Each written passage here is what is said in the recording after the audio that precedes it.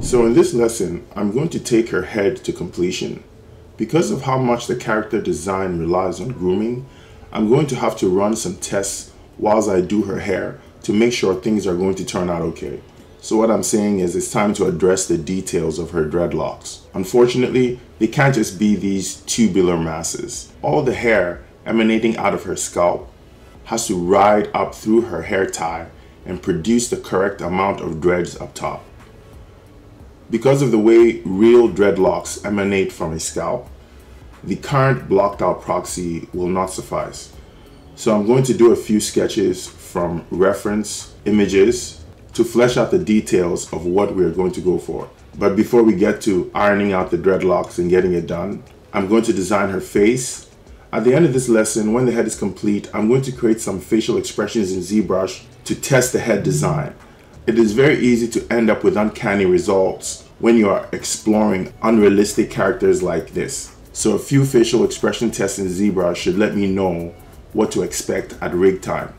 Let's get started with a cleanup of the head shape. I'm shaping the cranial mass to better match the shape of the pulled back hair. I feel like the shape of the dreads on the head will look better on a cranial mass that is closer in resemblance to a human head. When I start attempting these locks coming out of the pulled back quadrants and twisting together to form one beaded looking shape, it's going to impact the silhouette of the head for better or worse. So I have to be ready to alter the dreads coming out of the head to get a good overall silhouette for the head.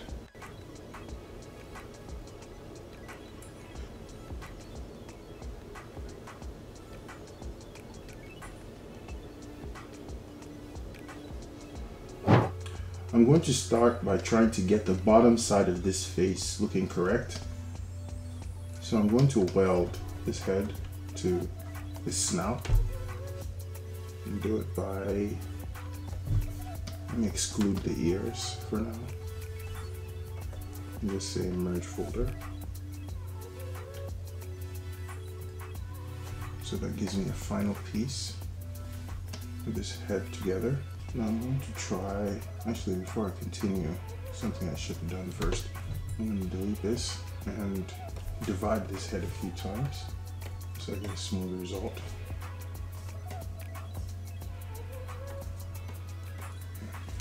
And then merge folder to get a finished result. Now I'm going to duplicate this and dynamesh it.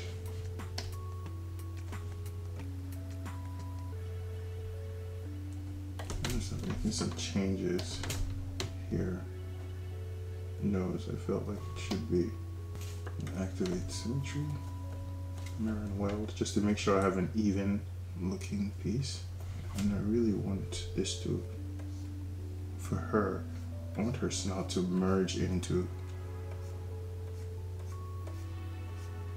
top of her face well. I'm gonna make her look somewhat gaunt too, the kind of look I'm going for, the lower face. I just don't want it to look too scary. So refrain from that.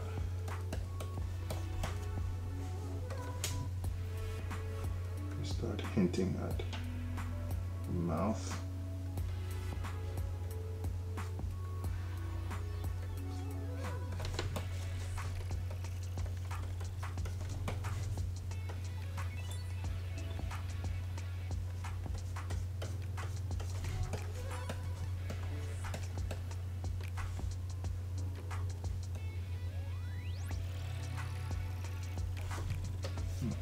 This mouth later. There's something I should have done before. I haven't got this far. I'm gonna dig into just a get the uh, gap of the eye. Focus on trying to get her shape looking correct. I don't want this thing to be too pointy.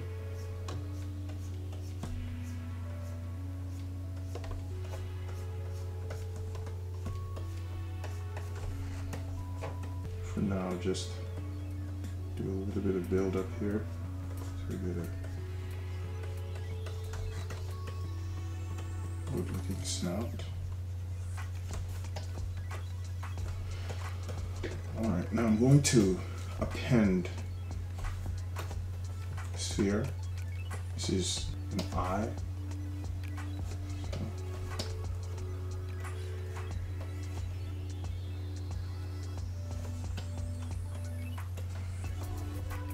Gauge for a proper eyeball size or something close to real. That's about a good size for somebody's eyeball.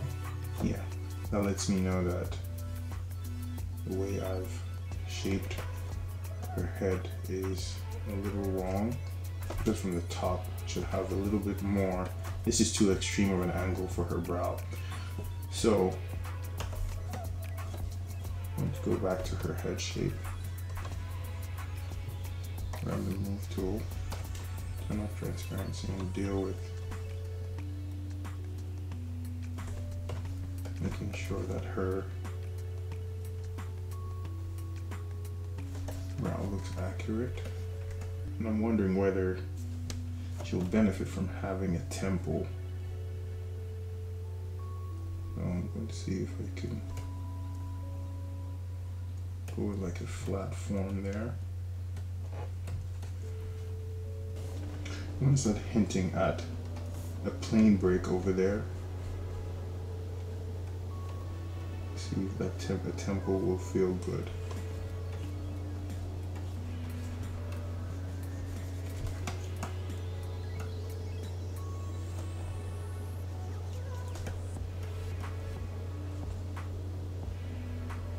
One thing I'm going to do is check from the profile to see if the peak of this eye is at the right place. So I'm gauging where the cornea is supposed to be and based off of how I've dug into the eye, I don't think it's right. So I'm going to turn on transparency and the way I'm going to find the peak is first rotate this eye about its center with shift until I get the pole of the sphere and keep that on on transparency and yeah if if this pole here were to be the center of the eyeball I'd be wrong. So this needs to come down and I think the eyes are far apart enough.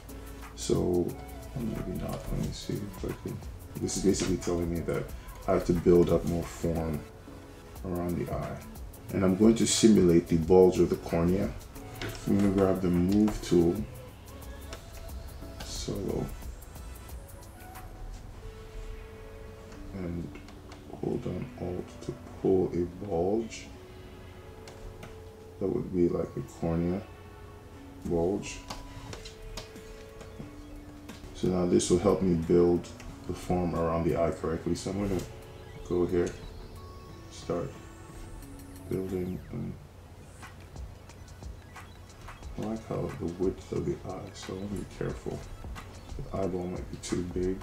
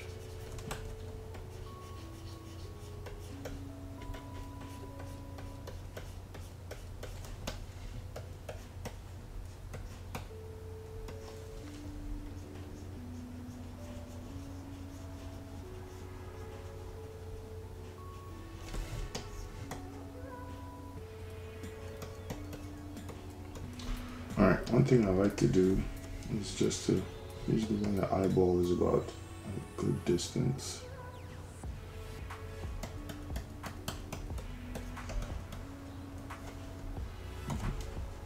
Create this recession.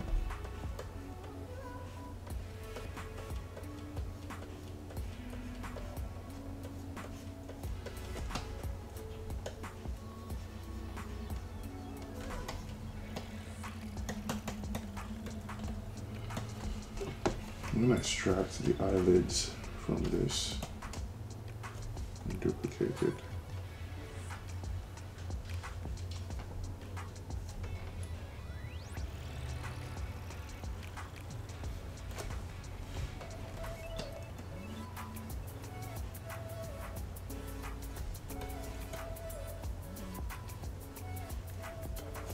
I'm gonna go extract that 0.002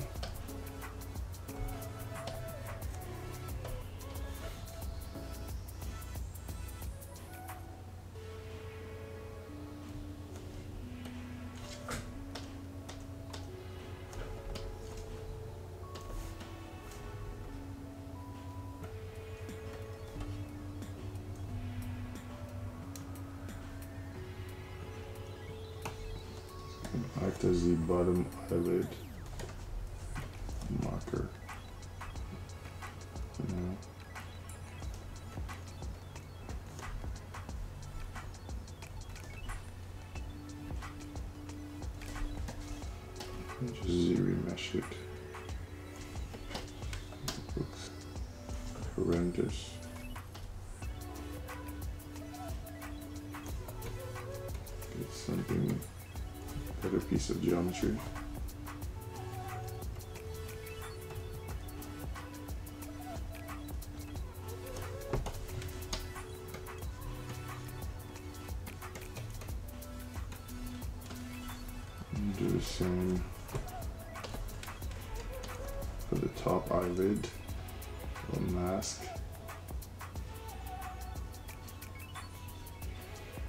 I mentioned in the prior lessons that I want the eyes to be beady.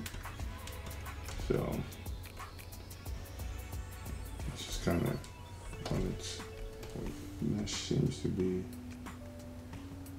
not respecting symmetry and doing some really weird things. This will just help me create the cavern of the uh, the eye a lot better and I start to see these shapes coming. I'm gonna resurface this also at a low number so I can get a manageable mesh and start. So now that I have these positioned, I'm gonna start building up the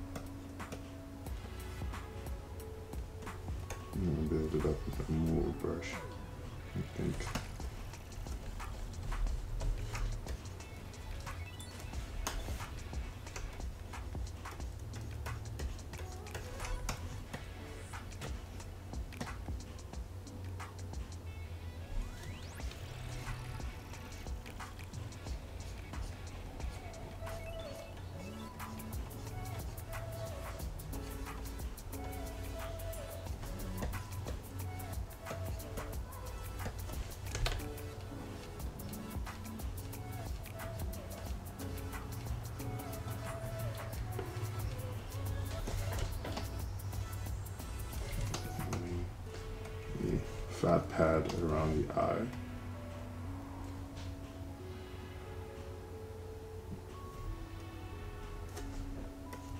I'm trying to marry it into, into the temple correctly. And this is, has a nice planar feel here, at least in humans.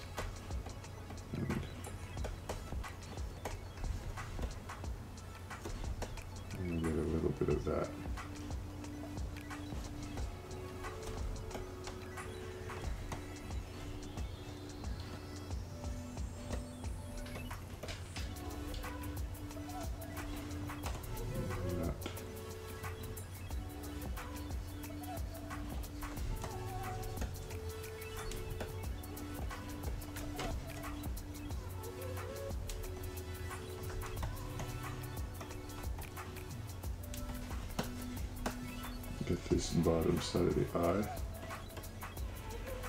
That shelf. be careful not to go too far.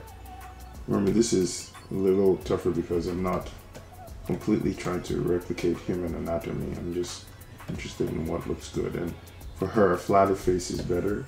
We have a more recessed uh, socket, and I'm wondering whether I should extend that to her. But I have to be careful too because this thing is supposed to have a certain amount of simplicity to not uh, make grooming too difficult. So I'm looking for the happy medium between getting fairly realistic looking eye region, but also appeasing um, this this stylized uh, design that I'm going for. Flatter face.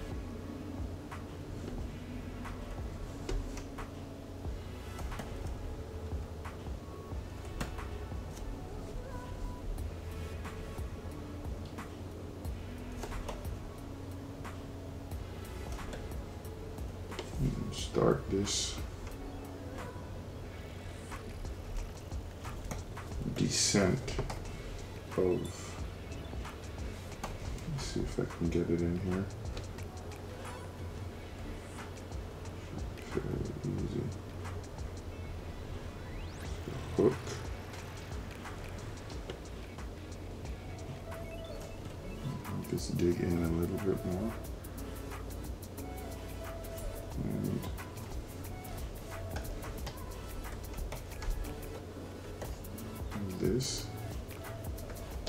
I just jumped into to this. completely forgetting how tough it is to assemble these structures for a head.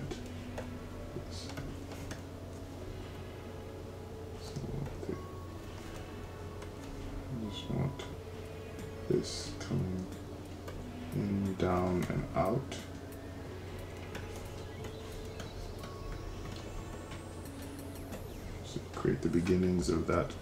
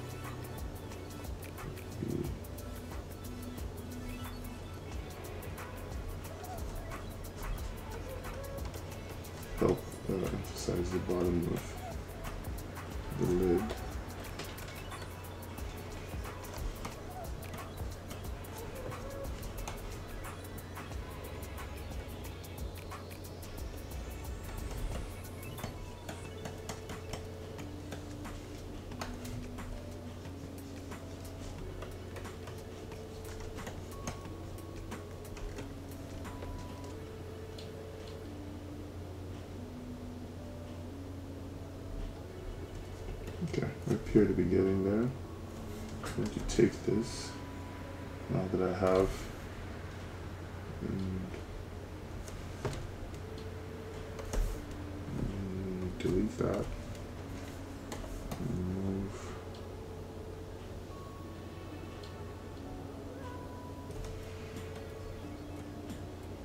The eye to more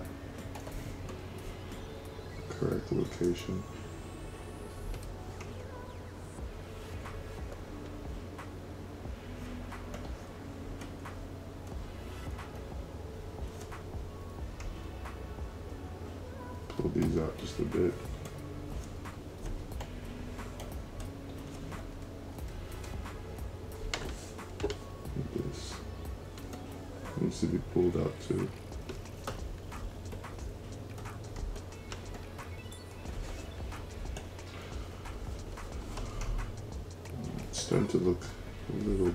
Better.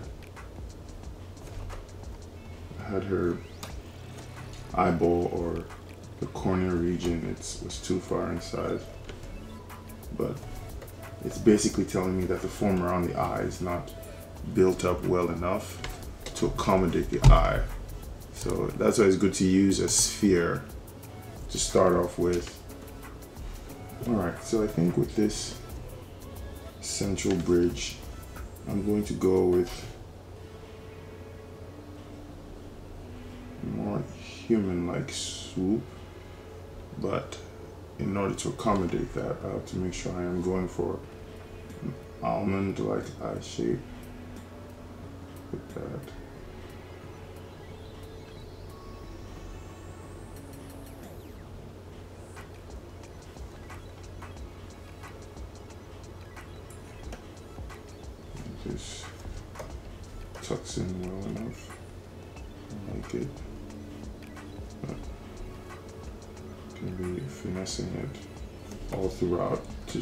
sure it's looking right. I think I'm gonna grab this and try to dig away at where the guts of the eye is supposed to be. Make sure there's nothing there so I can see how the form is looking like. The cavern is. I like to make the eyelids super thick, very very thick, so that you can I can shave away at them as time progresses. The objective here is to make sure this eyelid is wrapping around the spherical eyeball very well.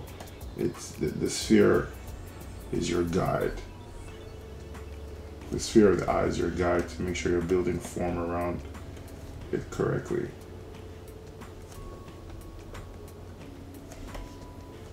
and this is a very thick eyelid so will change as time progresses. And be careful what I just did there. You don't want to smooth it too much.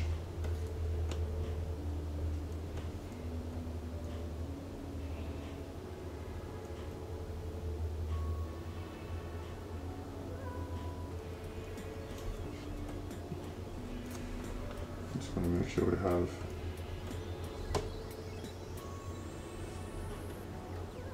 that can work and that look realistic enough. Really working hard to sell this fat pad. It's always something I end up overemphasizing, but I can always bring it down if you make a mistake. it's supposed to marry into what would be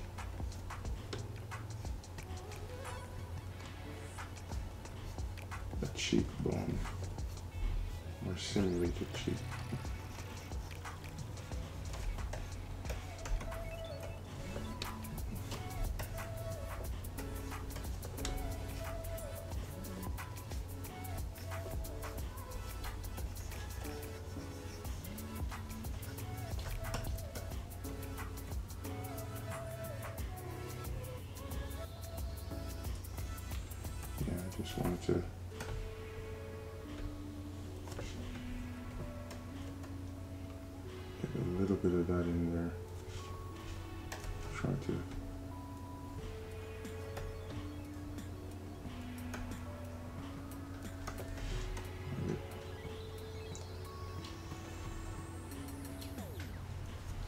Really weird because I'm giving her these like really human like features.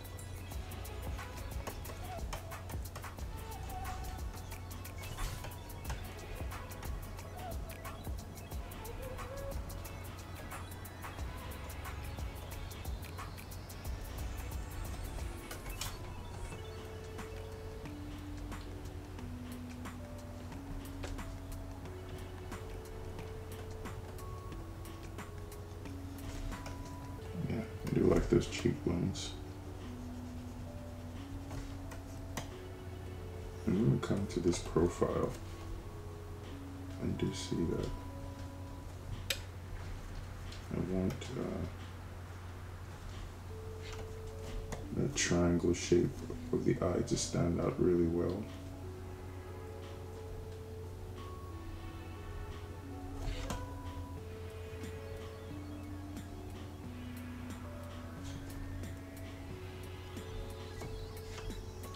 Make sure that this is swooping correctly.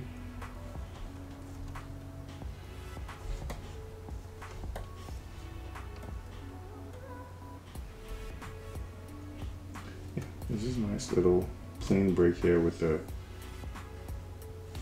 cheekbone that I like. I'm wondering if I should just extend it here to create this nice cavern or whether I should marry the form here so that it's you can't outline this cavern. So I'm just going to take a look at it for a while and come back and see what decisions I've decided are going to help make it look okay.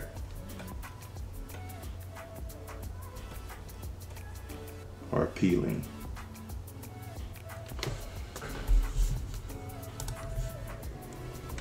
I'm going to attempt to get these eyeballs in the right location. It's a little bothersome that there's, it needs to be almost in, the, right in the center. I want it to be in the right in the center.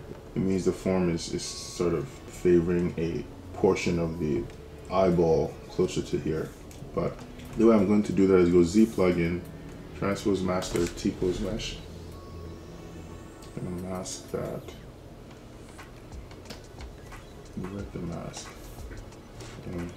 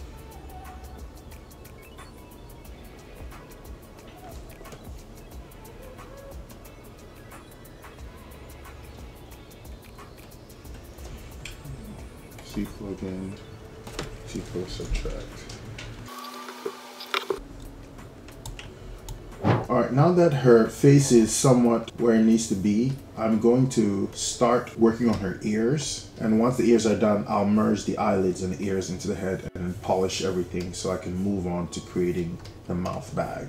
So for the ears, let's come over here, pick a strong intensity and start um, proper shape.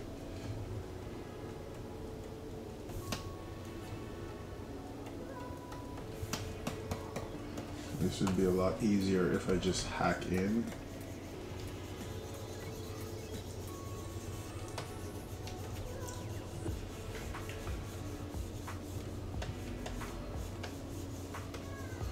For a snow leopard, is and pretty much with all wildcats there's this like leaf or this additional pocket here. I'm not going to put it in there. It's an extra additional bit of detail that is really not necessary.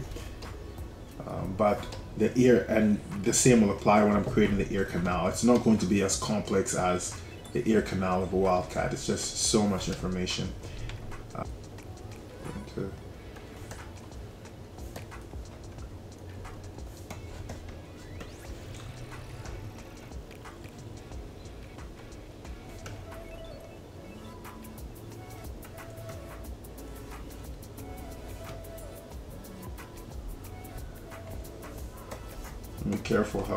with this because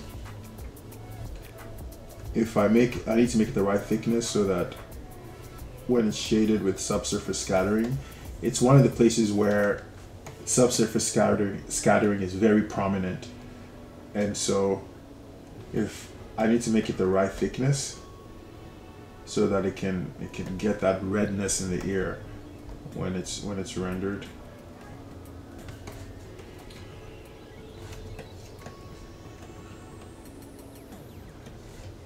We get to the edge, it's really thin. So I'm going to start shaving away at the edge. Actually, I to build up.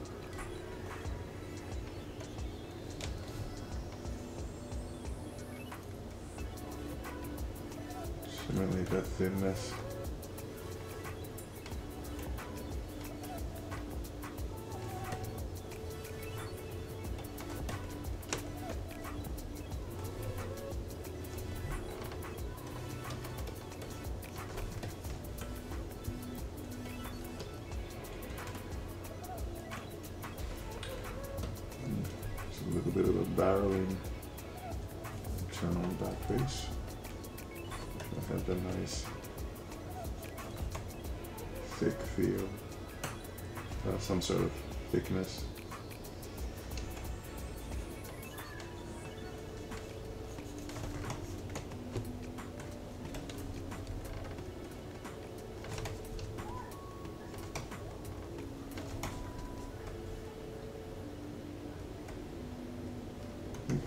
But I think it should establish some plane breaks.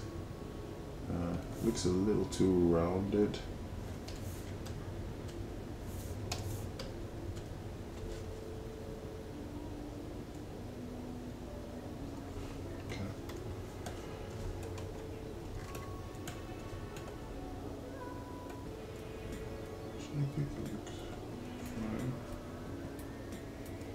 It's a good start. I think it needs to be welded so that I could uh, figure out how this cartilage is going to blend in here because over here it's going to be fur.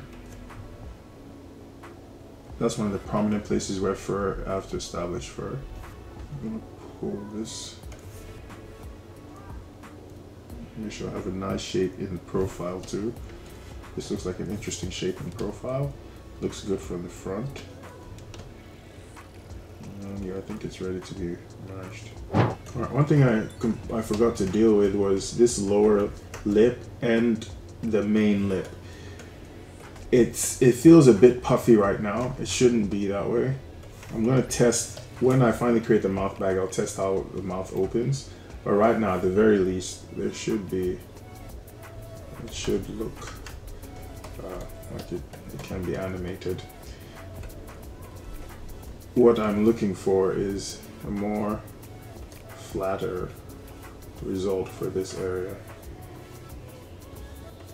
And an edge that defines uh, the lip for both for both bottom and top. So we need like an edge. Not enough information to completely finalize it. Let's get a defining line there. Not sure I have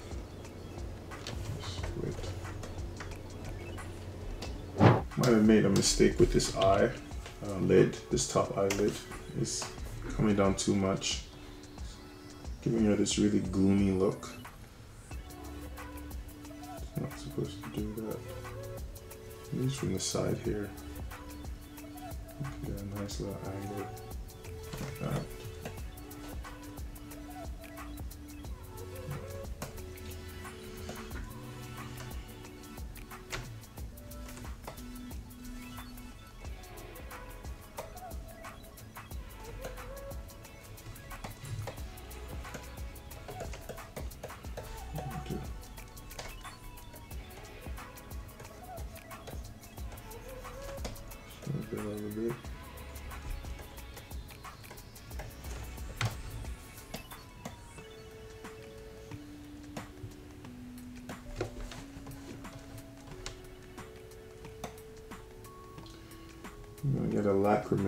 Here somewhere.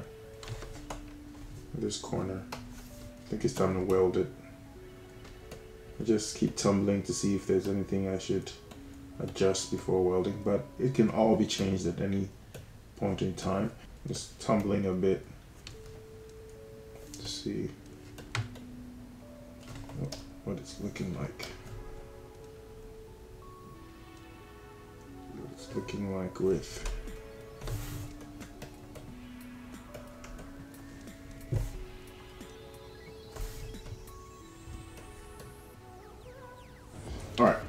decided to not make it realistic at all. I'm just going to make sure it's a nice, smooth transition so that I can very easily put a groom in there the way it needs to be put. Usually with ears, you have a lot of fur sticking out here. I'll be sketching an example of it very soon. But these transitions need to work well. They need to at least blend well together. But before I do that, I'm going to extract the nose, duplicate it, and divide just to get a cleaner mesh to extract the nose from.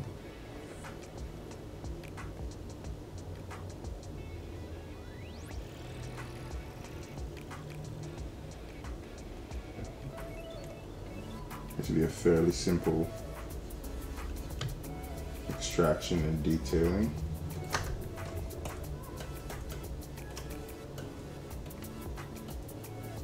Okay.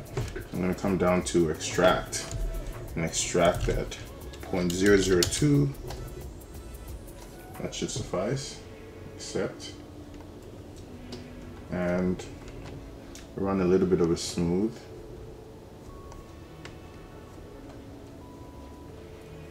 On the edges first. And then in order to get a nice mesh I'm going to just start z-remeshing usually one thing I like to do is z-remesh from like 5k starting and then step down and then it'll start averaging nicely as you step down in z-remesh again.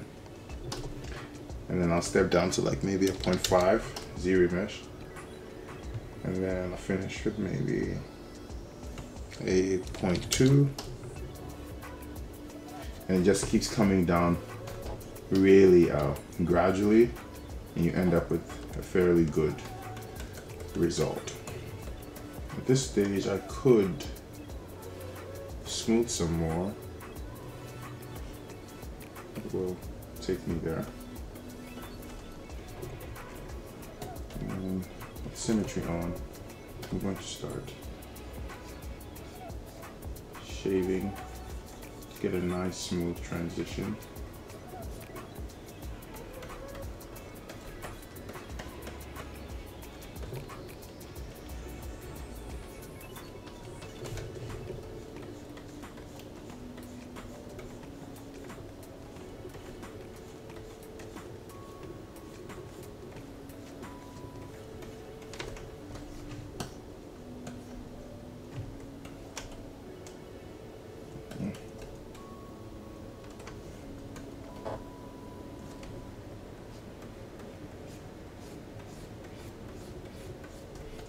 Have to clean up the transition a lot more.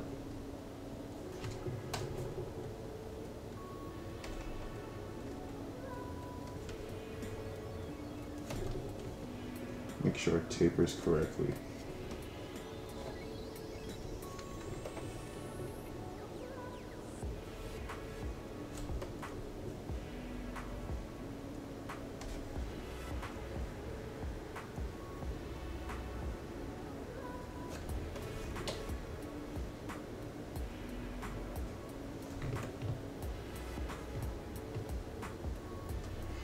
I might be being a little over ambitious, thinking I'm not never going to need to merge it. I might have to. So I'll keep that in mind. I'm going to shave here, make sure that it marries into it well now. And it's time to merge it.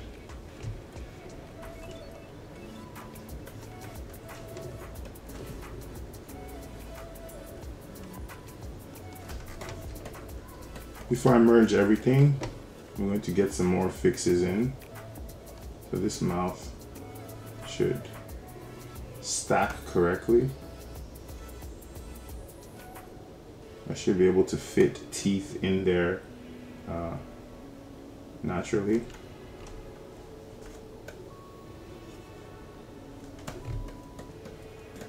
I'm going to simulate somewhat of a lip here. This mouth will be open very soon, but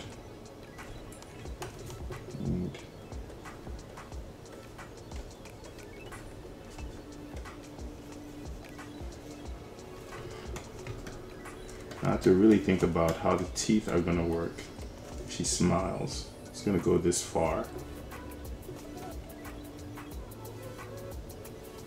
Slide back. It also has to slide on the surface partially, so I just have to make sure that I can put teeth in there. Like if I had bottom teeth and they extended here, if the arc of the teeth was like that, then when she smiles, I can slide the skin back onto what would be the teeth. Right, so just want to make sure the head shape can receive good teeth. This split too, I have to be very careful with it.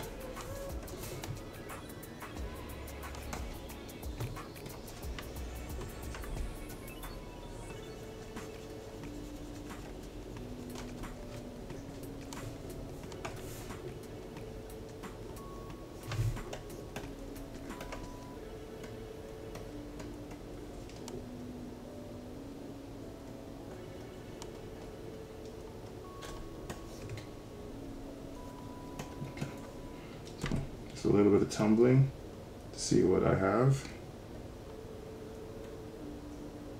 In preparation for the merge. The merge looks like it's going to include everything. The lids, the nose, the ears, and then polishing and worrying about things like the nostrils. Okay, it's finally time to merge. I'm going to merge all of these pieces into subdivision levels so that I can step up and down out of the necessary forms. The subdivision level system I'm about to create is by no means the final subdivision level because this head has to eventually be connected to the body that I finished. I just want need something right now to be able to continue with subdivision level workflow. So I'm going to take all the elements that are supposed to be welded together and put them into a group called head weld. This is the nose, it belongs in there. This neck does not belong there. Ears belong in there. Eyes do not belong in there. Lower eyelids belong in there. Upper eyelids too. Looks like these didn't take. This old head was into the trash. So now I'm gonna go to this group, go merge merge folder, and it should create a copy of everything. Actually, I did leave out a step. I'm gonna delete that. Go back into the group and make sure I subdivide these till they're all smooth. I want a nice smooth result. Start with the ears, divide a few times just to get a nice smooth mesh with no faceting. I'll do the same for the eyelids. Nice smooth mesh. And same with the nose. So now take that and merge folder and get this end result. And this end result, just duplicate it, I have a copy. Let me now delete the lower subdivision levels in order to Dynamesh without that warning message. So I'll go Dynamesh this is too little. So I definitely need to go higher.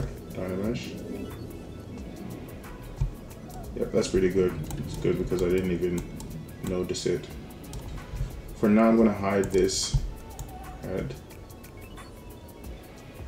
and the eyes too. And then I'm going to duplicate this mesh and Dynamesh at a significantly lower number maybe about 240 and then at 240 I'll do a Dynamesh I'm going to test it to see what it feels like. That's pretty high. I don't want this to be my lowest subdivision level. So I'm going to go a little bit lower. And Dynamesh again.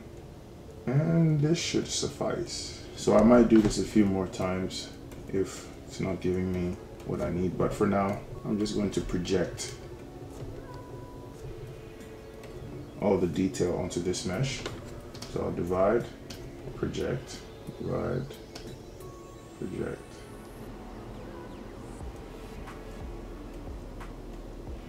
And I think this is a pretty good starting point.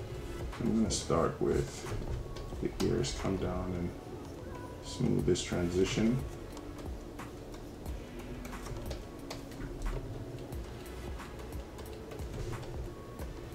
Nice smooth transition. And all this is going to be covered in fur, so I need it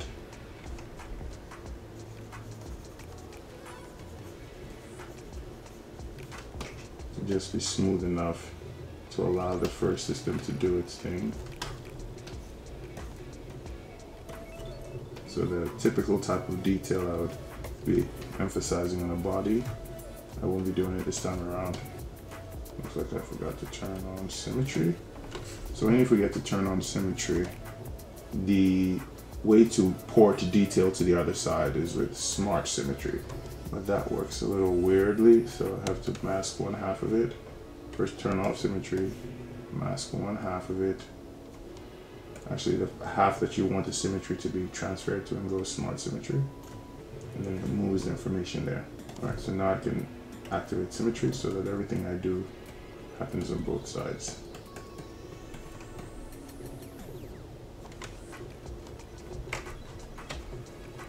I really should be doing all this smoothing on this much higher subdivision level.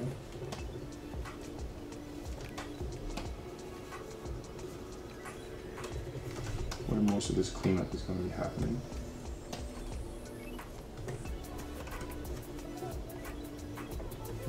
Careful here.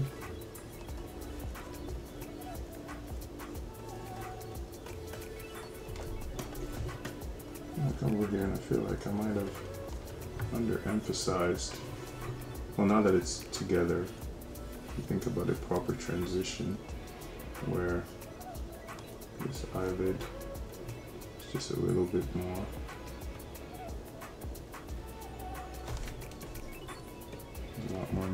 there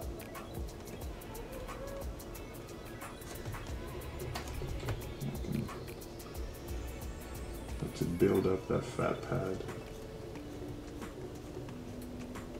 a little bit more. Not too much.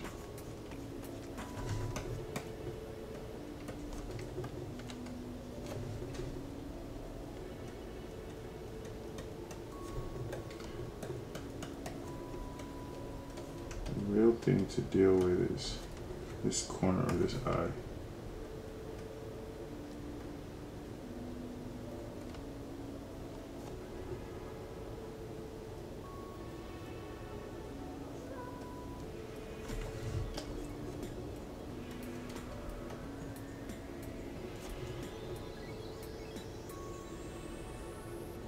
emphasize this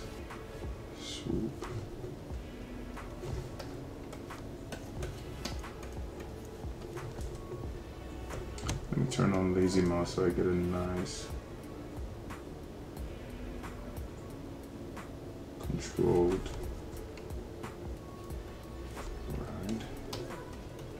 Want to do a nice blend here with this lid.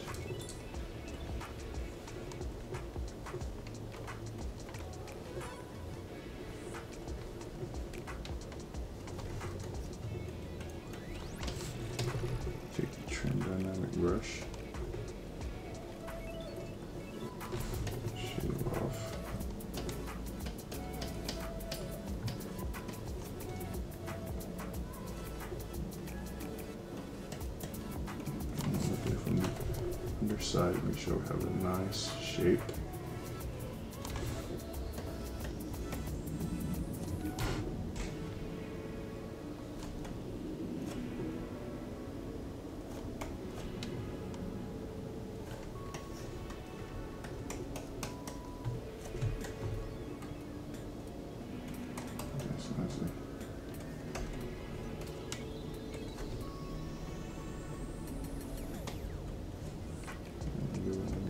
Smoothing here.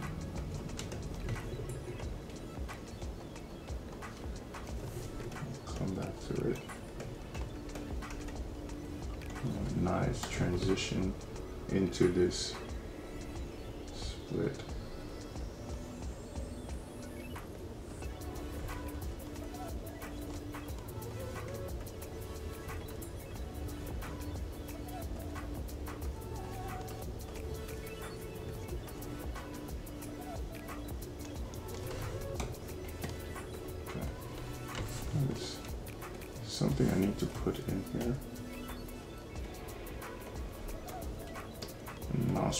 test to see if they actually look good.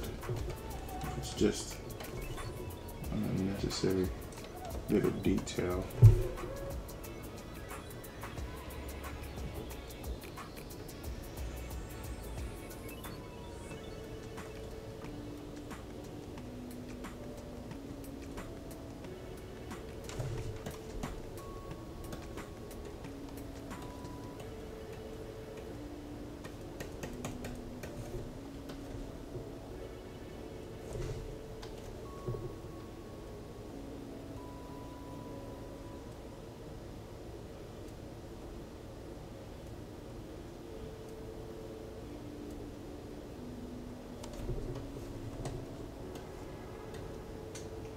Actually looks good.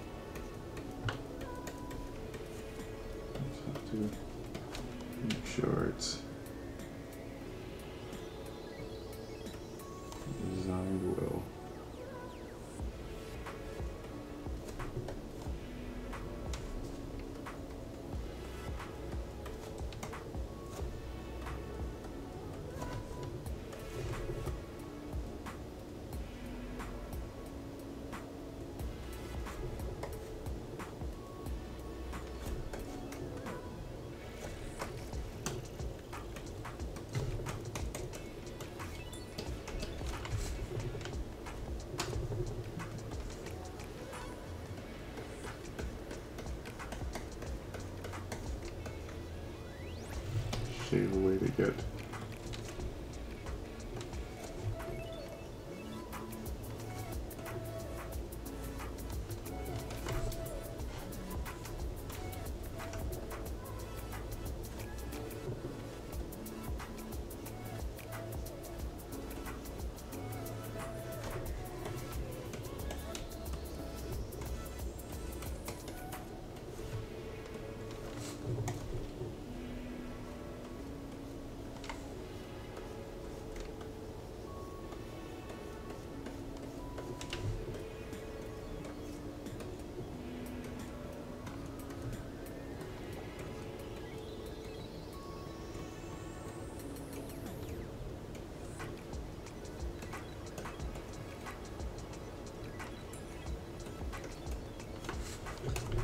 this and shave it to make sure it transitions correctly.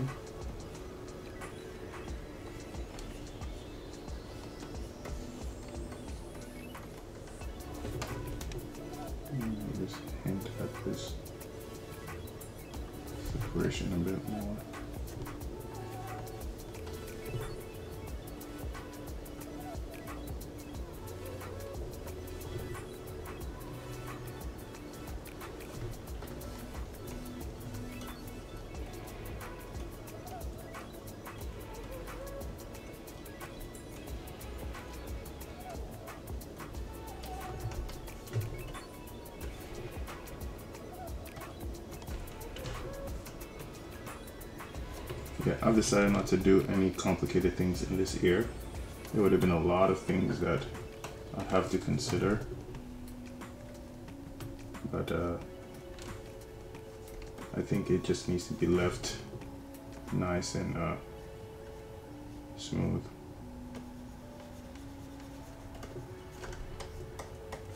There's no point in designing any hardcore detail here because this body will not use displacement maps, so I can't pull this information. I don't want to have to deal with XGen and displacement maps. It works pretty well. You can have the groom work on top of a displacement map, but there's simply no need here.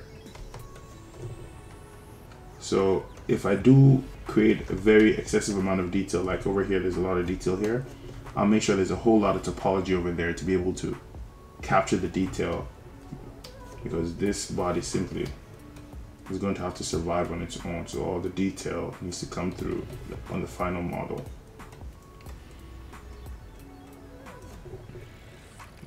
That would include these eyes. Everything around these eyes will have significantly more topology, significant more topology around the nose. I'm okay with doing that because there's no groom here and there's not going to be any groom on these eyelids. and everything else that is going to have groom is going to be nice and smooth. Let me see if these ears are the best shape. Maybe I can manipulate them at any time, but that's the great thing about also keeping them simple, is I can do a lot of manipulation at rig time or even before rig time if I feel like a better shape will work. So if you leave it without that much information, you have basically given yourself a nice simple shape to play with.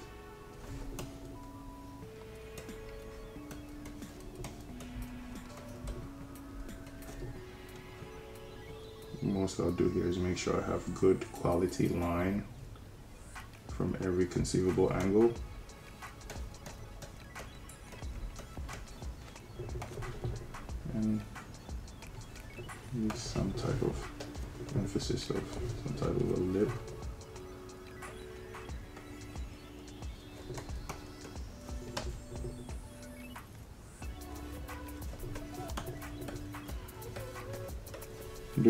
Things differently on this project because this is uh, be my first uh, official character that I groomed to completion and rigged.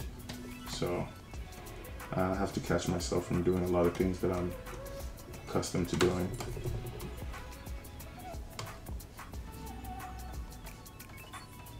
You might see me do some things that Look back and be like, this was unnecessary because it's not coming through in the final model.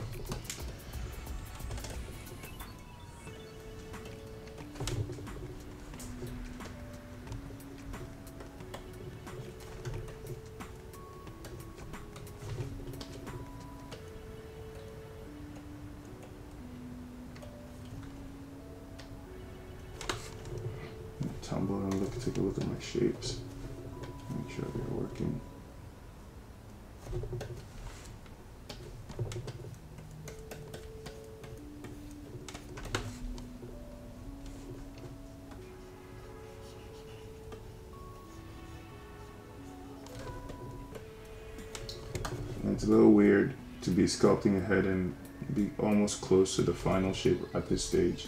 I usually expect a lot more work, so having a little bit of time, accepting the fact that this is pretty much as far as I can go for this project. So I'm going to spend the time here just really polishing these shapes. Should be dealing with this too.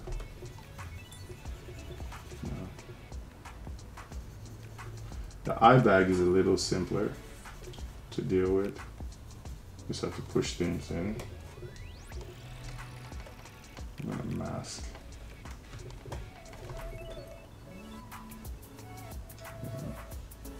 So I don't impact the tip of the, the lip of the. So Aggressively push in an eye bag. There's gonna be a whole eyeball here with a whole bunch of internal parts that help to contribute to the final rendered result.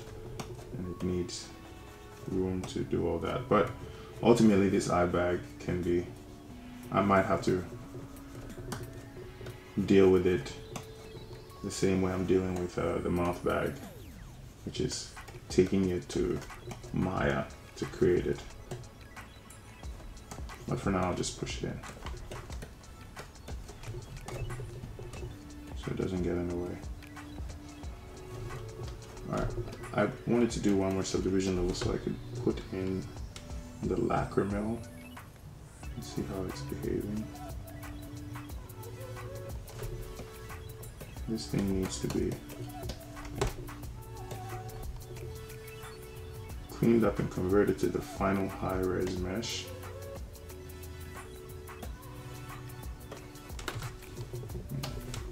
Which won't have all these little weird artifacts that you see in this nose here.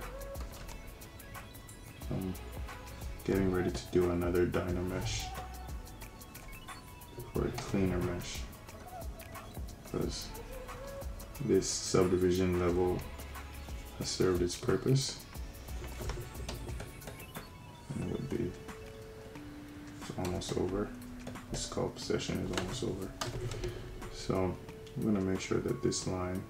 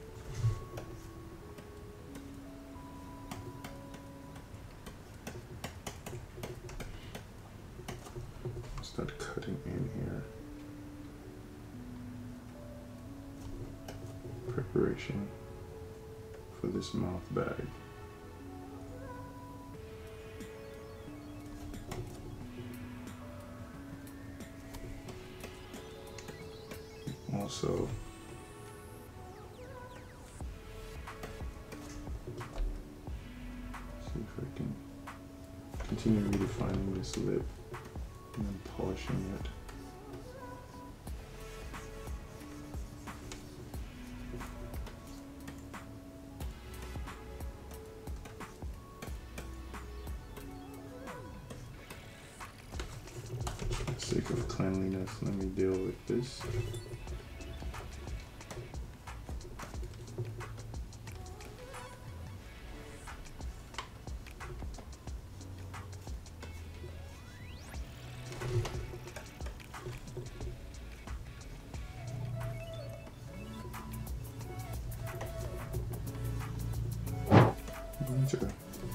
Run a Dam standard here to define this edge. Just clean up. And I'm to mask this and run a clay polish there because it looks. Well, most of this, when I resurface for the new mesh, it'll fix all of these weird artifacts. So I'm going to go clay polish go, just to clean up that area a little bit.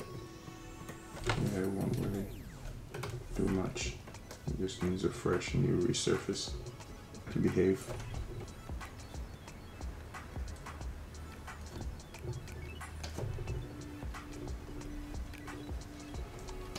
Deal with this here so I can get the mill in there. Just isolate the eye.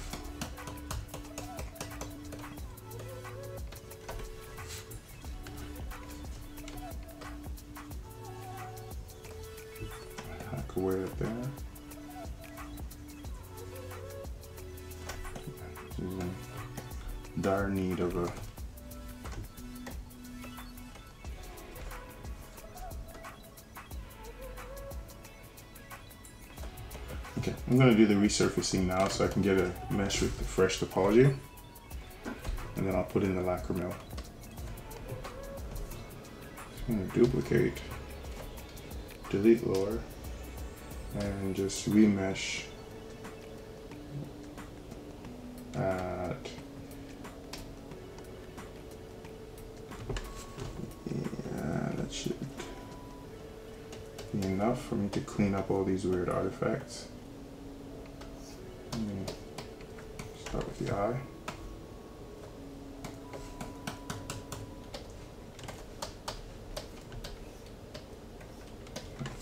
So now this mesh is moldable. It's not confined to the topology that I had before.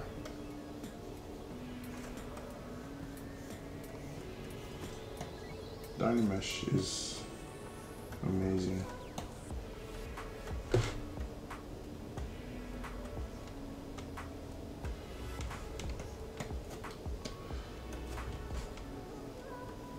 After resurfacing, I will come back and clean up this topology even more, this sculpting more, but I'll have the final shapes then resurfaced into proper topology.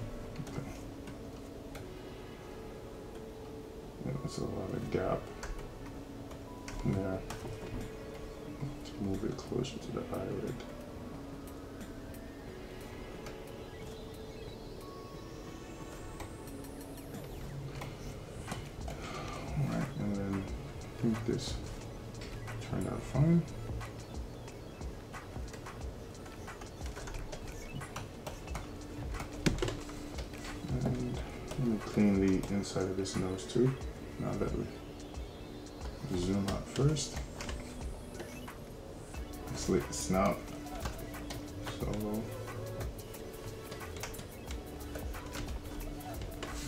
Should be able to hack and get better responsive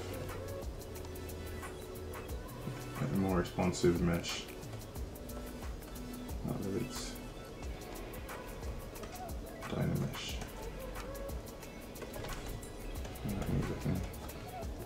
This weird artifact inside the nose.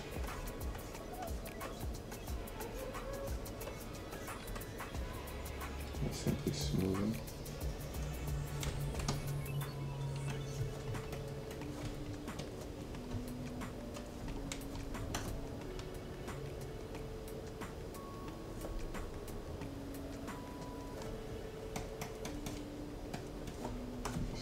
do like a nice clean tubular buildup.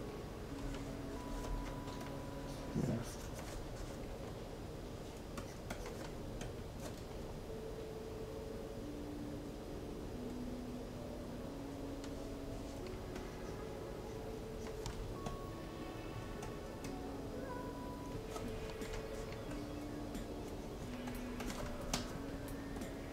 Just need something that's deep enough to provide a good amount of occlusion.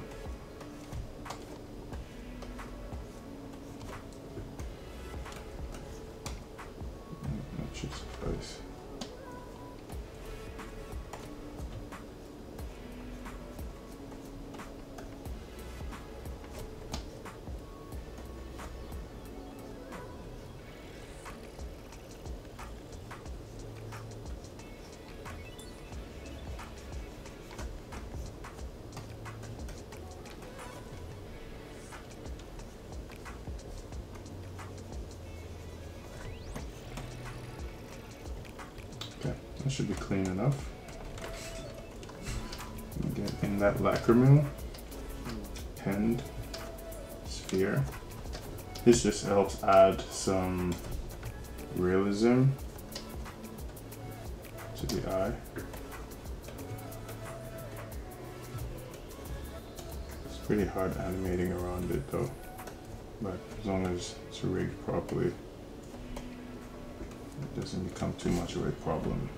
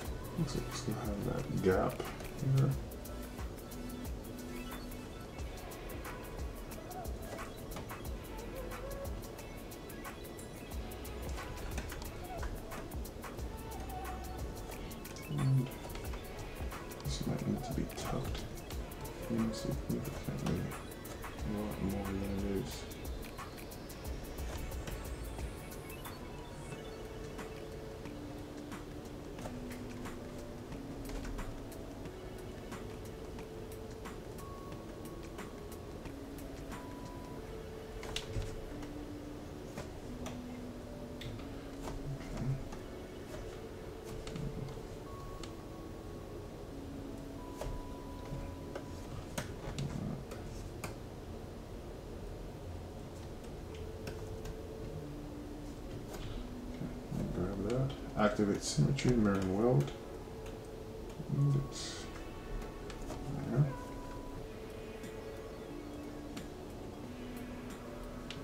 Keep adjusting it.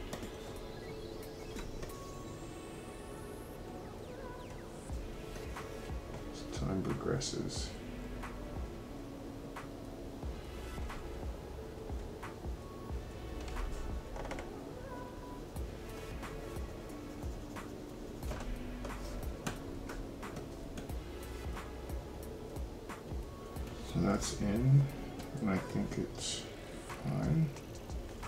Just gonna let it sit and inspect it a bit.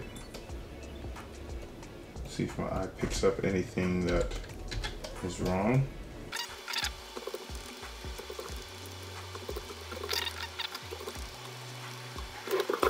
Alright, so I'm going to move on to getting the teeth and the tongue done. I changed the material just so I can see it under different conditions. So I'm using polyskin. Before I start the teeth, I'm going to not create a mouth bag, but create an opening here. And the way I like to do that is let me start by auto grouping the whole thing. And then I'm going to take uh, a slither of polygons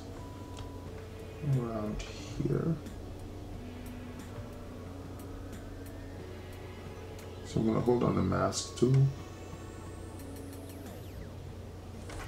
Let me turn this off first.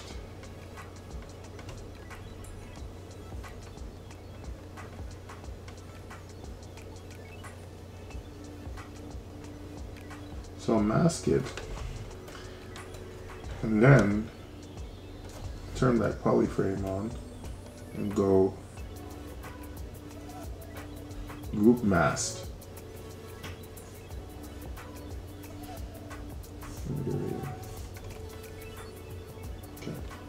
That should pretty much be enough.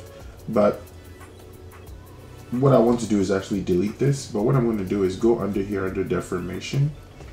And there is a polish by groups, which should, yes, clean it up just a little bit. Yeah, that should be good. So what I'm then going to do is isolate this piece and I should have a opening can delete hidden and I think I hope this is not connected uh, let me see if I can take them apart no I can't so I'm going to select this. They seem to be the only two connected polygons.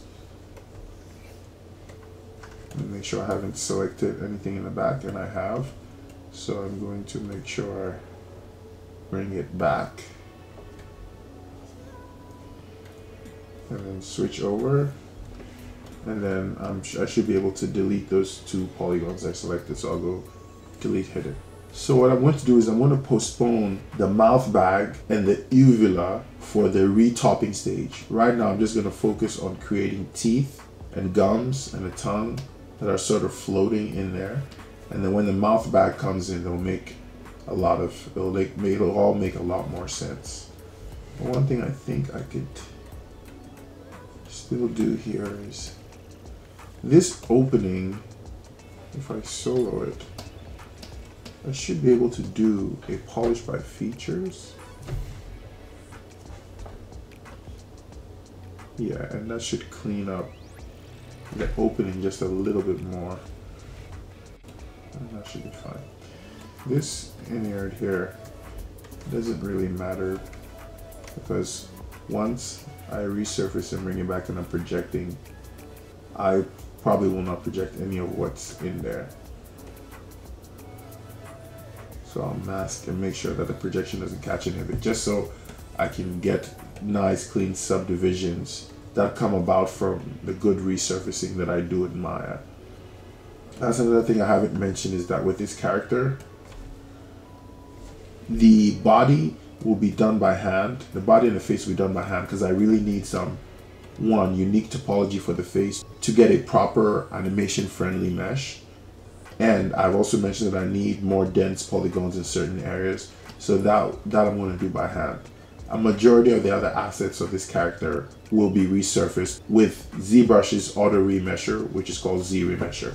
So, but we're not there yet, so we're pretty far away from that. But I just wanted to give a heads up let you know that the body and the head are the only things that are going to be done by hand. At least for now, that's what I think. So now that I have the opening in there, I'm going to start with the gums. So I'm going to append, I guess I could append a ring, solo. And I'm going to delete one half of it. Delete hidden, close holes, and I guess the top could benefit from just being knifed down a turn off perspective. Just cut that down. And I'll do a Z remesher just to get some different type of topology. Bring it down a little bit more. Activate symmetry and mirror and weld. This is just the beginnings of a gum. I'm going to leave it pretty low polygon for now just so I can shape it. I'll do the top first, duplicate it to get the bottom. Let me get this gum in position. Turn on transparency. That's truly large.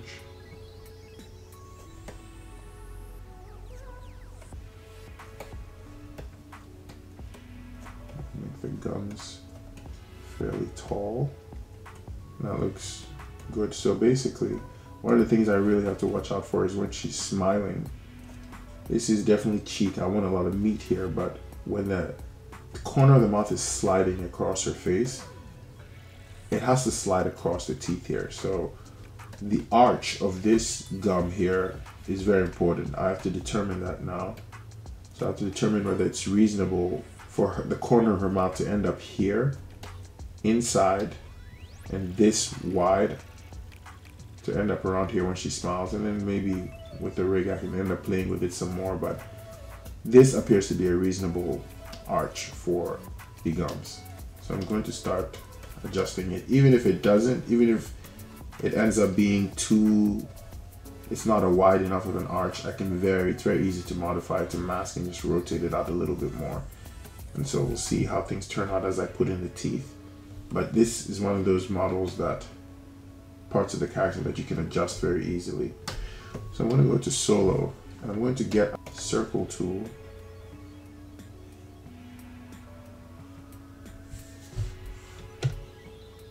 And drag it so I can get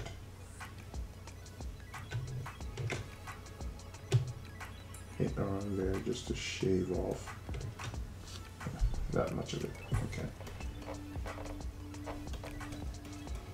Think this should be enough to receive the teeth.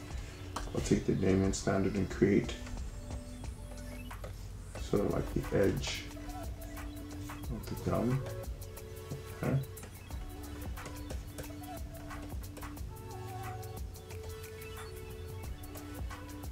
I'll leave this like this for now.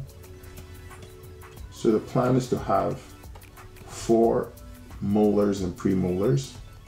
Then we get to the canines which would be long, sharp, then the incisors in the front. The whole thing will look like human teeth and gums.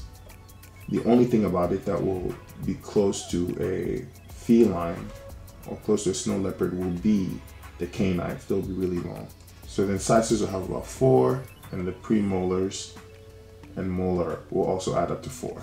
All right, so let me start doing the budgeting for this. I'm going to append a cube to get the two incisors in the middle.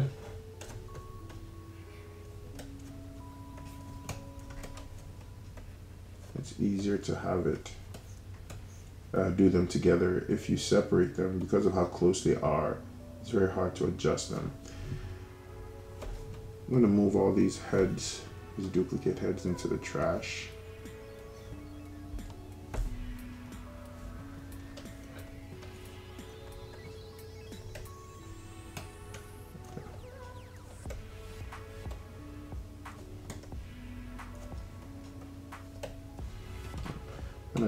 Divide this just to get it.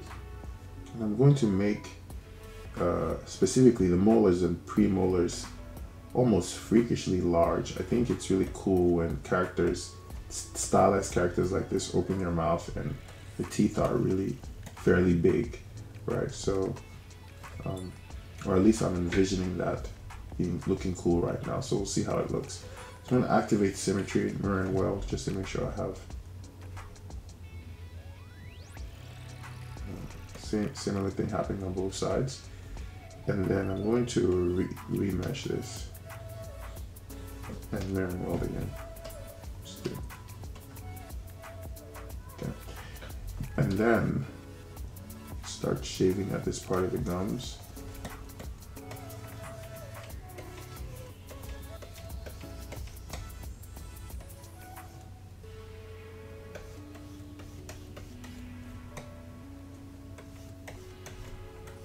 Smoothing a little.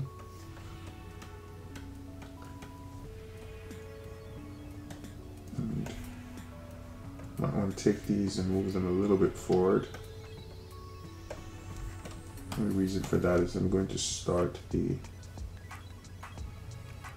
top part of the teeth that have an arch-like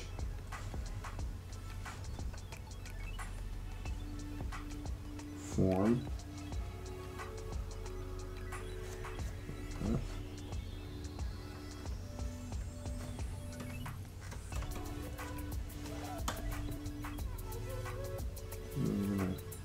I'm, I'm eventually going to separate these incisors, but for now, it's better to process them as one.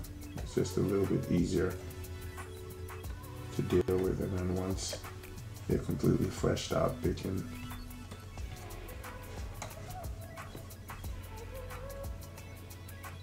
be separated.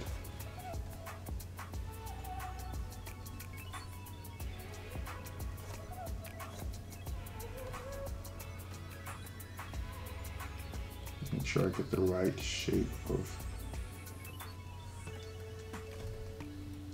teeth.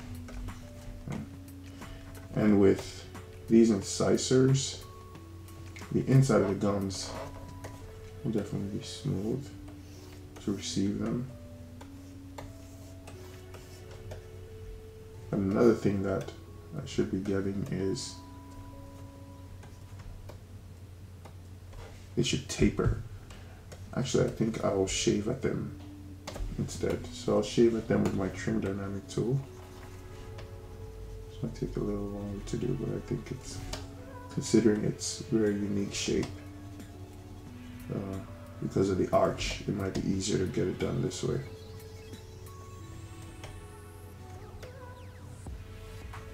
If you look at your front teeth, if you feel them with your tongue, you'll see this recessed thin portion at the bottom that goes into the thick base, which is a root, which ends up uh, as this protrusion that goes into the gums. I'm not creating a protrusion though. There's no need to create geometry we don't need. So I'm gonna avoid doing that. This is about the shape of, of the incisors. Yeah, something like that. It's a, definitely a lot more of an organic shape, but for now, I think this will suffice.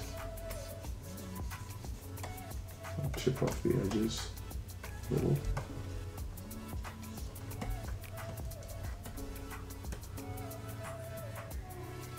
Okay. They look pretty good, so I'm going to duplicate that this to get the ones on the side. But I have to do some cutting of the central part. Yeah like that. And then weld no. I want the other side. So the easy way to get the other side for a mirror and weld is to then delete hidden and then go activate symmetry mirror and weld okay. So that should give us the two other incisors. Smooth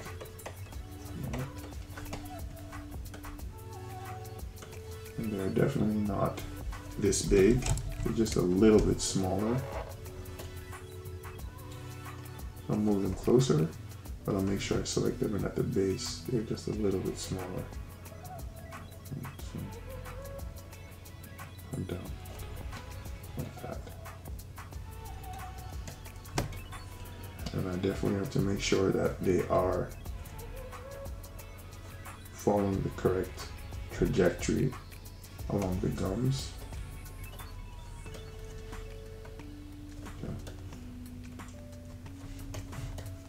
Those are the incisors. Pretty sharp. In order to see how they're fitting on her face, I'm going to select the lower part of her face and hide the lower side of her mouth just to start seeing what it's looking like. This is about a good amount of thickness for the lips. So it means I have to move these elements, the gums and the teeth back a bit. So I'm going to put them in a folder. All of them in a folder and go transpose set, center, and move them back so they're clearing the lips. It's supposed, supposed to slide along them, so we need to be further back. Okay, so that looks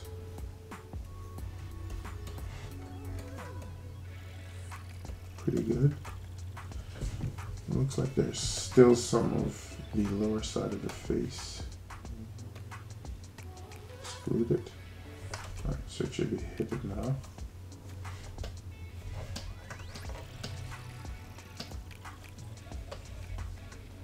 Using the selection tool, let me turn on double make sure I can see both sides of this mesh just so I can bring this back. I just want to hide the lower jaw and see what's happening with the teeth.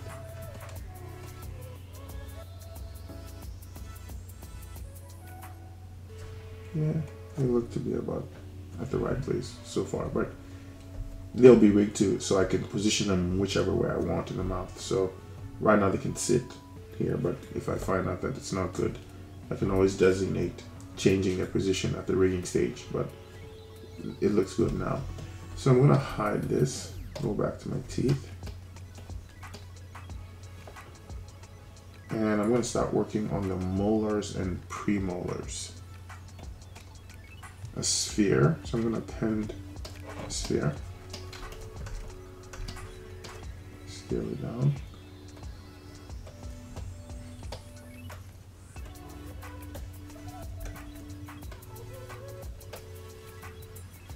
And the first thing I'm going to do is I'm going to solo it and shave off the insertion point just so I can start getting the shape that I want. They are very, it's a very unique, weird shape. Uh, I'm gonna bring it down and Z-remesh it at a lowered value and start slicing it to produce this really weird shape. So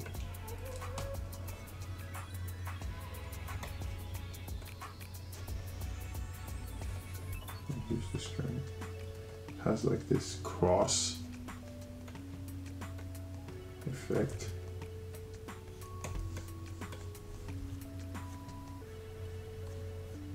For premolar. I'm gonna go too far. It's in the back of the mouth. It really doesn't have to be that detailed.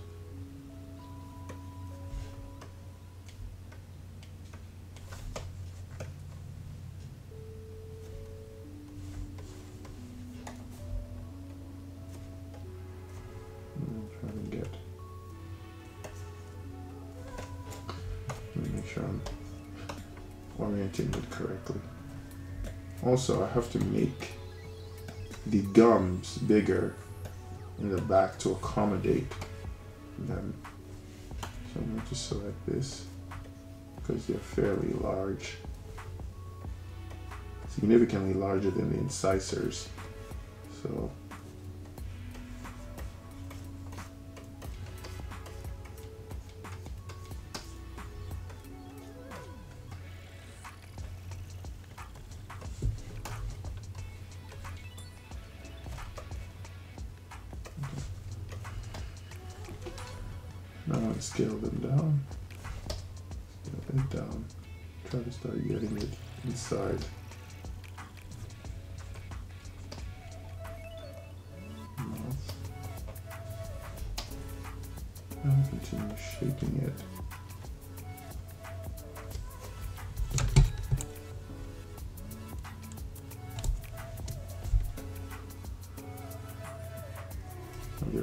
with each other.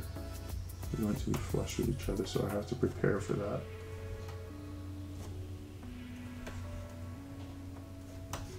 And they're so far back in the mouth that I don't really care so much about detailing them so too much. But it should be detailed enough so that when she opens her mouth to scream, you can at least see the details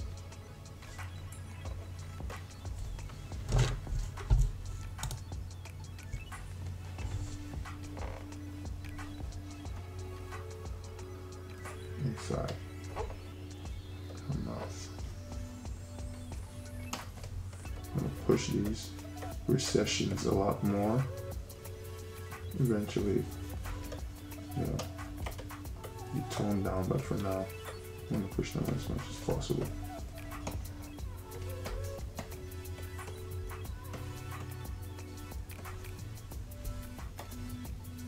Design this a little better. It's a very organic shape, so it's not um, perfectly symmetrical but its self.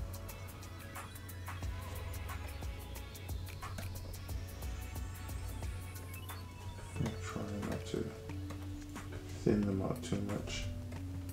Now, in reality, I think that the molar is smaller, and then there's some specific sizing of the premolars as you move towards the canine. But for the sake of just getting like something that looks good from a design perspective, I'm just going to taper them down to make them smaller as we move closer to the incisors.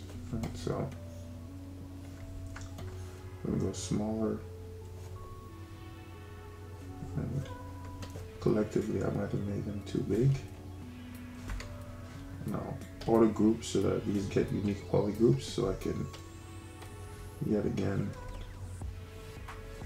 control drag to get the next one. And I might be only able to fit three in there, which is fine. I was going for four, but I'm not going to go out of my way to add a fourth one if it's just not feeling natural. But I think that when she opens her mouth, I need as much information as possible going deep into the mouth. So I'm, I'm gonna I'm gonna put a fourth.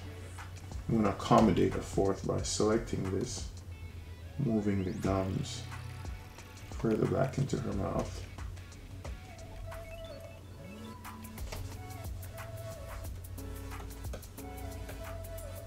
Like that. And then just select these, make sure they're moved back.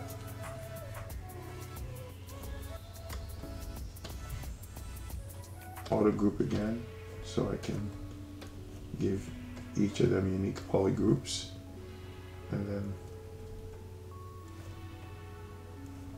move them to make sure they're fitting.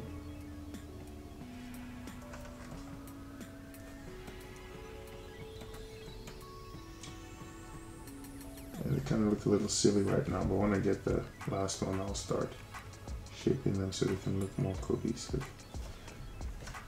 So the last one, I'm to control click, drag to get it.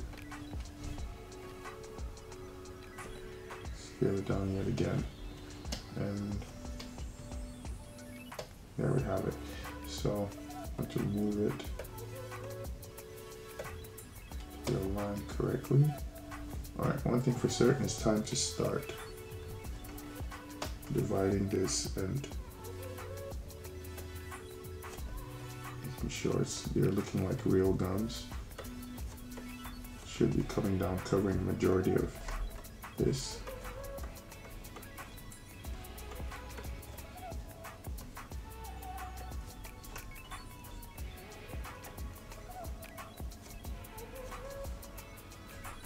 So much more than is already covered. Like that much.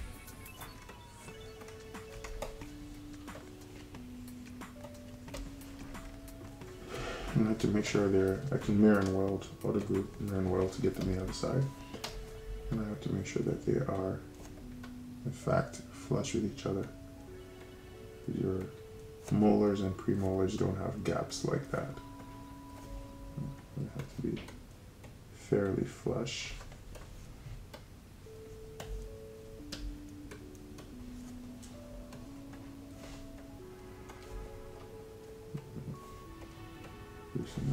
Shaping. Make sure that also the inside the gums are extending down to fill in. All the way in the back, definitely have a lot more gum covering.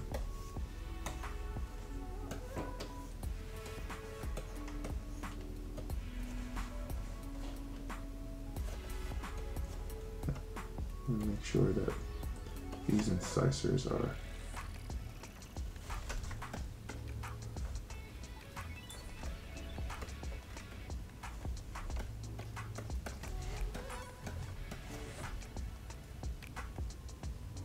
properly represented. Incisors are definitely significantly smaller than uh, the premolars. Well, at the top, at the bottom, uh, they're significantly smaller, but at the top I think I have the correct ratio. If not, I'll change it later.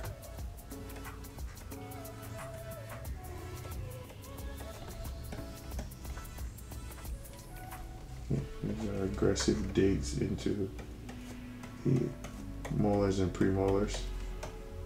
Might be too much.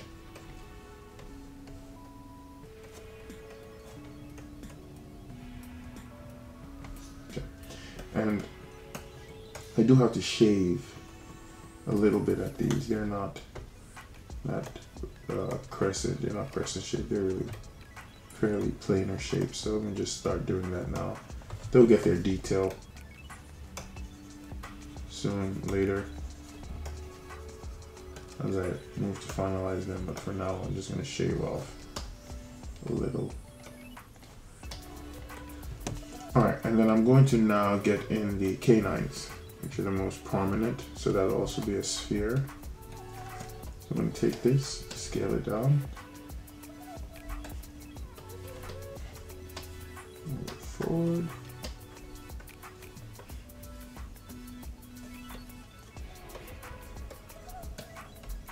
I'm also going to find a way to do his. It'll be a combination of rabbit teeth and human teeth. So that's also going to be an interesting one. Alright, so for these canines, what I like to do, also come down, Z-remesh, and then it's just a matter of just pulling on them.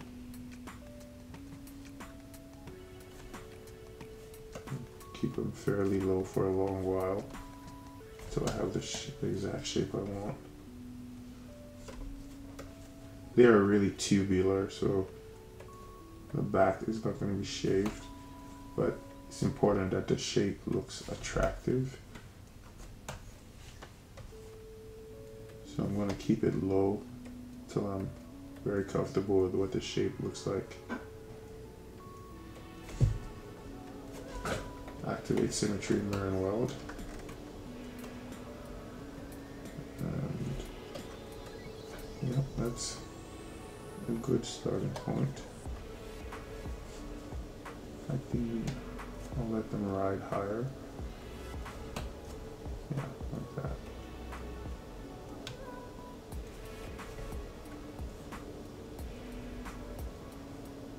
Sharpen them.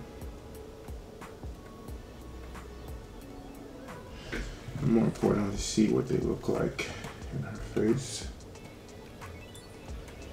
Mm, yeah, that's really large.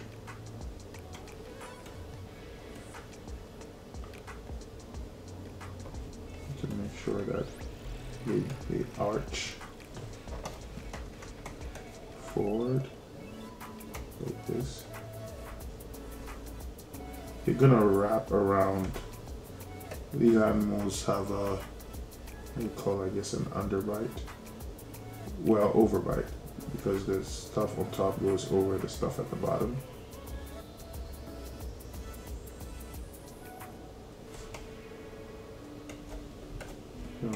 The bottom will be more pushed in. Need to do them shortly.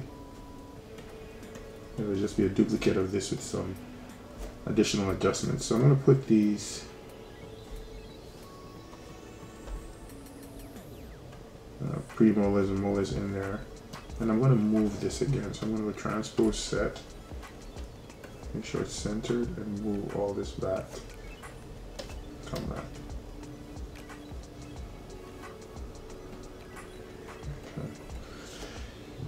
Now I'm going to do some some design. This thing looking straight feels a little weird. So I'm going to take it and produce some type of an arch like this.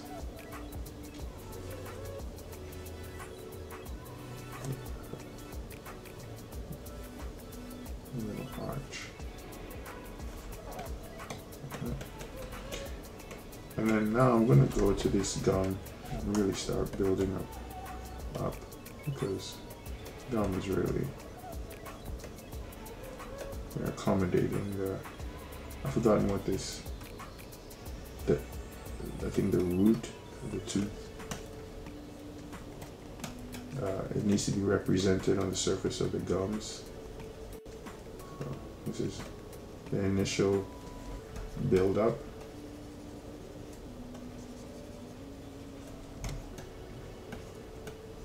just to get them. Mm-hmm.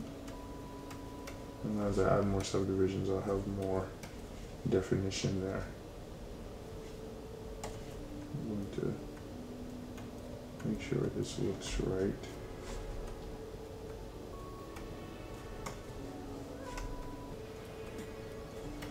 I just gave her a gap in between that and that's not cool, doesn't look right. So Uh, I'm going to have to make something thicker. And this ended up with the height overemphasized. It's wrong. It's supposed to be this much.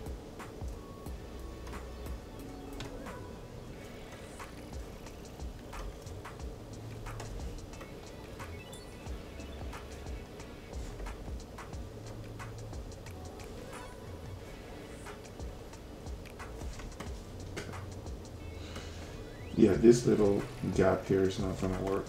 So I'm going to make the, the molars thicker. Sorry, the canines. These are canines. I'm going to turn on local symmetry so I can get them thick. Thick.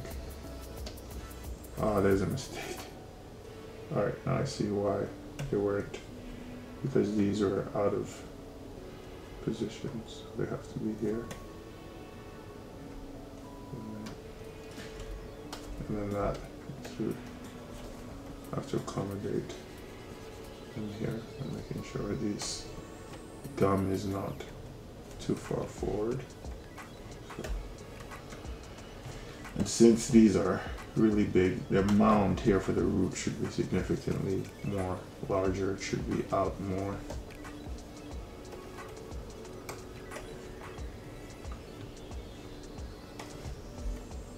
To make sure they look good. It has to look good. So after you go for all the realism, to go in there and make sure from design perspective they're looking good. I'm staying at this really low subdivision level for now, just to get something, a good starting point.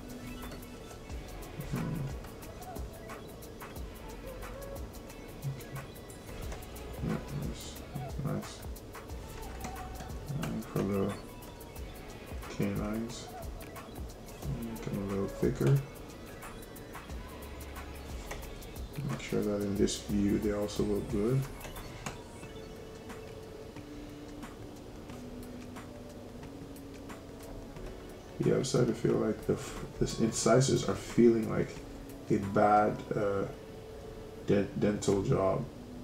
They look really big, you know, when people go have these procedures and they have them looking really large. So I'm gonna reduce them a little.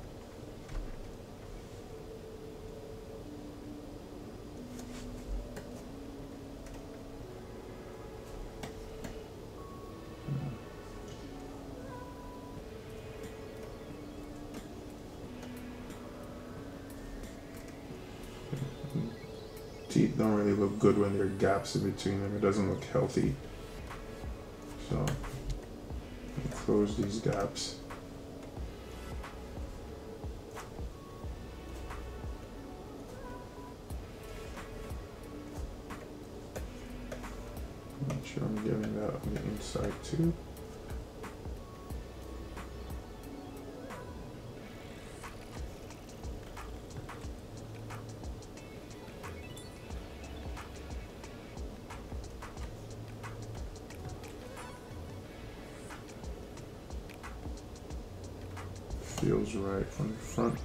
At it. has this weird feel to it.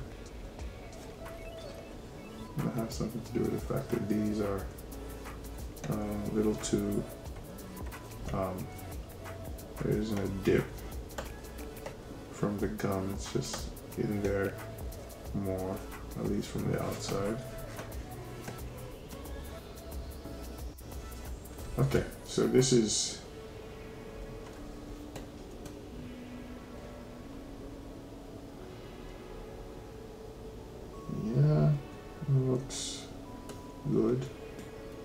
point.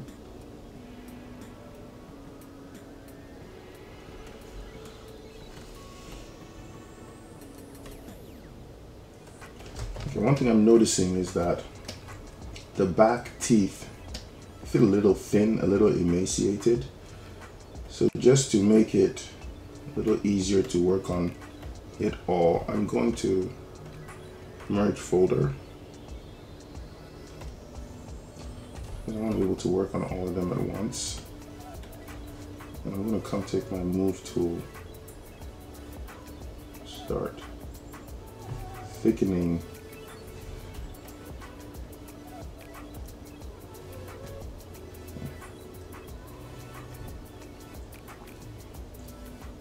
start making these bigger and I'll take my move topological and start working on these teeth.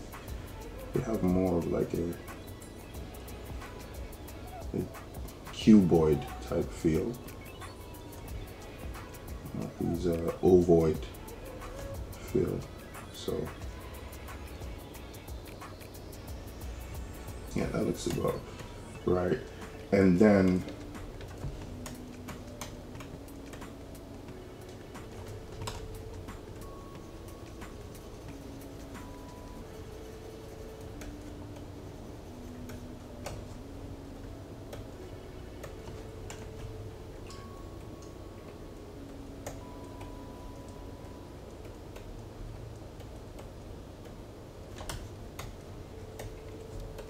Let's create like a little shelf here.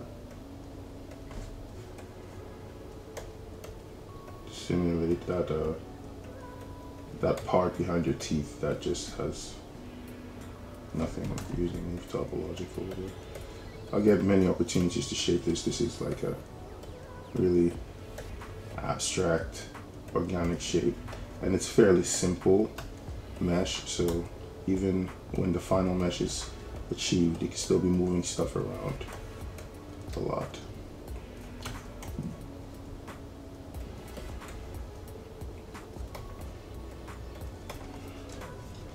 Okay now this is also a good time to duplicate it to create the bottom. So I'm going to duplicate it and flip it. First center pivot. Turn on our active turn off symmetry center it and hold down shift and flip it upside down and turn symmetry back on. And move it down. Now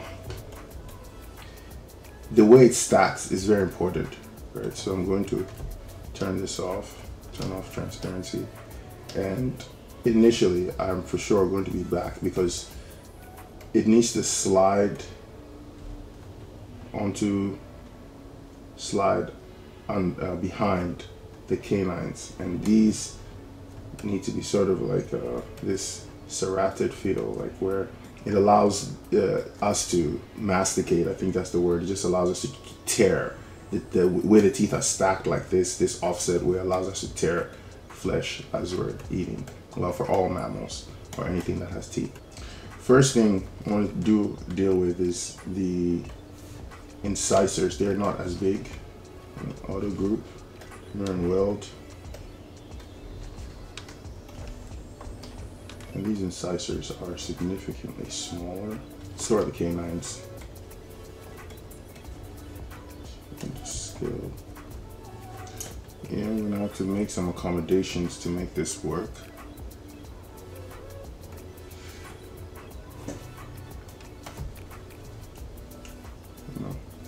These should be smaller. These canines should be just a little bit smaller. So I'll do that first. And then these canines up here, I'm going to move them a little bit forward. Yeah, that looks good.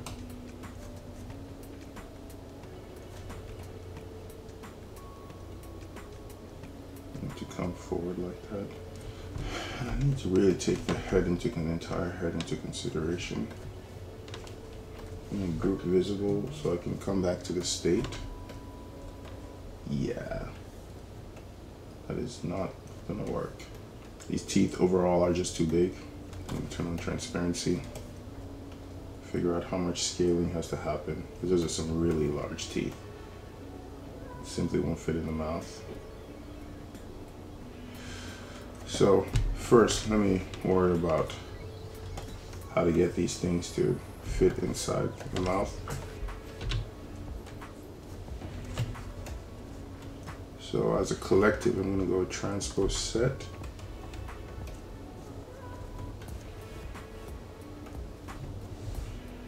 Uh, turn off symmetry for now. I'm just gonna be moving it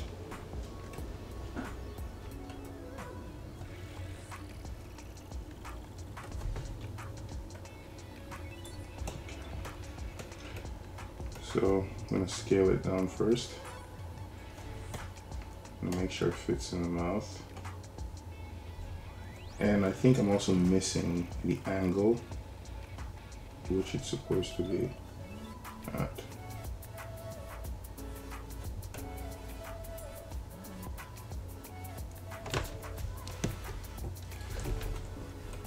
And how high it's supposed to be.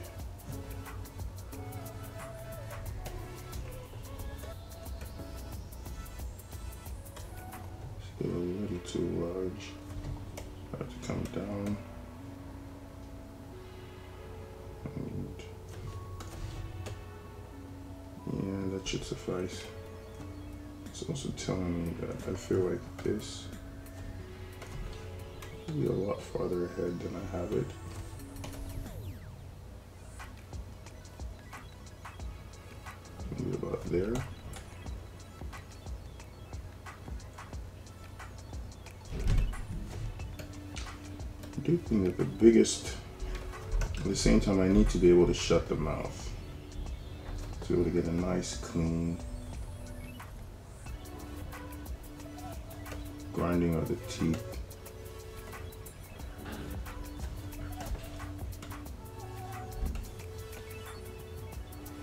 Those incisors do need to touch too, so that's another thing to take into consideration.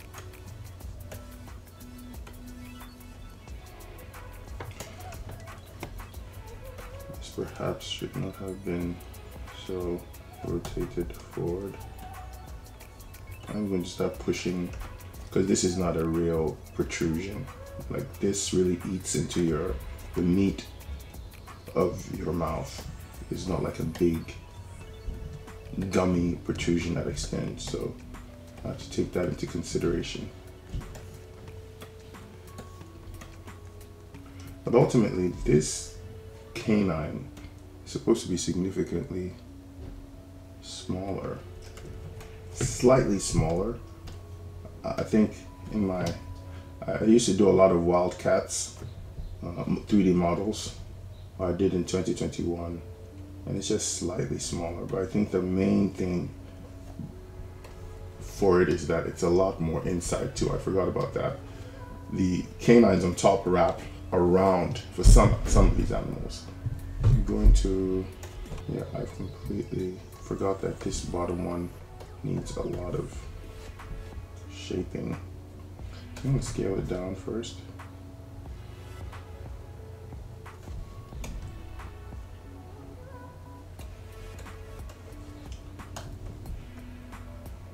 move the meat to its right location and I have to accept, let me solo it and I'm going to pick this, move it in there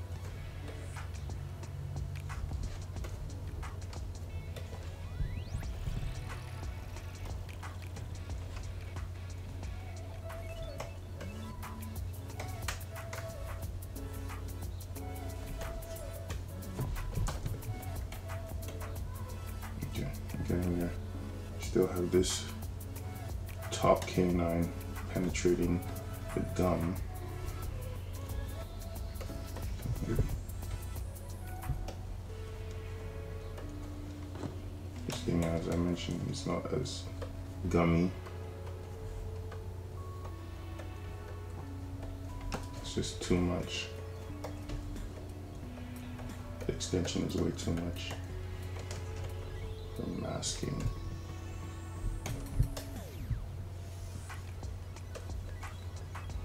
blur once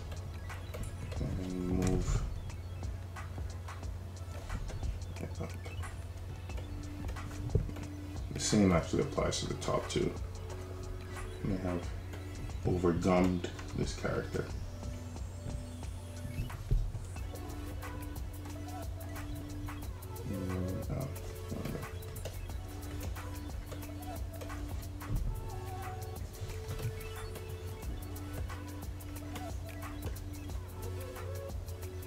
This is how teeth are usually made for 3D characters. You don't actually connect them. They're just out there and they sit inside a mouth bag.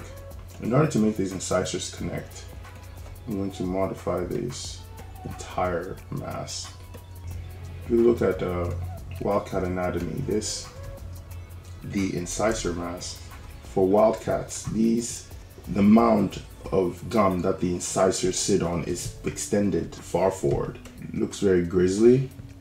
I'm not trying to simulate that too much. For now, I just want her to look like she can chew sensibly. So I will make a slight modification. Rotate and move this.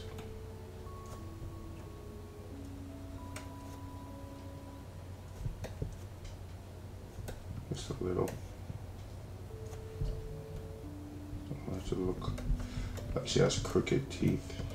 might be underestimating how much smaller these incisors are.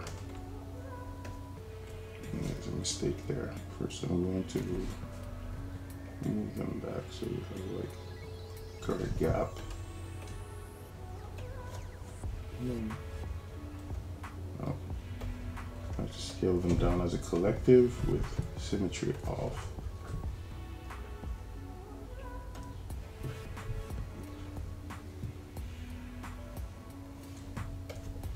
Finessing this.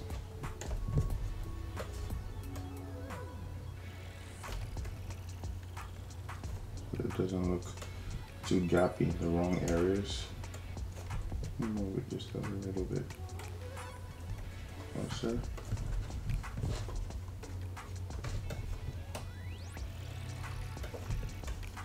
These are starting to look really fake. They look like uh, chunks of gum shoved into the mouth. They're looking a little too pristine.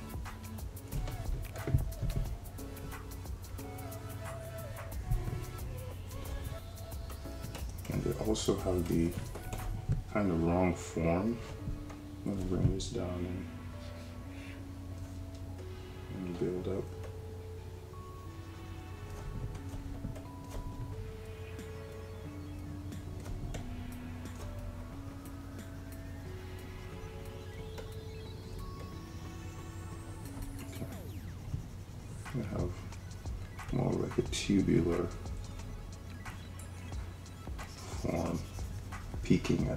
central part.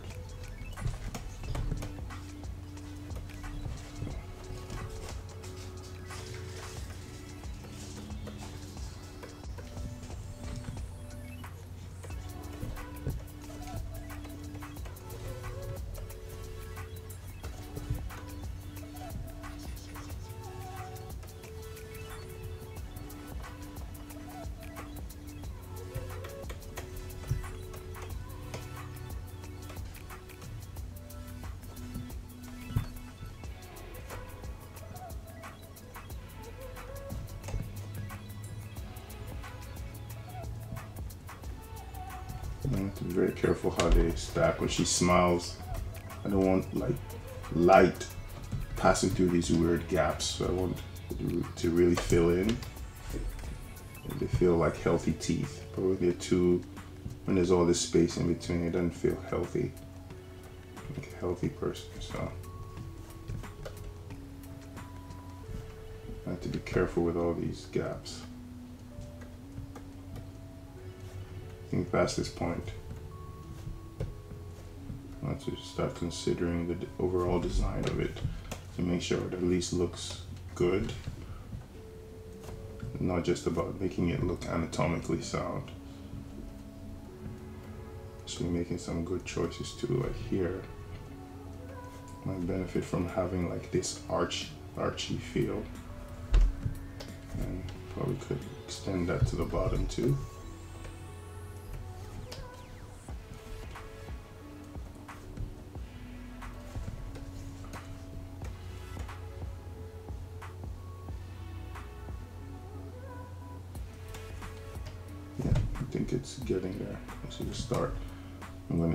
It for a while and not just move things around.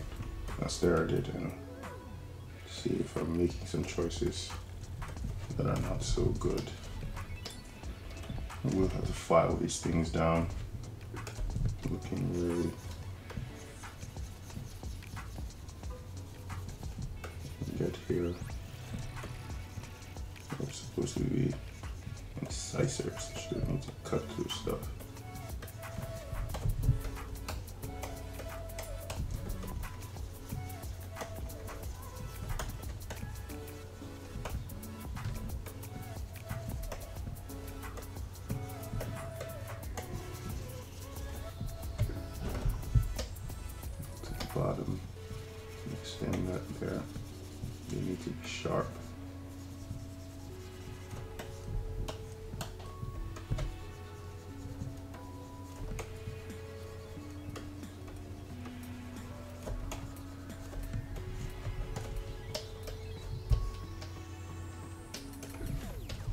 Inside here.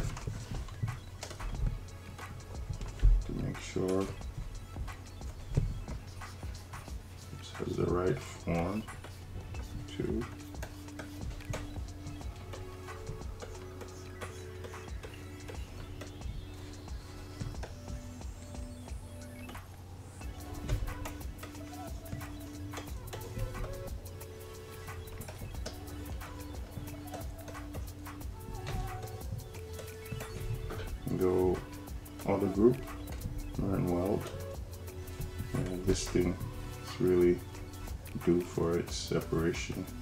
It's starting to look weird and behave weirdly too.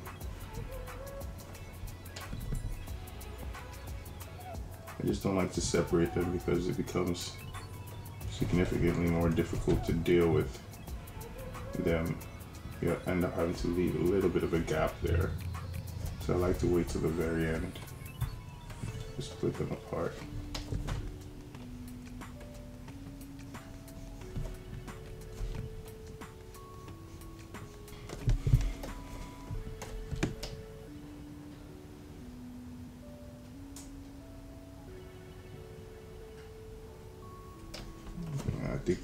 To become a little bigger.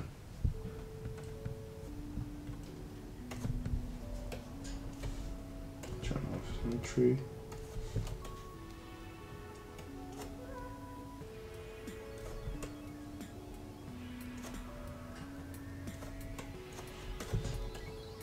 So, haven't penetrated yet.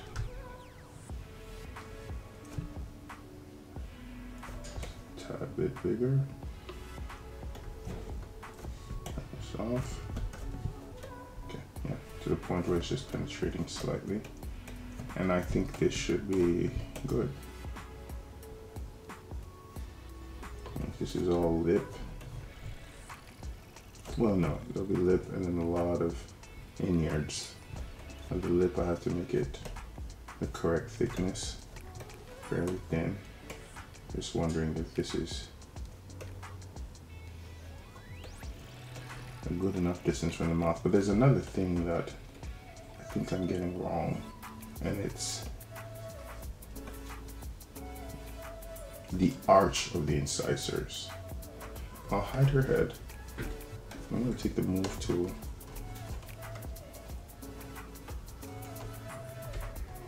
And then just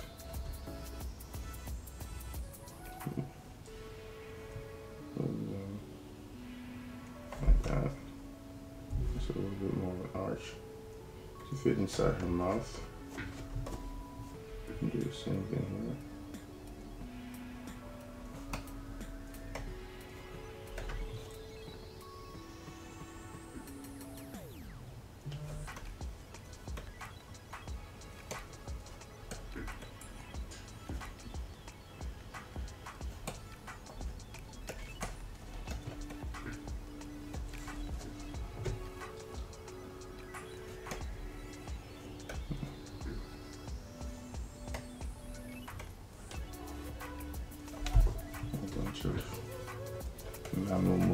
In order to fix that, I got a mirror and weld, fixing uh, out weird offsets I may have produced.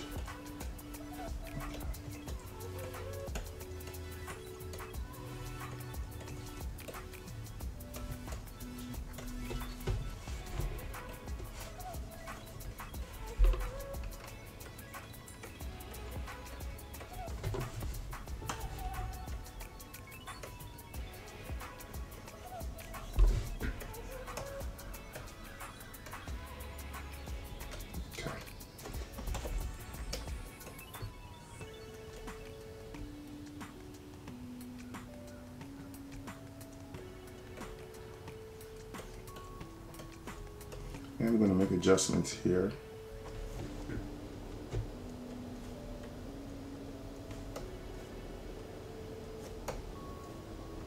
Just want them to stack properly.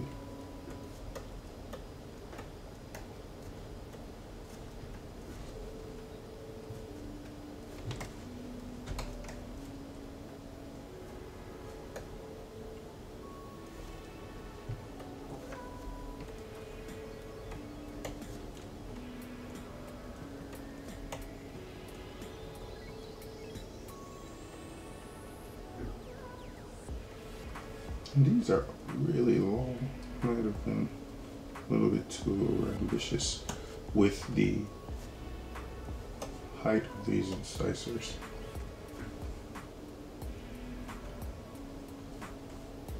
You just look like a too much of a carnivore or a mixture of human and anthro leopard, so I need to make some find a happy medium we don't have these aggressive looking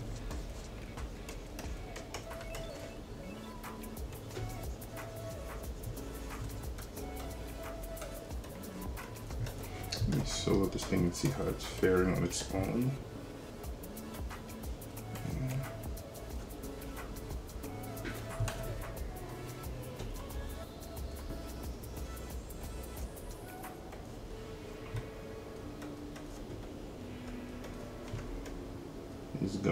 Be taken to a much better place right now.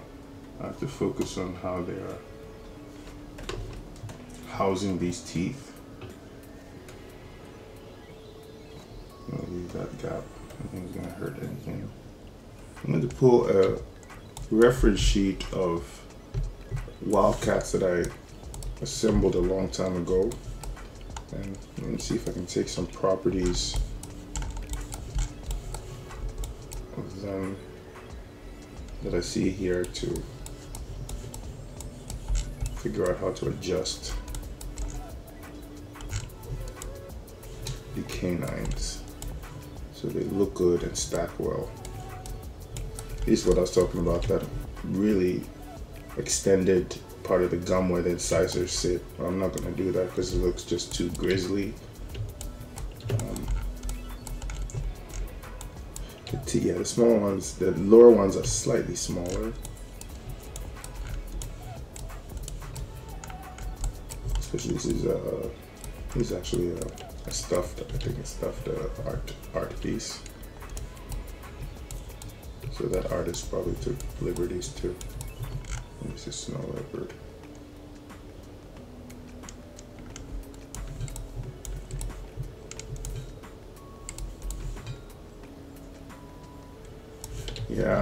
This is just a little bit too rough, so I think I've gotten what I need from Wildcats. Just this sharp canine.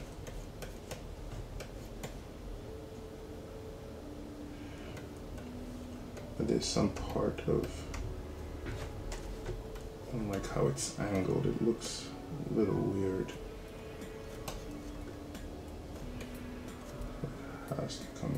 Forward.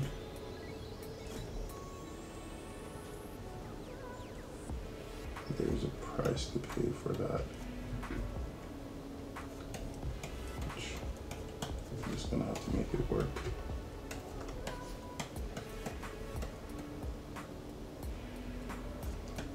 And also outward.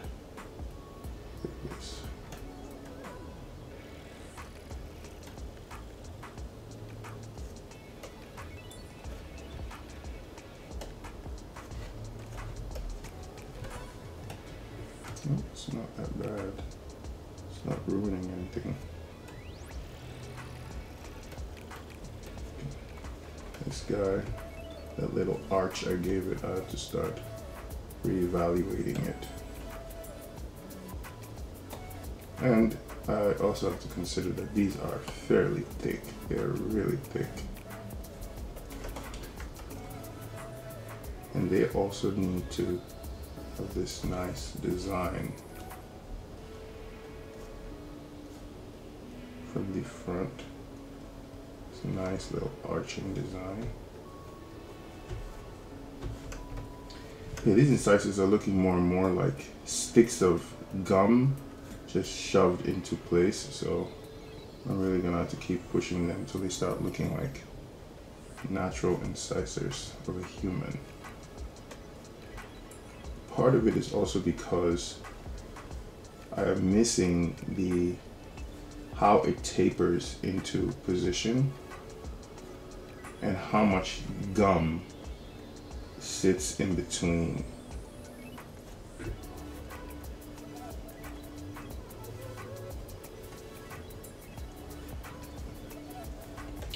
And it really looks like it might be time to separate this so it can take its shape because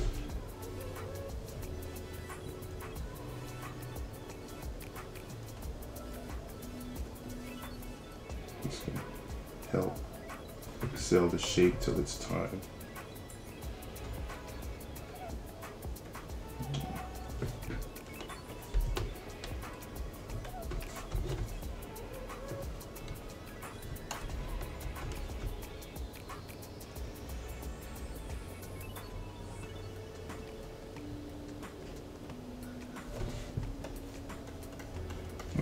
Bulbous part really is at the top. As it goes down to the edges, it's a lot plainer. Teeth are such a, a tough thing, teeth and gums. I forgot it's a completely whole other project, like a whole other modeling project to do teeth and gums. Just dove into it. Let's see what this thing's feeling like. I'm gonna have to test a smile and some other things very soon. That's the other thing I gotta be careful about. This is a very unique head shape. Uh, very unique looking character. There's pretty much nothing in life this has these proportions of the head. So the teeth have to accommodate that. So after a while, they're going to stop looking hyper realistic and they need to fit into this face this design. I'm seeing is to transpose set.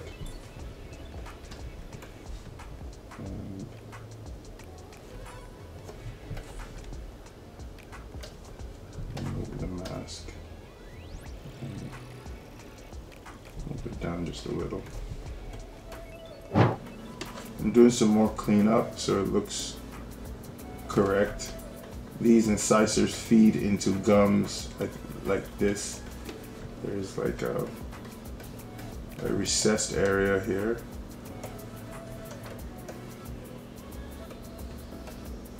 At least that feels right. I. They continue the uh, sharpening shape of the teeth, moving from the gums all the way up into uh, the to the tip of the teeth. Just want these mounds to blend into the mouth bag properly. So that when she opens her mouth, feel they feel connected. So not just traveling down. And I'm about to get a tongue shortly, so that'll help us see how this stuff stacks together. And I want to continue this pursuit of not having too much gappiness because when the character smiles and light is uh, coming through the teeth, it looks very uh, horrible. If I have to make the teeth more wholesome, then that's what has to be done. But I want to avoid these gaps. Yeah, I'd rather they overlap each other better to lose the gaps. So I'm going to keep finessing this until they're almost sitting on top of each other.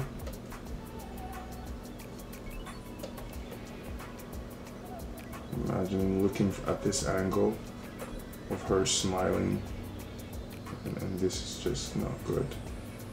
Too much light will come through. I need to figure out how I'm going to resolve this part. I feel like it's just a matter of making these incisors thicker to match up.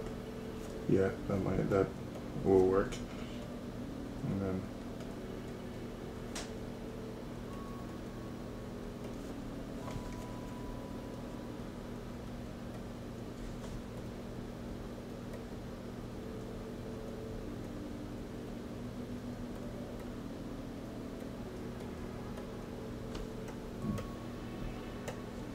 really resolve that stream of light this little gap here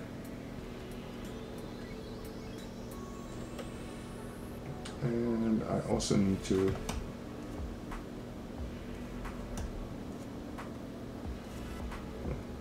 have them overlap 100%.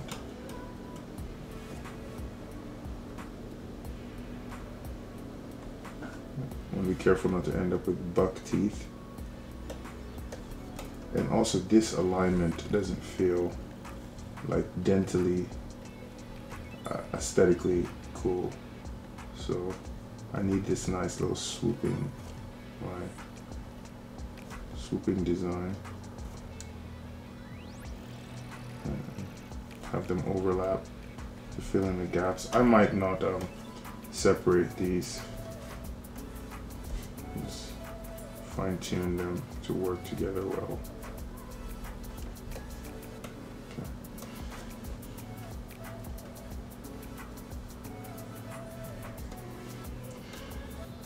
Something I need to do here at the top. Also, these teeth, if you rub run your um, your tongue along the top part of your gums, you'll see it's really recessed and it blends into the teeth really well. So I'm gonna take that, isolate it, and smooth it. Gotta be careful there. Not the operation I should have used. Take this and shave.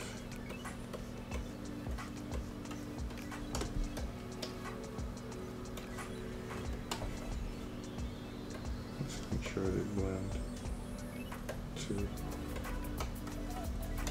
You're never really gonna see all this, but it should at least try to look correct.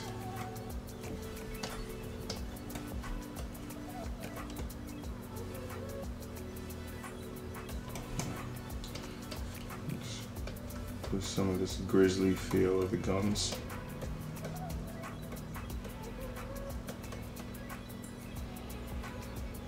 Yeah, no light gaps. So I think it's good. And even if I end up finding any whilst I'm testing my render, I guess I'll have to come back and make the adjustments in ZBrush and propagate the changes uh, up the chain to the final model. These teeth will more than likely have use displacement and or normal map.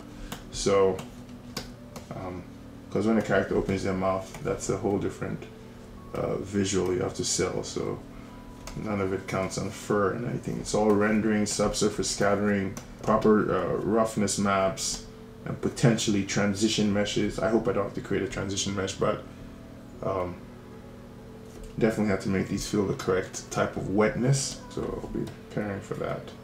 Yeah, I think this this looks good, at least with the teeth closed. When I test out a smile, I'll see how well they're working. But yeah, it's not gappy, and it's it's looking fairly good. Take this and isolate. And I am going to rig the canines to be adjustable. And I might add a whole bunch of teeth rigging that allows me to reshape the whole teeth and gums however which way I want, skew and stuff like that. So I'm also looking forward to that. But I think, yeah, teeth are success. So for now, so I'm going to move on to the tongue. All right, one thing that I almost forgot to do is give the teeth a slant. If you look at any dental x-rays, you'll see that our teeth are sort of angled down a bit. So I'm going to grab this. First, let me duplicate the folder. Keep this for later. Actually, I'll just move this into the trash. Merge up. Have a copy in there. Come down here, make sure the head is turned on. Go transpose set. center pivot. And angle this down. About that much. That seems about right. Back the lower jaw? Yeah that's about enough if it's not come back and add to it I think with how exaggerated this character is I could go a little bit more. The slant of her face is truly exaggerated.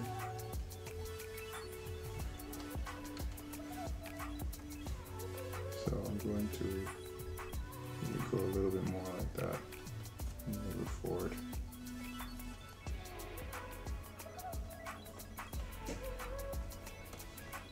Yeah, and at any point in time if it's not working,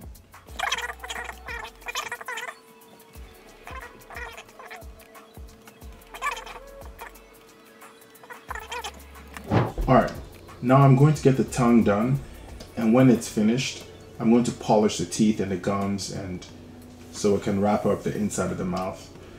To start with the tongue, I'm going to do go with a sphere and scale it down.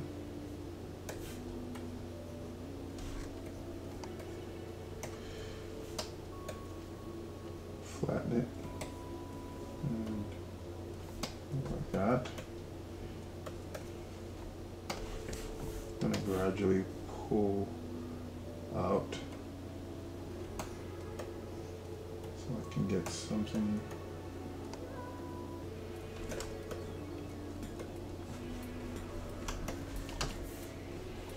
To do a split of the tongue. This is fairly easy I'm going to get the root of the tongue this is not typically something I do but as of today, I'm going to start doing the root. I think I might have done it once before. It's where the tongue basically attaches to the floor of the mouth. So the root. And with this, with tongues, one of the mistakes I usually make is I just resurface. I never really provide enough topology, especially at this front here, because this is where all the animation is going to be happening, and it really needs to be have enough information to deform intelligently. Solo. Do some. Actually, before I build up, I'm gonna remesh a lower subdivision level. Some basic form.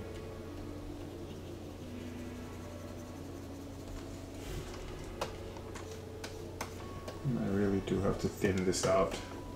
Um, human tongue is pretty thick, but feline tongue is also really thin. Really thin, actually. Um, I'm gonna find a happy medium.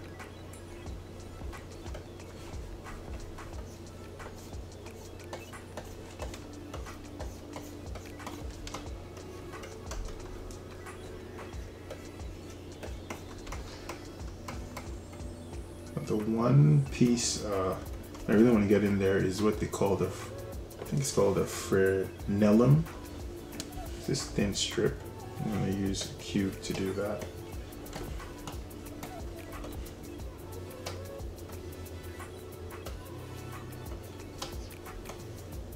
Scale it down. It sits underneath the tongue and um, attaches to the bottom side. When you lift the tongue, you see it. It does, however, have an interesting thinning out shape that allows it to taper. Let me activate symmetry, mirror and weld. Yeah, it's really thin. Like Turn on back face make sure I have the root attaching correctly. It sort of splays out. Just hoping it provides some, uh, sorry, some cooler uh, detail. Character opens her mouth and animation is happening.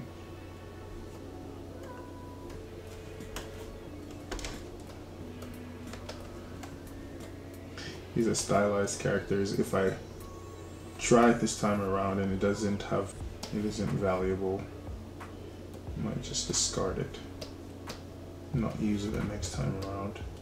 So I'm gonna put this in a folder.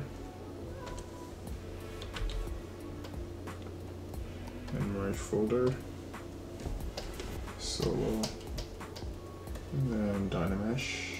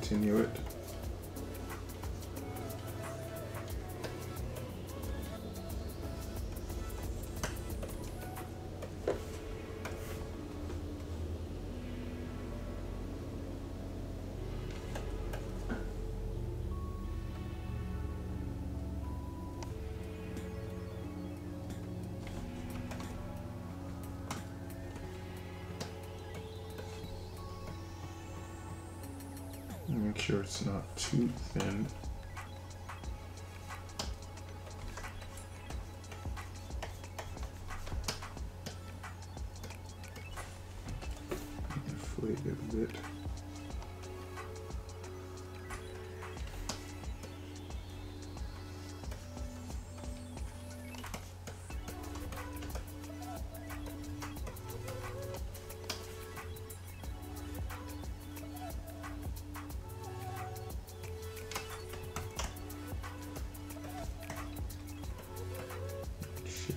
A little bit.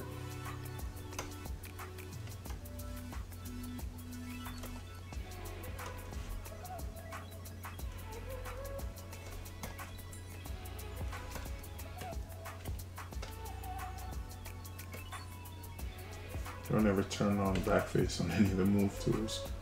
Makes them act really weird.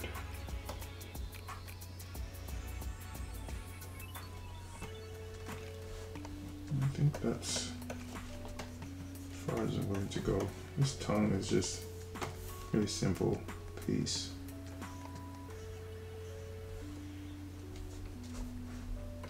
Can manipulate it a lot at any time,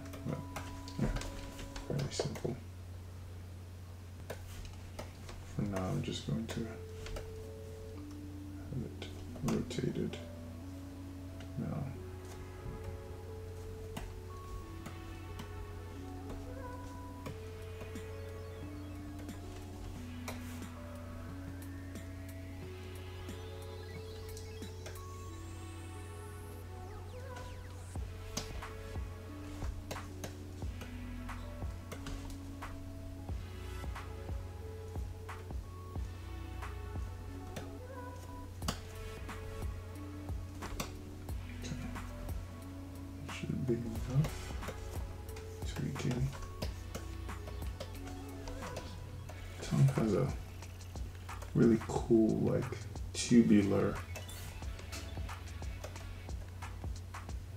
massing, but I'm contemplating whether or not I should put it in there. It's like this really cool tubular massing at the edge here, like this. But that might be just too realistic.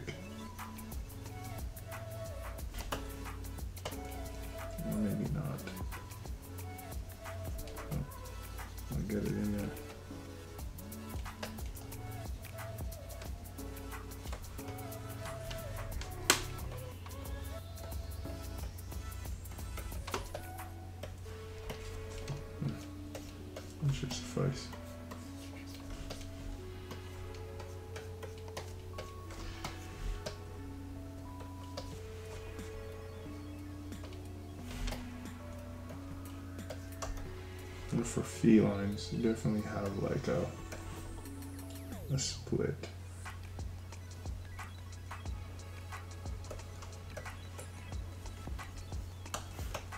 Definitely worth emphasizing.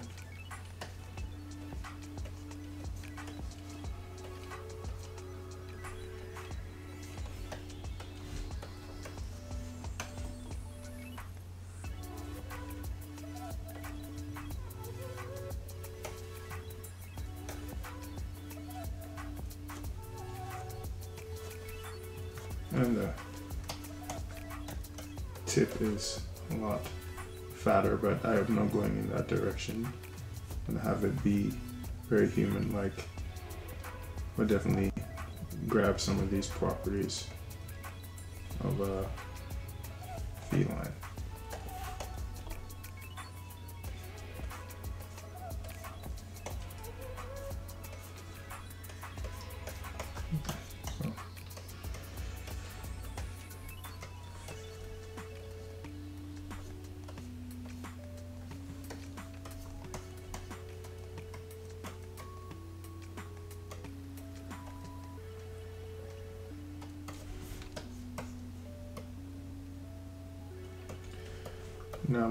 Back. Ultimately, this is something that's going to be moving around a lot just to help me work and see the model. I'm going to move it back. Move this into the trash. Okay, now that the tongue is done, I'm going to take these gums to finish. Hide the tongue. Alright, first thing I'm going to do is separate the teeth. Time for these gums to... So I'm to split hidden to get the teeth out of there. And do the same for the bottom.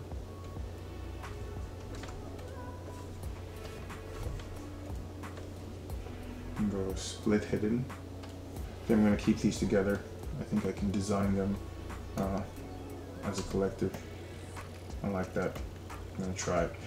One of the things that I forgot that I occasionally run into is when I'm making teeth for stylized characters is every time they open their mouth or smile, I find that I have under exaggerated the teeth gum proportion. So there should be a lot of teeth, even if it's not realistic. It looks better when a character smiles that you see more teeth instead of gum. With the stylized expressions that this character is going to make, the mouth might be open really wide in some instances, making these unnatural smiles and the teeth need to be the primary thing you're seeing. So I'm going to start taking the move tool and increasing the exposure of the teeth.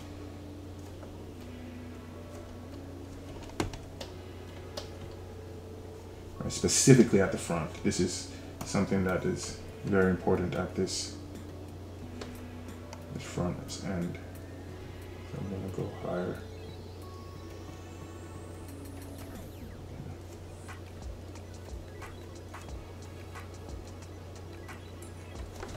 Value to the smiles. I'm also going to adjust these to taper in a lot more. Looks more attractive as they sort of swoop from the jaw down to create this like C shape. So that looks really cool.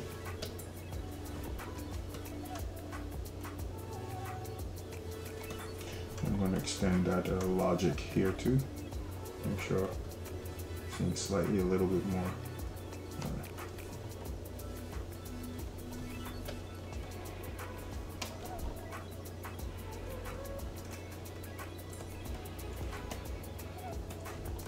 Teeth.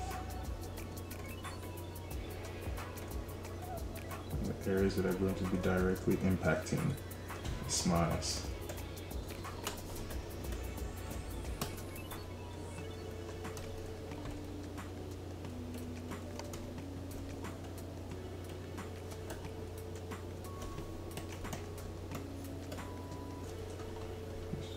Push get that nice uh, C shape swooping in. Yeah, that feels good.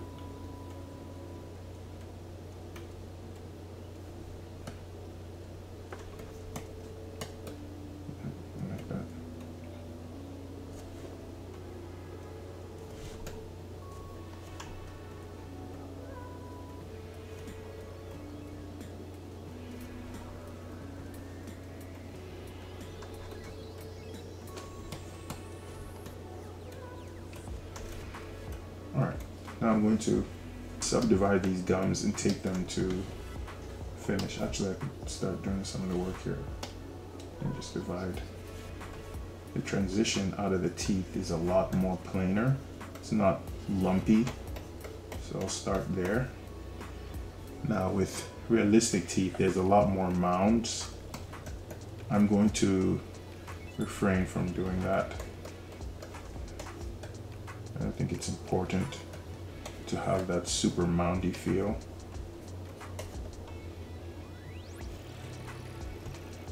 So basically what I'm saying is there's really planar shapes that form these transitions.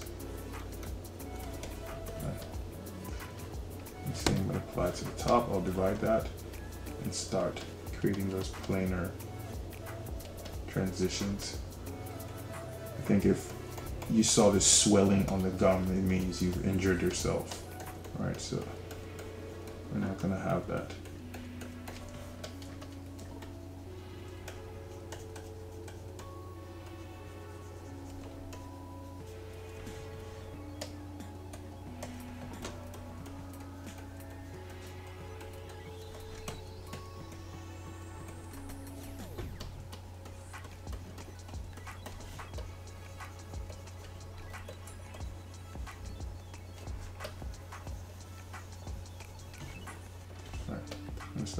Start subdividing these teeth. What they produce.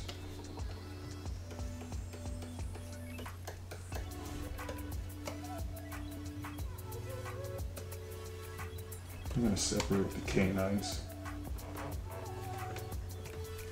No split hidden.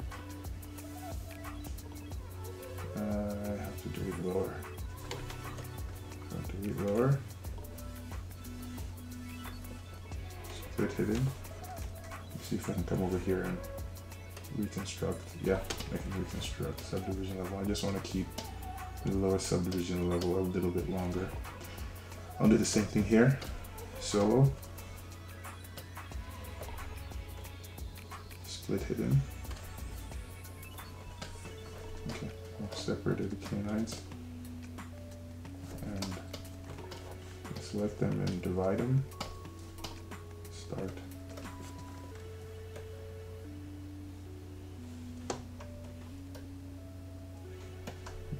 Shapes are suffering in any way.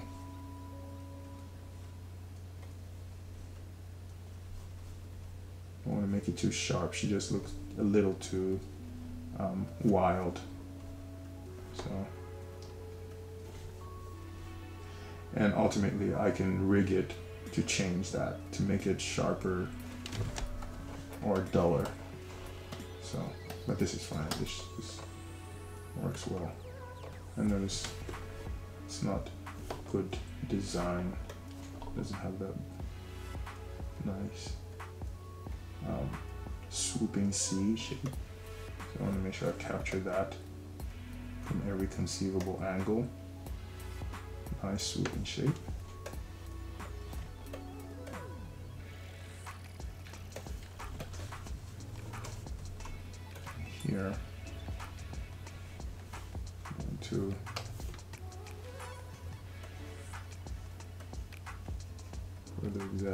Split.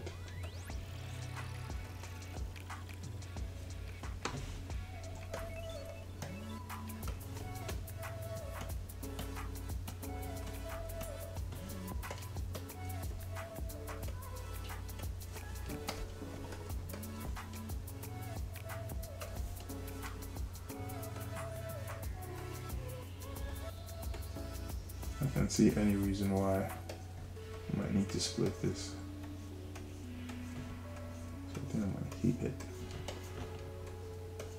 Unless her teeth are flying out of her mouth, and in which case it's still easy to separate it in Maya if the shot calls for it.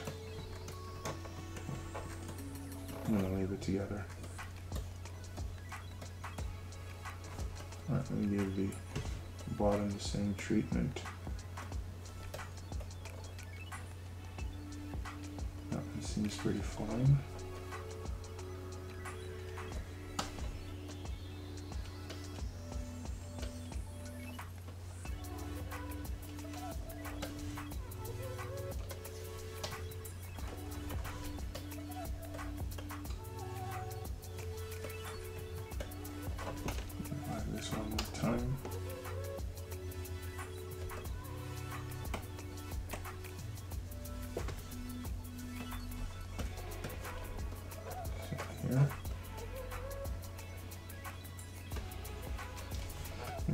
There's something I have to do with the molars and premolars. And it's here. These parts of it are fairly sharp. Like I want them to have like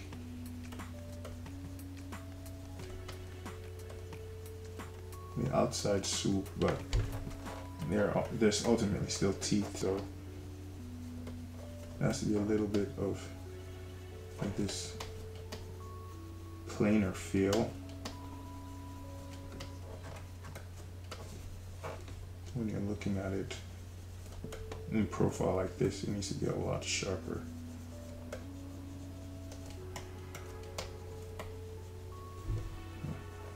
I want them to look like gummy bears in her mouth, so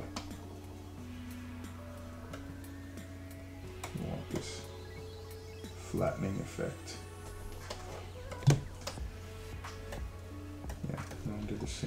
Top.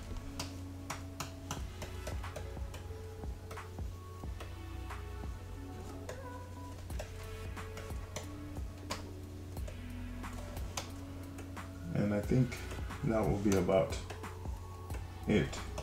That's as far as I'm going to push these until I resurface them. And then it's time to just push them to their final form.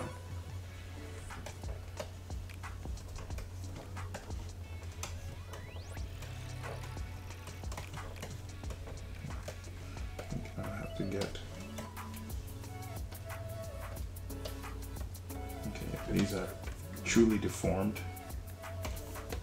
So, I'm sure from every conceivable angle, there are nice shapes.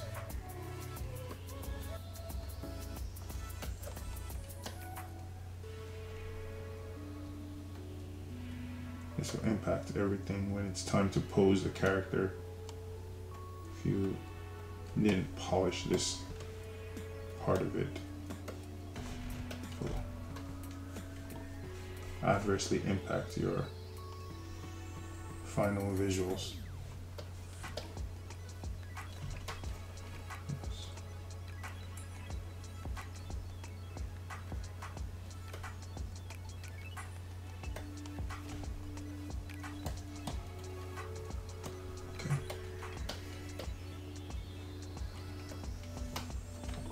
Same deal, not too sharp. Doesn't matter ultimately, as I said. I'll rig it to do so that this can be changed. And it really is, might not be rigging, it could just be a morph target that just makes the tips more pointier. It's something uh, that could be animated to go from this really non-aggressive shape to like this very sharp aggressive shape. So that could definitely should definitely be a morph target. So I'll put that down.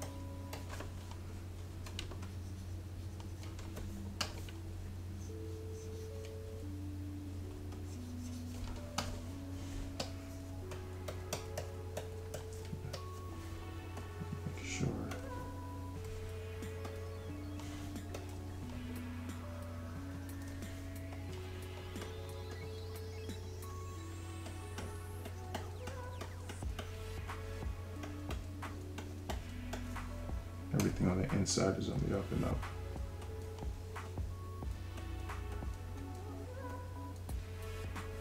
Yeah, I completely forgot. I do these characters so few of them a year, maybe just one a year. Sometimes I forget how much work goes into specifically the teeth and tongue. It's like its own teeth and gums. It's like they're their own character.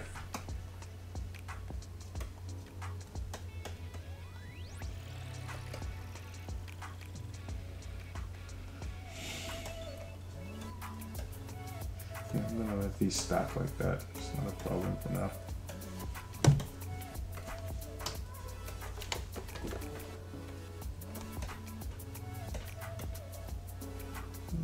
That feels good. If it doesn't, I'll find out at the end of this lesson when I start creating expressions what changes have to be made. So it's time to move on to dealing with her dreadlocks. I've collected some reference that's going to help me get to a solution. In this first section here, I have what I'm calling the scalp logic. Is going to help me figure out how the dreadlocks are emanating from the wads of pulled back hair or these sections of pulled back hair.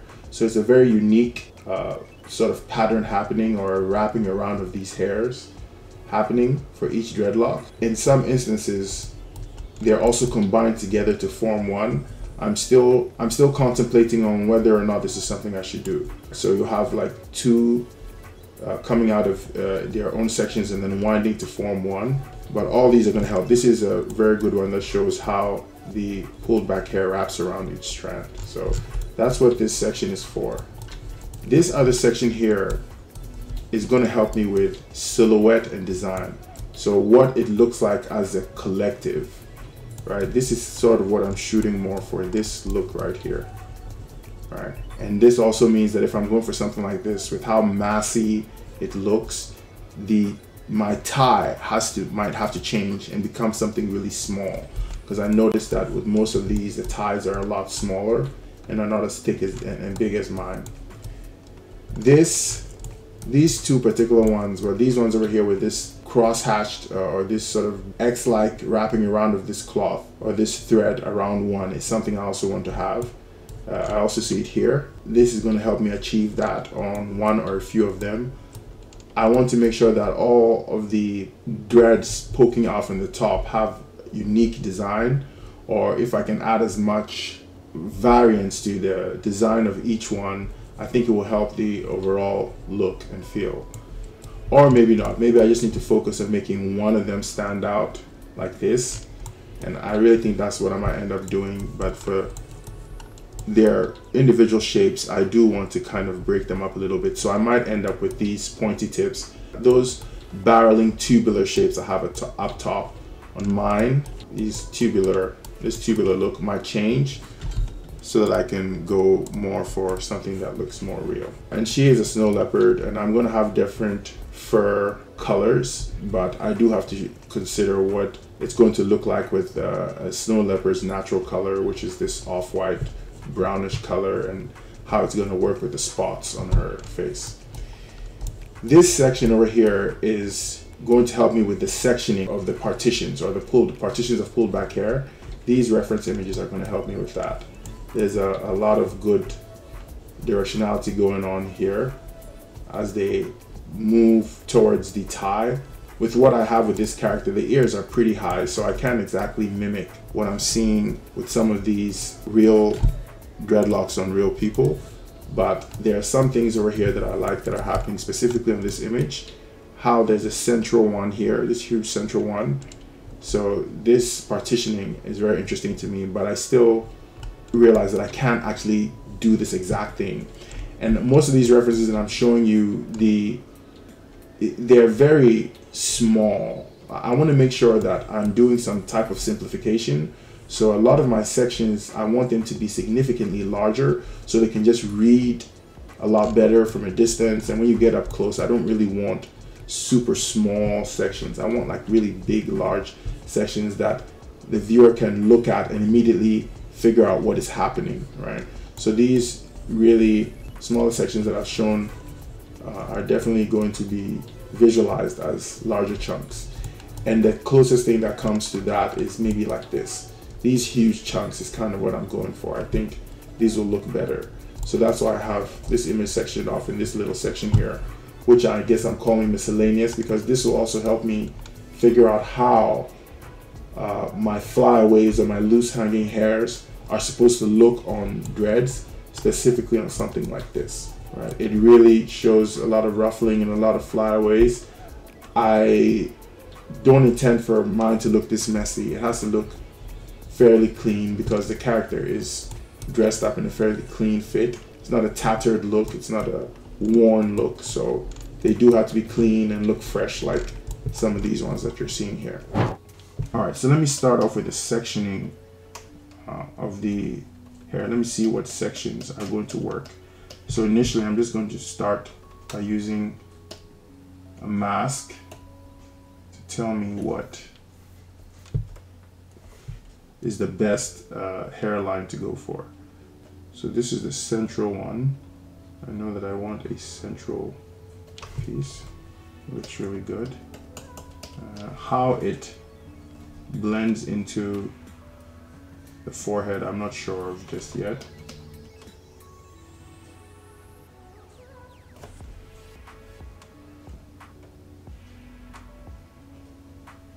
I have to have this. Right now I'm just gonna try to get a nice attractive sectioning off. See what works. Come around the ears.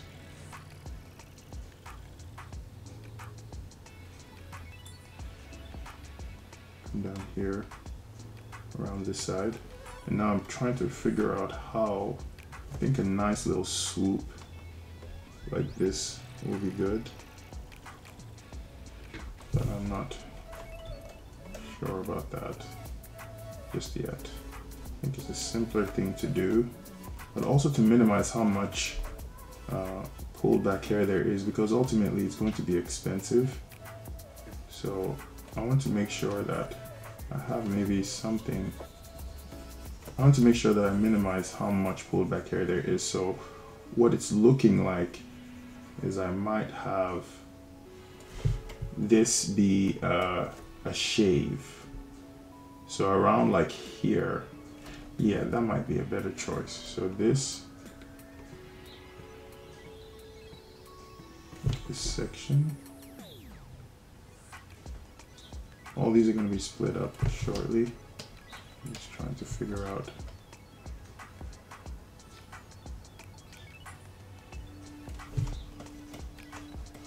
so if I make it so that all of this is a low cut shave yeah possibly put some type of design there Yeah, that actually might be a better choice. For now, I'll represent that shave with an extraction, but I'll resolve how it's going to look. I think that's that would be the responsibility of XGen. So that'll designate to XGen. So it's just a low cut fade. and there'll probably be some designs in there. So I might have to paint some um, baldness maps in XGen. Or I might just resolve it with color. Right, it's just might be a cheaper solution just to resolve with the color, but for now I need something. Yeah, I think it'd be a better idea for it to be resolved with color. So we'll see. I think I don't think it's it's going to be necessary to have to use actually real hair. I'm trying to for this fade, but I might be wrong. So I'm gonna treat this as its own section. Right now I'm looking at the big shapes that are going to work. It's coming very clear that this, a lot more has to go into making this look good. So maybe has like some type of Avatar Airbender look where it's like that. Maybe I should flesh it out completely. And then shave it, this should be its own partition.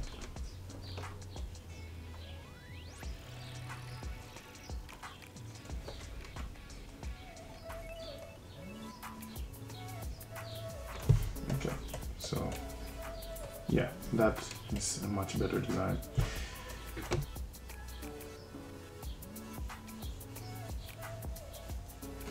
So let me hide this, the dreadlocks. There's gonna have to be hair all here. Definitely underneath the tie, I wanna make sure there's just one big chunk. So it's all gonna meet. Let me try to connect these two for now. Wherever the tie ends up. Make sure just one big one emanating out of there. I may have made this gapping a little bit too big. I want to make sure that the space between the sections isn't so large. You have to be fairly thin. You don't want so much scalp showing. So it's going to be really tight. Uh, this little and to create this partition in the center it's a little bit easier. All I have to do is just unmask this like central area. So I end up with the central partition. Right there okay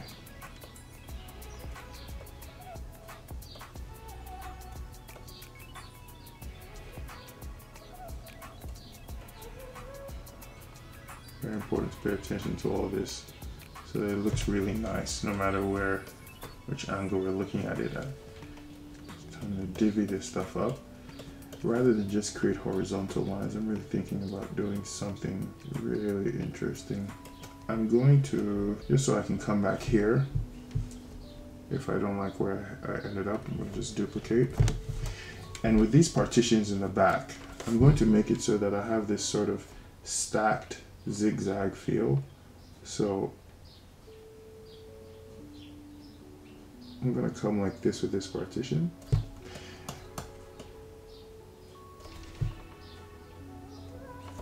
And then I'll do the opposite for here.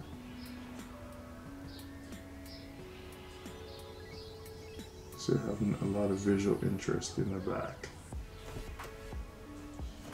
Actually, let me try on this side is going with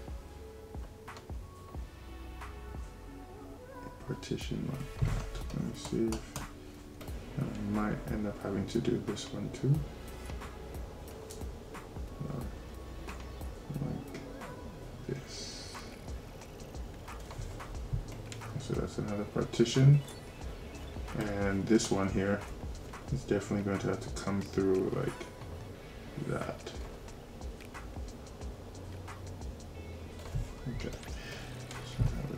There, and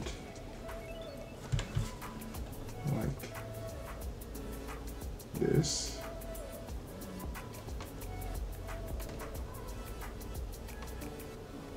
Like this.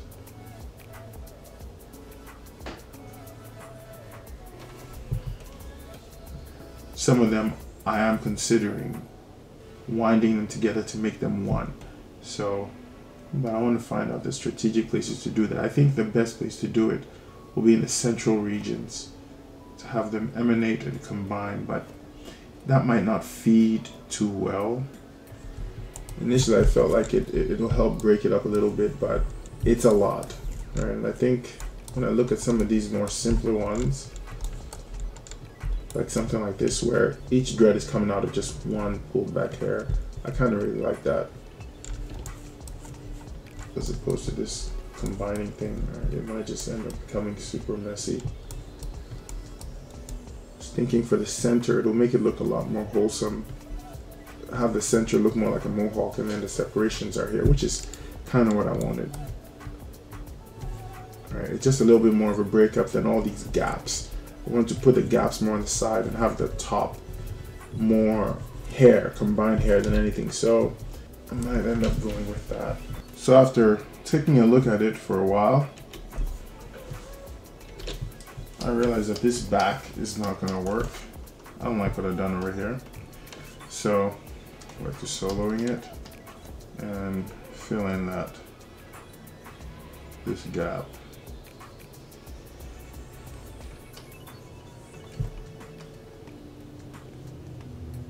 That's not a good partition. It doesn't feel right. So I'm going to actually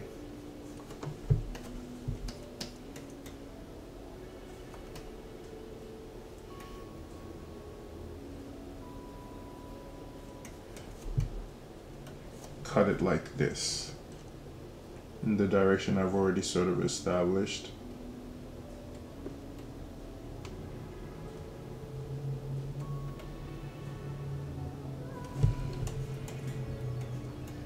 Think that might work better.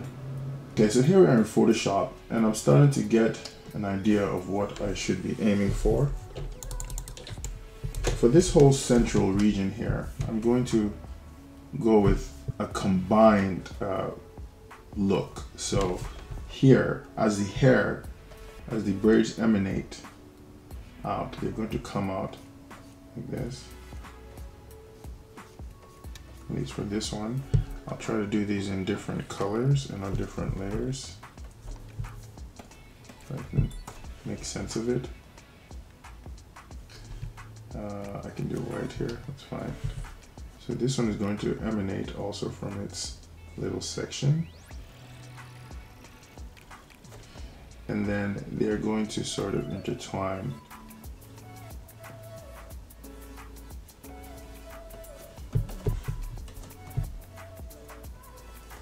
And then from then onward, it's just going to be sort of intertwining for at least the two of them until they get to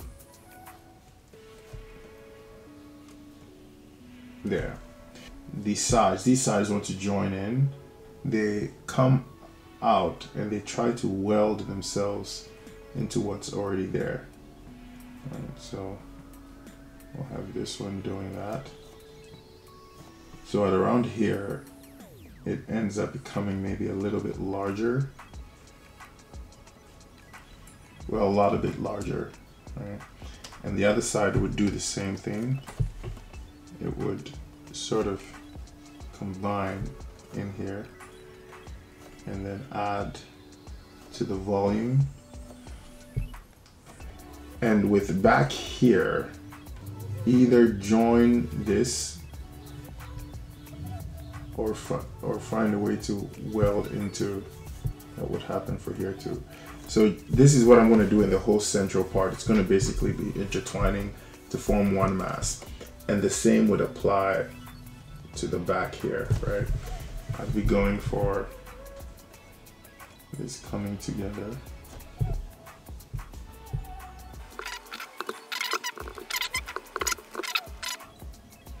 Right, and this will be the only part that will have this sort of intertwined feel.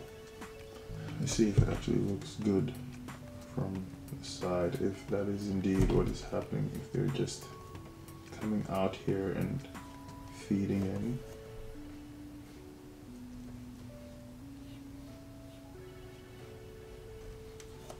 Yeah, it's not bad.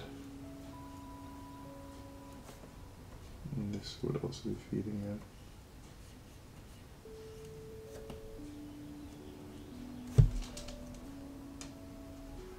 It'll have this sort of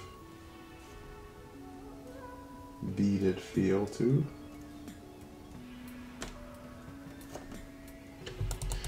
Yeah, I think that might work. This one too will come out of here and intertwine and sort of wrap, they'll wrap around each other till they get in there.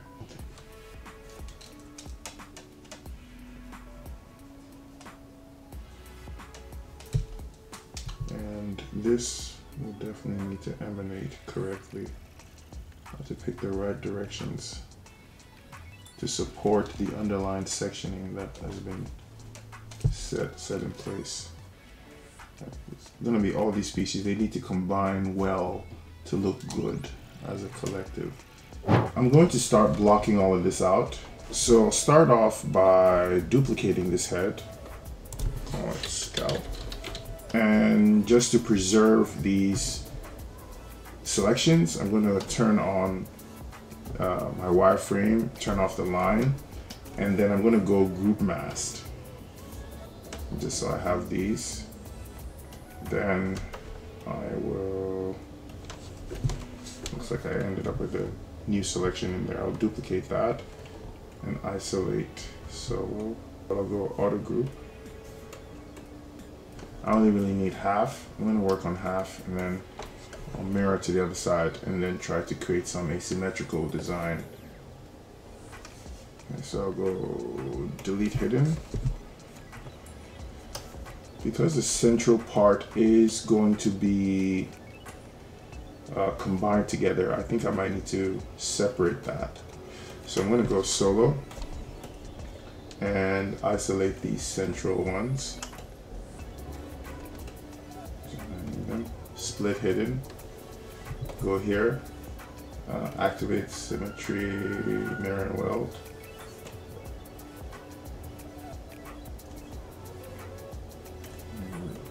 I didn't have to do activate symmetry. It's okay, so I have the side and that.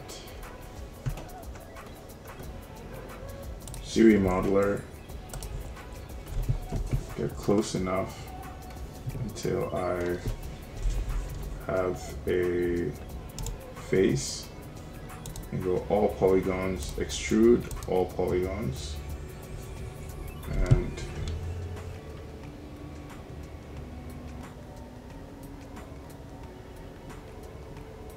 just give it a little bit of thickness.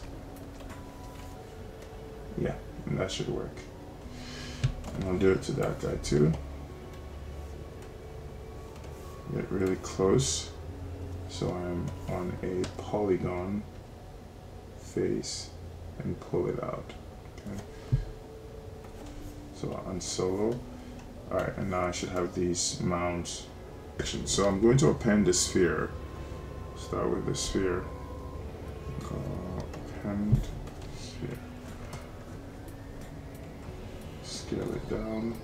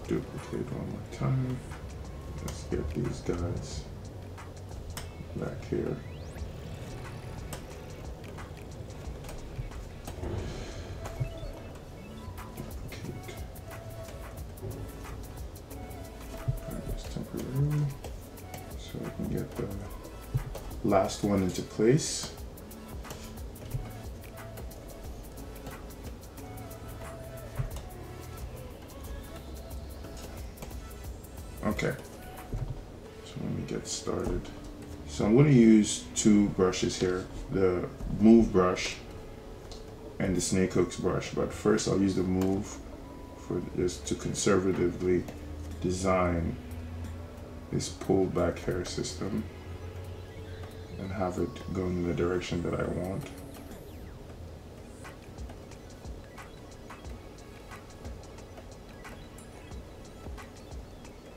So this is fundamental shape coming out of uh, the pulled back hair. It's gonna have to be shaped aggressively, but I like to start with this. It's gonna give it a very organic feel. Same here. I'm gonna deal with this front part first, make sure it looks good, and then I'll move the workflow to create the others. One thing I'm really gonna have to pay attention to is how thick these things look coming out of these sections. Okay, so now I'm gonna start with from here and go mirror and weld, but I will not activate symmetry because these two need to sort of work together. So I'll grab the snake hooks brush, turn on uh, Sculptris and start generating geometry. That is going to be the braid. And switch back and forth between the move topological and Sculptris. I have to make sure I'm only using it to generate uh, more mesh and not for the actual intertwining uh, process. So these two, like somewhere like here, I can take Sculptris and do that and get a resample to get more geometry. Yeah, this is an ideal place for me to utilize Sculptris. Let's take a brush to sample.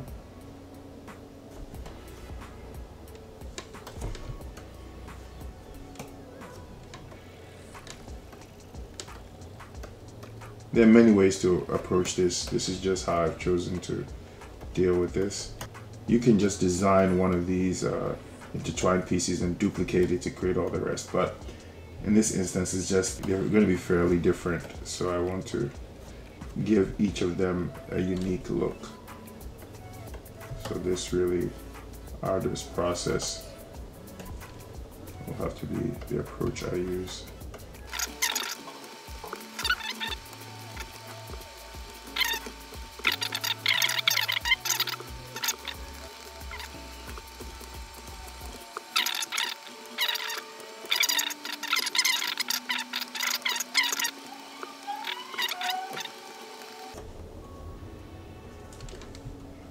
So this is about where we get underneath the tie. So this is what I meant by we don't have that much distance to travel. That's why I don't mind doing this.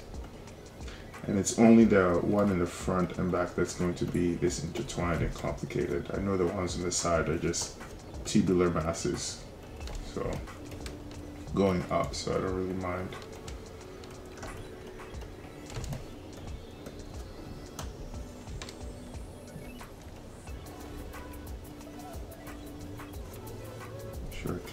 The volumes. And I realized that that uh, the hair tie being thick, it gives me a way to almost escape a perfect match as it goes through it. And what I mean by that is I don't really have to account for how this thing is going to go through the hair tie and how it comes out. All that I need to worry about is how it goes underneath the hair tie and then I can do whatever I want up here. And that would allow it to look realistic. But if you look at uh, my reference here, one of them is kind of like that. It's here, yeah, there's all this intertwining. But as soon as it goes underneath the hair tie, then the braider doesn't continue this weird intertwining to keep them together. It's just a completely different thing to make it look like dreads. Okay, so these have to come down. A lot of hair. Stuff has to make sense. Okay, that's interesting silhouette. All right, so I'm going to do the same here. I'm going to mirror and weld, and these ones also have to join this mass. Thankfully, they are the only ones that have to do that.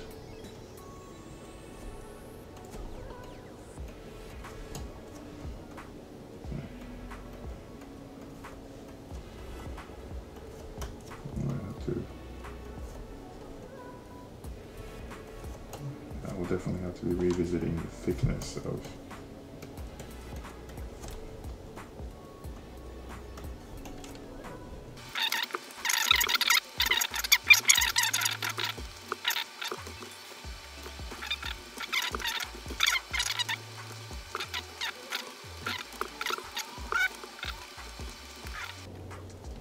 No, I should probably just terminate it, let it go in there. Telling me I might be able to get away with not even doing this one at closer to the tie.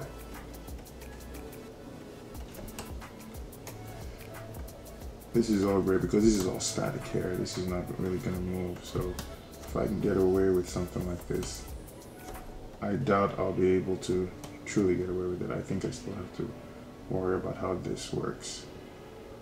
I'm just gonna really sit underneath all of this. I might be able to get away with it and just sculpt, do a little bit of sculpting there. I think this one here, I should not have terminated it like that because I, yeah, I don't think I'm going to terminate it like that. I'm going to bring it up here and maybe terminate it somewhere up here. It can fit into this little crease. Let me resample it. Make some more geometry. And let it fit into that crease.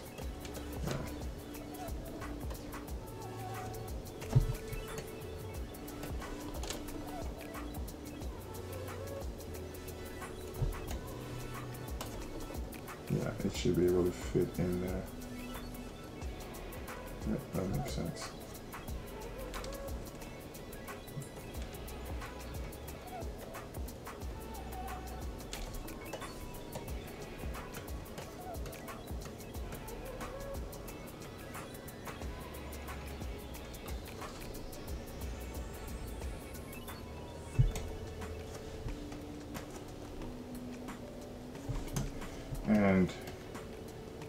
Unfortunately I do have to deal with these if at the very least even have a them just sort of moonlight a little to show that they are part of this mass somewhere.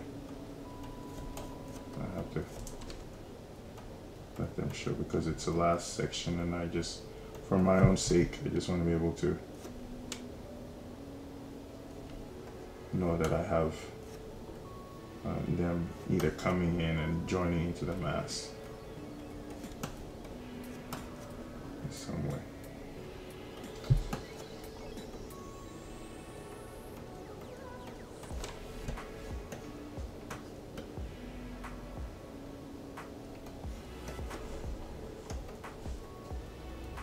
Everybody else up the chain the proper amount of volume it needs.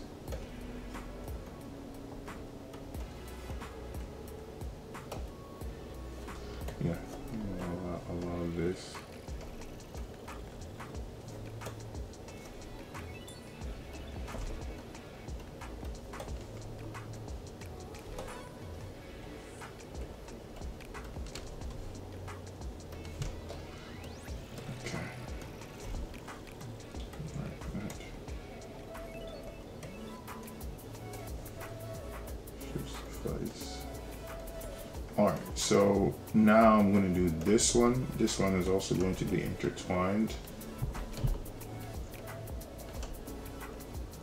with the three up the chain and then that will be it. That will be the only ones that are intertwined. Well, in the back too, I have to look at the back. I think the back I decided I wanted to let these guys I feel like I didn't want to combine it. I want them to be their own thing. I think it'll look better if they're just it's two strands going in, but I'll see. So that the only one that's combined is this, these ones in the front. All right, so let me get these.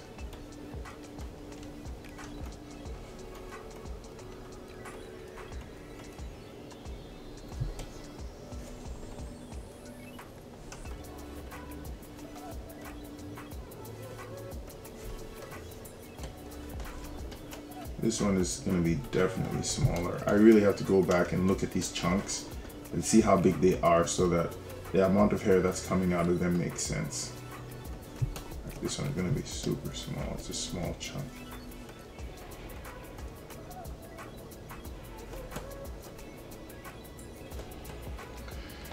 And it's really going to sit, going to intertwine with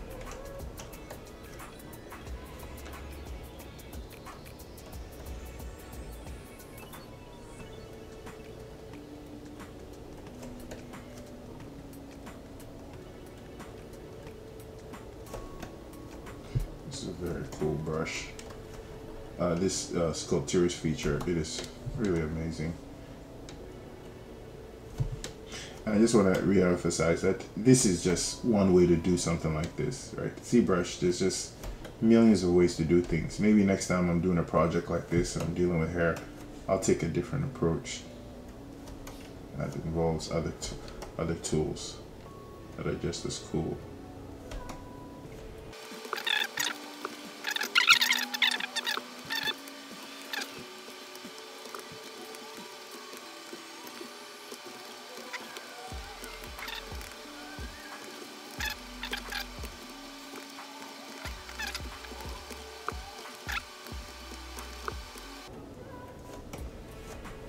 Initially decided to use fiber mesh to help me do this, but I run some tests and it's I, I don't like it. I just keep forgetting how fiber mesh is good for previews and stuff like that, but it's still a little difficult to manage. Um, I have some cool techniques, but they, they don't give me the type of precision I want. So I had to abandon using fiber mesh as a possible solution.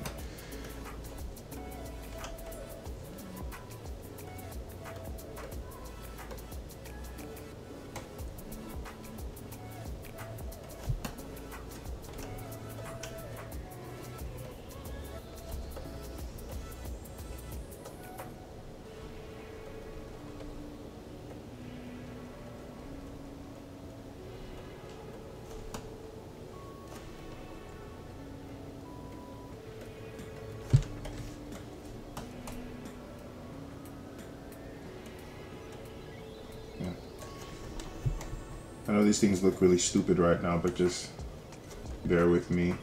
You'll notice as the pulled back hair comes in, it'll start feeling better.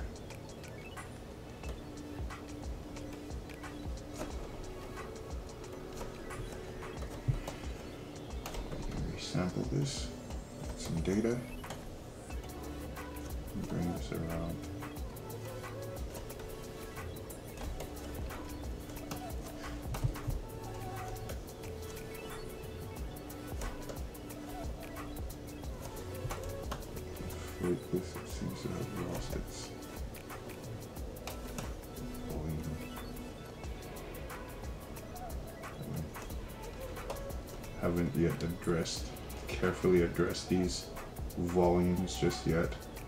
Well, I'm doing it slightly, but the real work for the volumes is going to come shortly. It's very important to make this thing look right can't just be huge chunks of hair where it's just not logical. Clear to me that this hair tie, one, all this ma mass has to go in the transpose set and it has to go higher. But in addition to going higher, I think I might have to discard one of these ties. The bottom one, but I think maybe it might be too early. Yeah, might be too early. I kind of like it. The more of it I discard, the more I have to resolve what's going in here to produce this. Um, and that's not entirely, it's not to be that hard, but if I could avoid that work, it would be nice. I'm going to go Z plugin Transpose master T-pose mesh.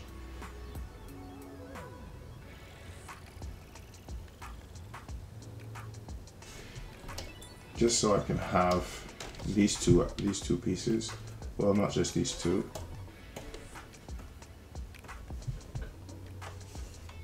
Mask everybody.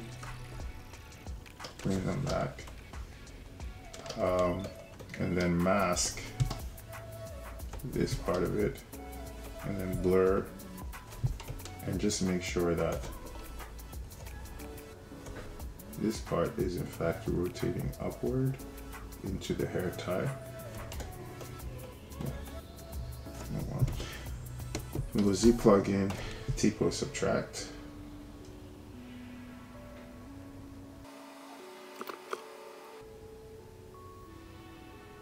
So these ones, they're not intertwining. I decided that they're just going to be tubular masses.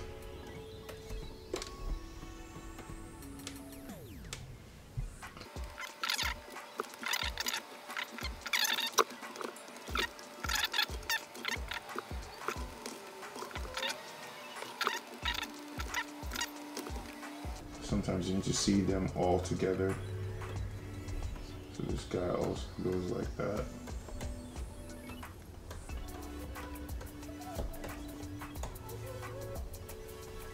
Okay, so let have these masses feeding in. Yeah, this might not be a bad idea to have it angled like that.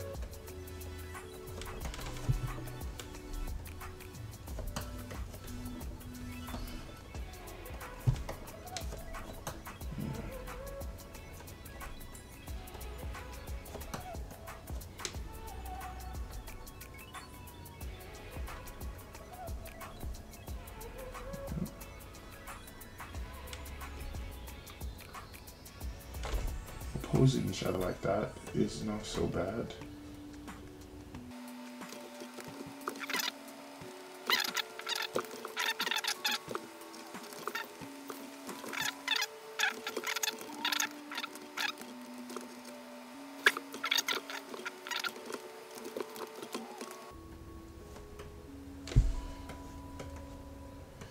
Yeah. Maybe this guy has to make space.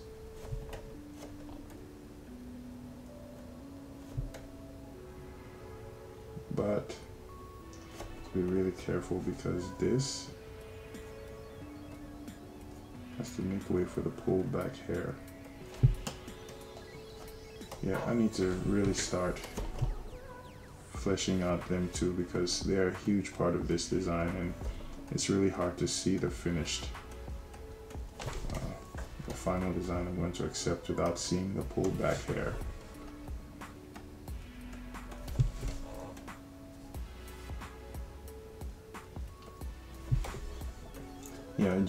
Dislike these individual ones that are charting their own path, but I think they'll get better. They'll get better as they're detailed.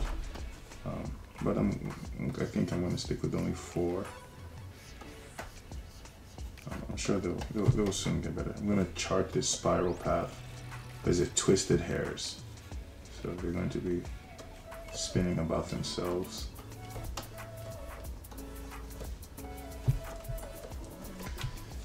If this uh, fails to blend well with the XGen, then all of these things I'm sculpting will be the guide that I'll use to create the XGen uh, guide that's going to be traveling, charting this path. But I think these will be successful.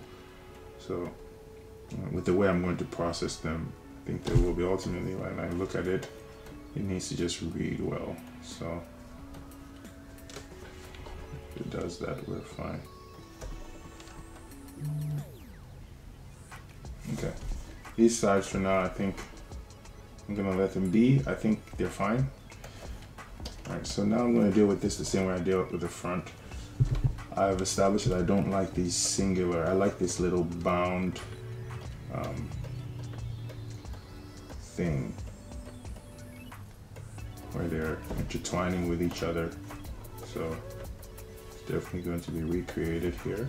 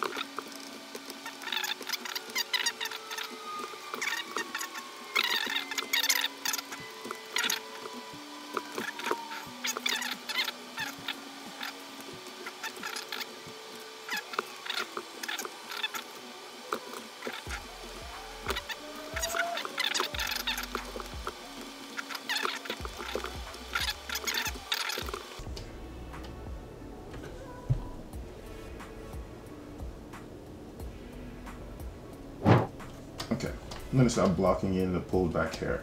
I'll start from the back here, see how it's impacting.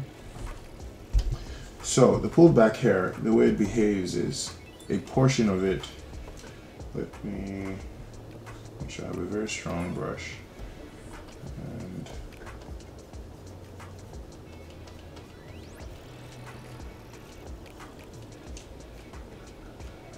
so a portion of it is really high merges with.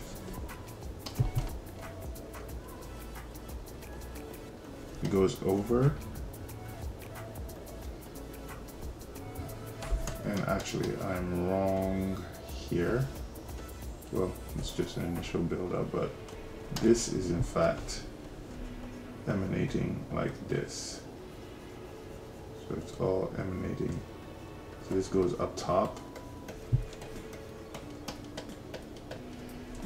Kind of comes like this. It's all shooting up. And then the one on the other side, it stays underneath. So it's emanating also from the extremes, but it stays underneath. And I really should have turned on symmetry for this.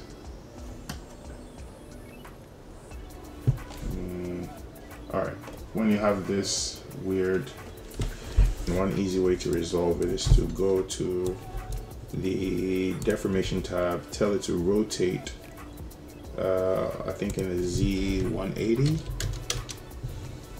then mirror and weld, and then rotate it back. 180 symmetry, so. let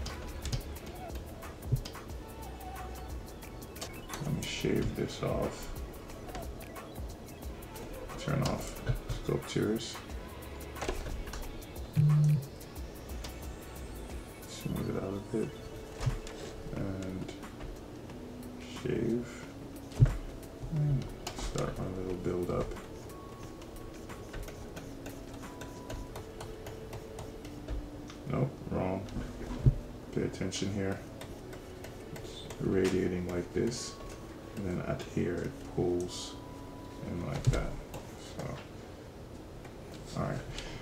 that's how I'm gonna go through. And I feel like with this one, I might have made a mistake. It's not barreling as well as it should. So it's a tubular mass. It needs to barrel.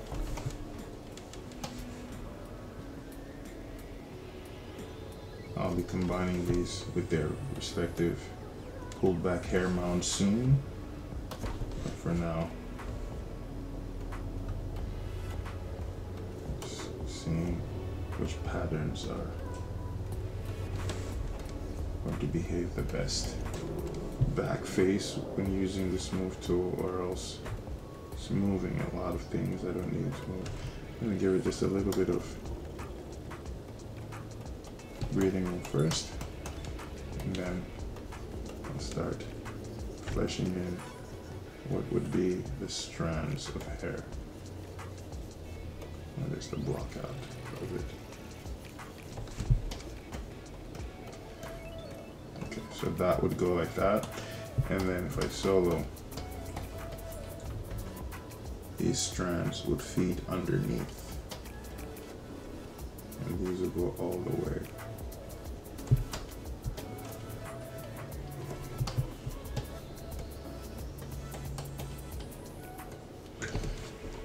Make sure that this is meeting up with this.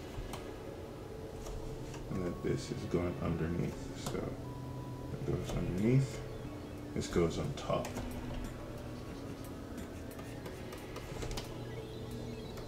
And it's very taunt, so th there should be no mounds. It should be like a sharp transition of pulled hair. And turn on its color, just so it helps me see the blended result better. So here I'm going to turn on back face masking here and first build up. I'm trying different ways to get this transition. And then once I have the transition, okay, that's a better way. So I use the build up brush to sort of build it up first and then in a radial manner and then do the, the striations. So that's what you're seeing me doing here on out. Okay, now let me solo and make sure that this over here, the hair is going inside underneath the mass. Okay.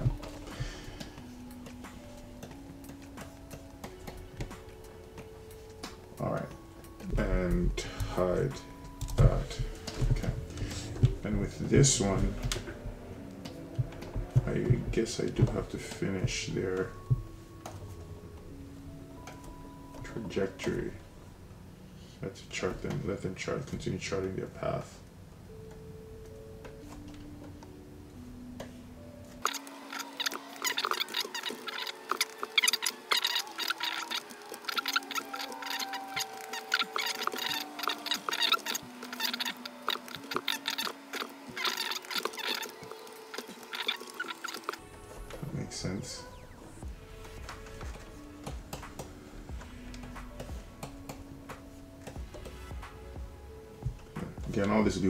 Soon, but I think the continuous shape would be this, just sort of twist around. It's a continuation, twist around onto itself. Alright, so that's that one up top there.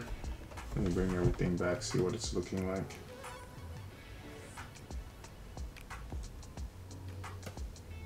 Have to be careful with these ones. These ones, as they ride up, I'm gonna divide this so I can get some texture on it.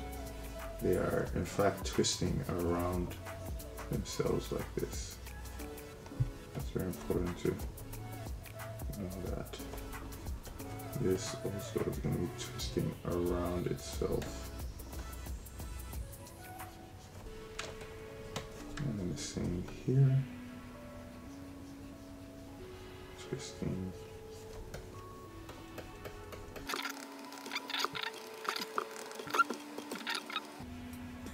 Twisting around itself. Overall blocked shape from a distance and that might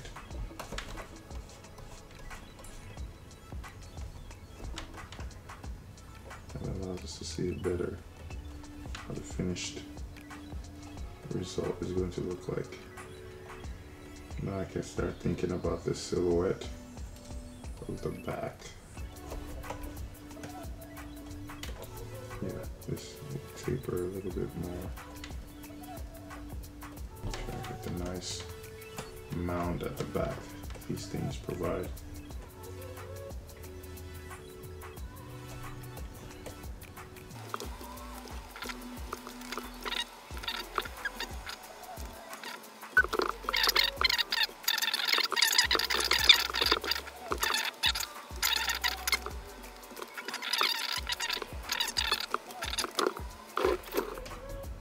All right, so when I'm looking at this, this feels wrong.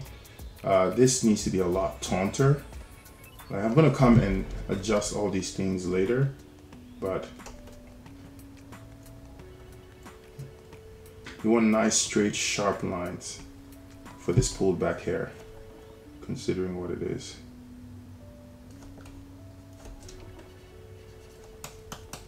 So yeah, it'll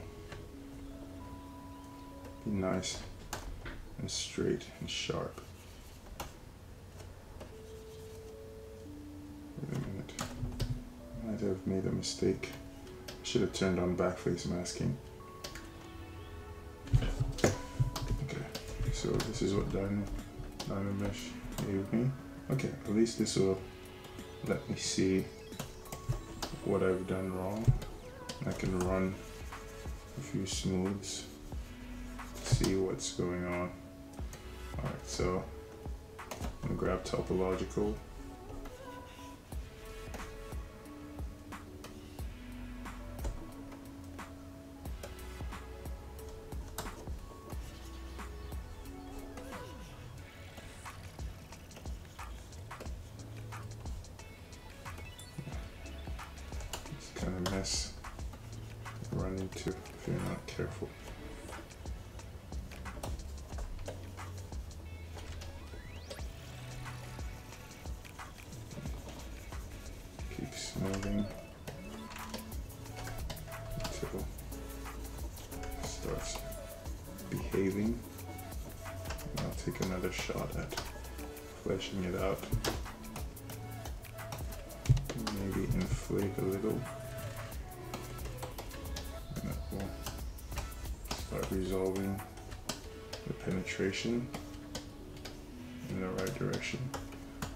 That should be it. should be fixed now.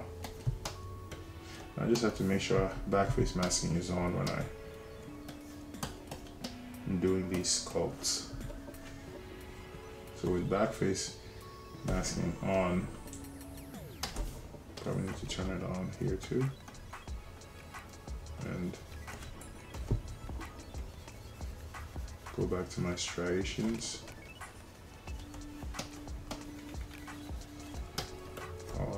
Do is just make this taunt and run into that issue. Okay.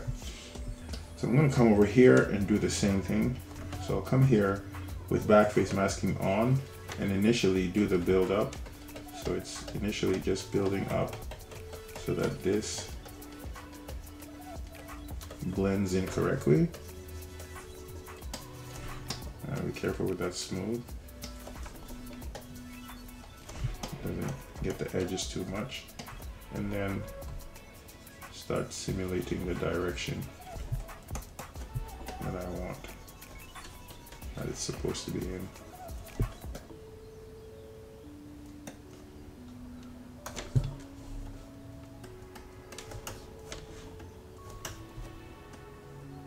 so it'll attach like that.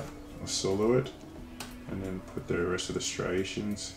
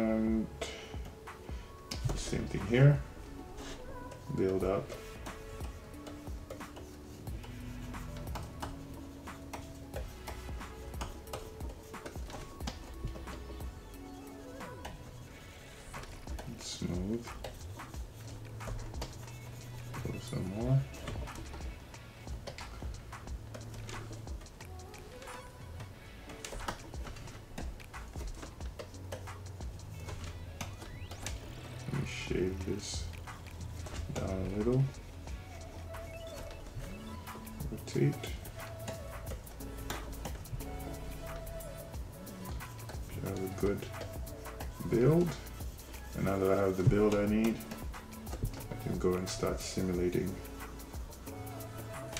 striations.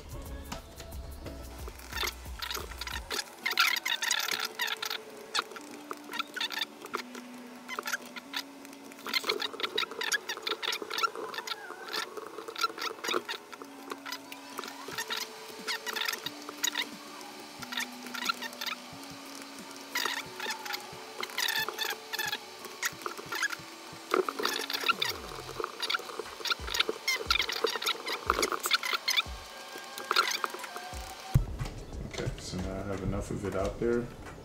We can move it up.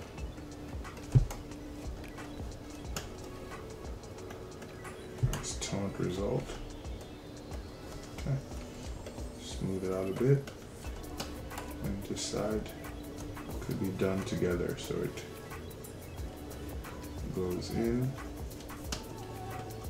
based on the reference. Wraps around like that. And then inside,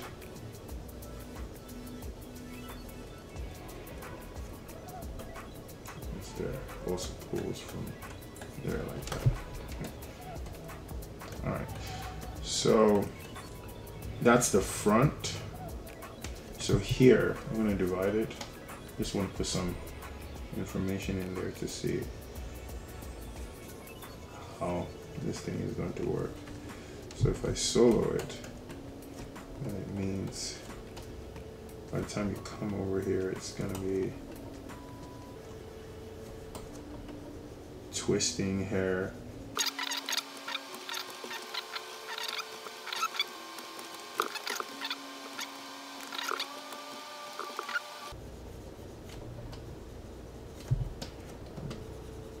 To make sure they're really diagonal.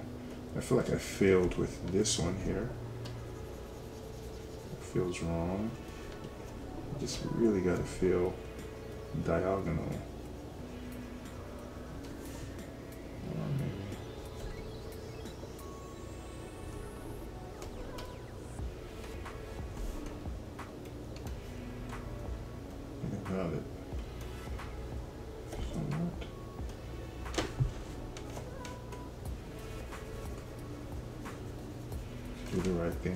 If I solo this, if this was coming out like this, okay, and then there we go. I'm getting the right thing.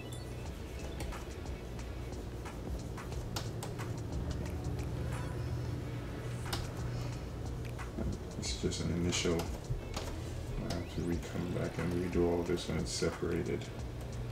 Alright, so I'll come over here, do the same thing.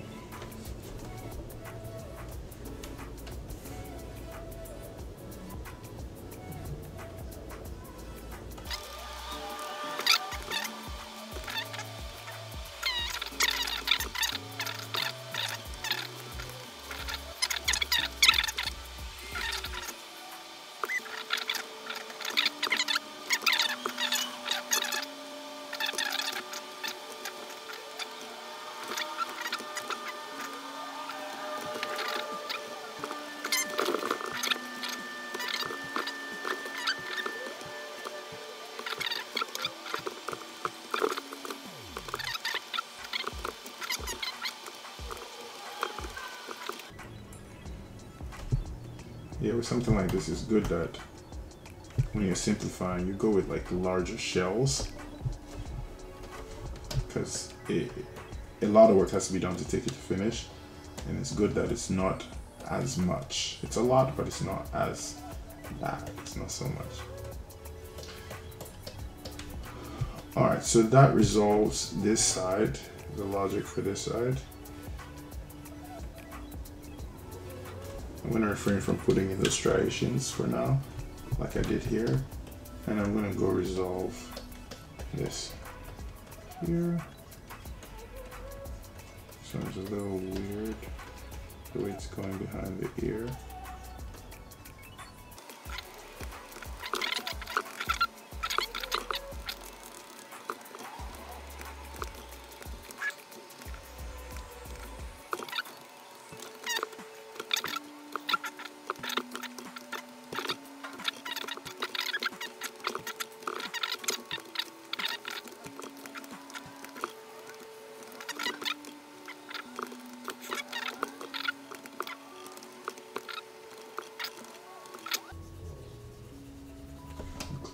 Blocking out phase.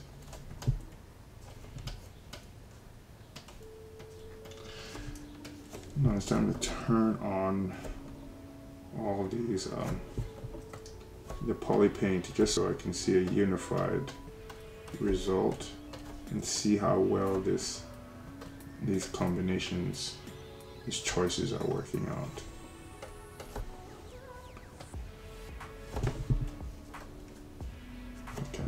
So if I was to turn on this,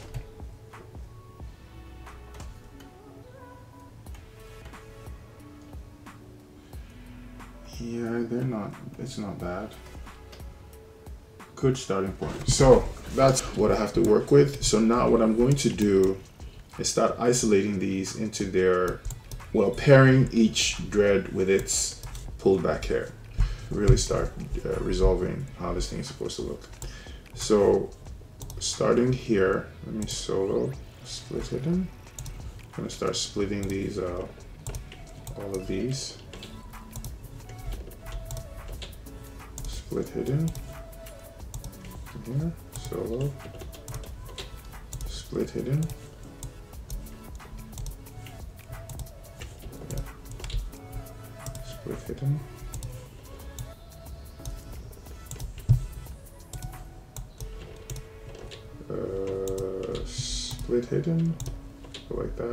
Split hidden. Uh, go to the back, solo. split hidden, split hidden here, solo, auto group, so they're separate, split hidden. Okay, so everybody is separated, now it's time to separate solo these. So here I'll go auto group, uh, delete lower, and split hidden. So the first pairing I'm gonna make is this guy and it's red. So I'll come like this.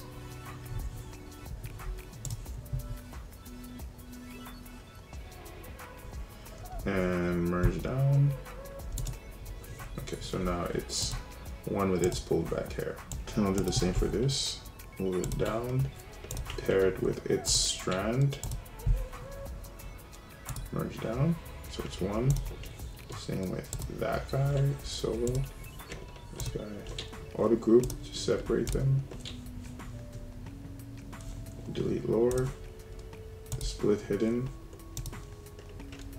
Grab its shell down here. Let me turn on the polyframe so I have a better idea of what I'm selecting. So that, that guy, merge down with this piece. That guy. Merge down with its piece. That guy comes down. And they're connected, so auto group. Split hidden. Solo, take that guy. Come down. Merge down with its piece. grab a there, bring it down, merge down with its piece. So the front is divvied up. They're all paired with their correct uh, pulled back hair. So I'll do the same here. Take this down, take this down, merge it down with its piece.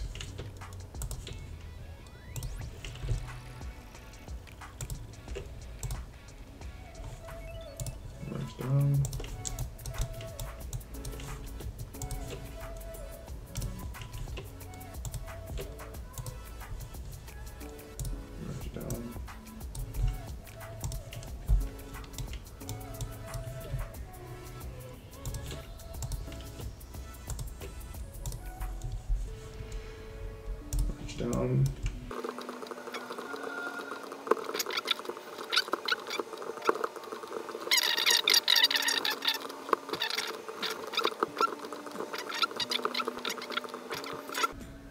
Take it down. And that's its piece. And merged. Okay, so that's everybody merged with their respective piece.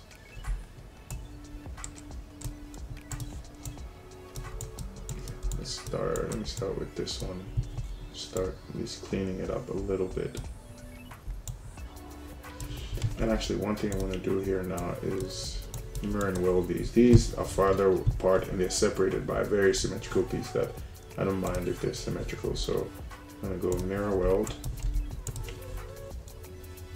Mirror weld. So we can start seeing how this thing is impacting the whole head. Not just one side, mirror weld mirror weld, mirror weld, mirror weld, and I do have to activate symmetry on those ones so that whatever is done on one side goes to the other. Yeah, that's fine. Here and here. Alright, so pick one of them solo all right, so with this first one here, I'm going to DynaMesh it. Uh, that's a pretty high DynaMesh count. I'll probably go with something maybe 300. Let me see what it feels like. Yeah, 300 is not bad. So it's, three, it's 376-ish for something like this. All right, so now I'm going to start really trying to get a result that will work underneath the XGen very well. So the first way to try to deal with that is to make sure that first these are planar, very planar.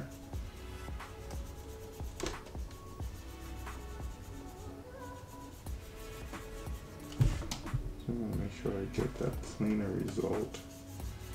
Very taunt yank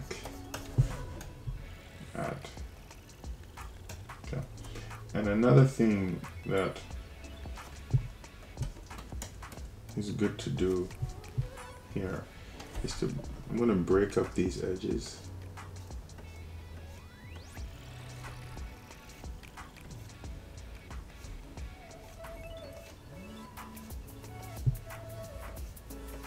So thinking wads of clumps of hair have them be varied enough that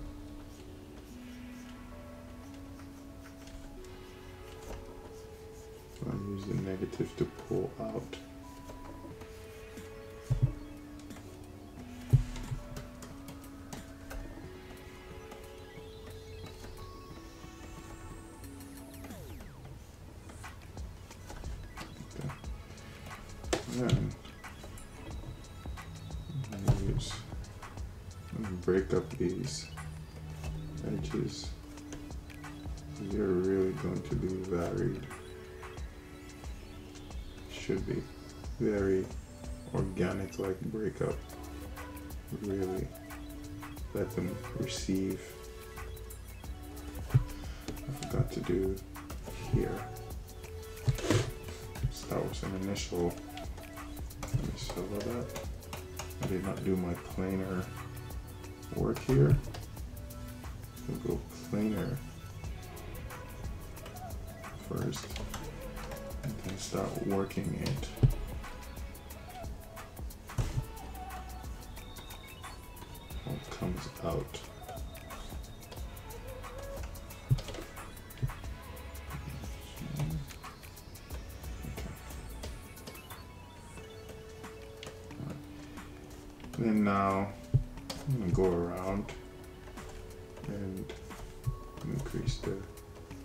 This hair would be twisting around itself.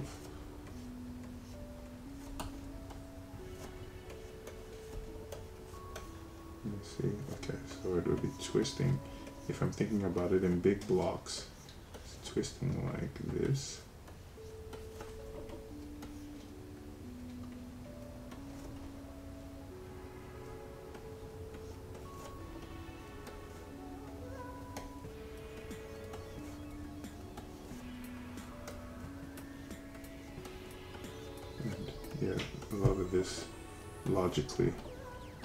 Is too much, so I'm gonna have to deal with that because that's that doesn't make a lot of sense.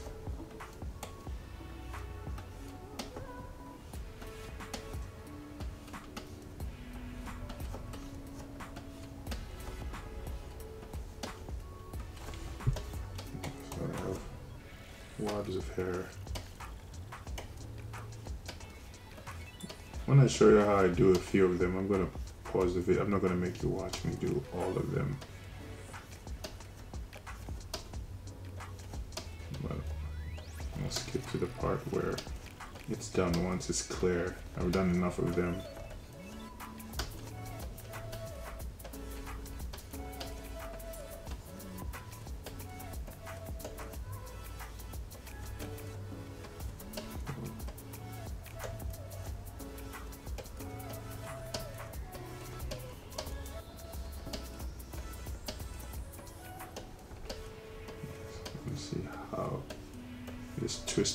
Going to chart its way all the way out uh, into the tie.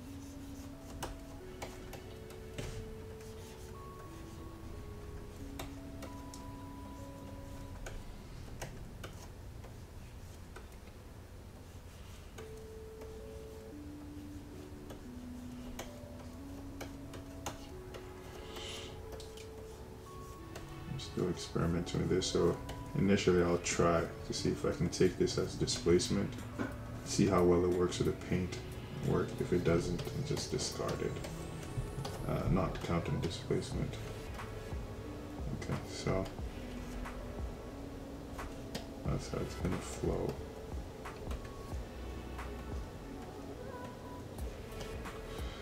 I do want to make sure that this is reasonable as far as sizing is concerned. It needs to be a reasonable wad of hair. Like the thickness needs to be consistent.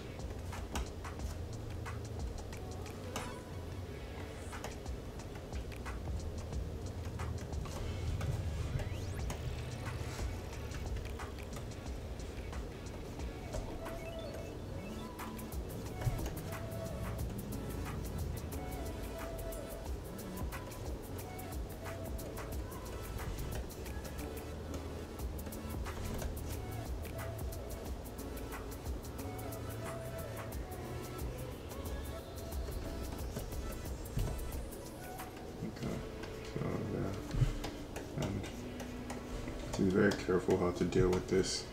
This is in fact a fold. All this hair goes underneath here. So this is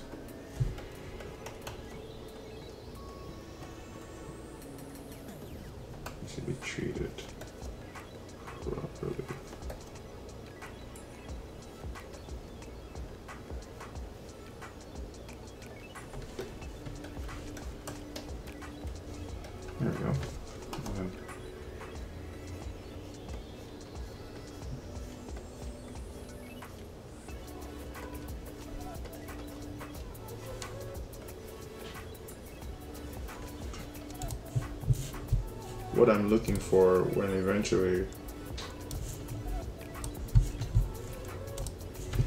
visualize how like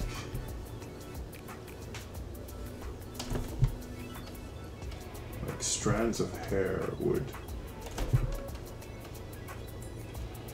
strands of XGen hair would be sitting on top like this.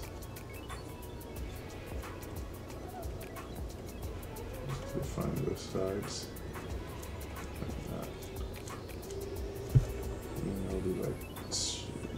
Squiggly flyaways and stuff.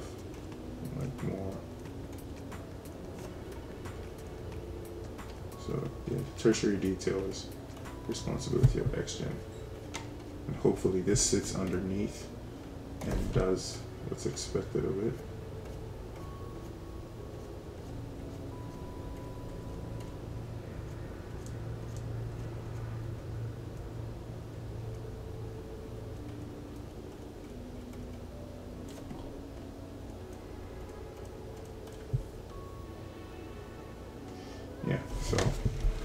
Be something like that.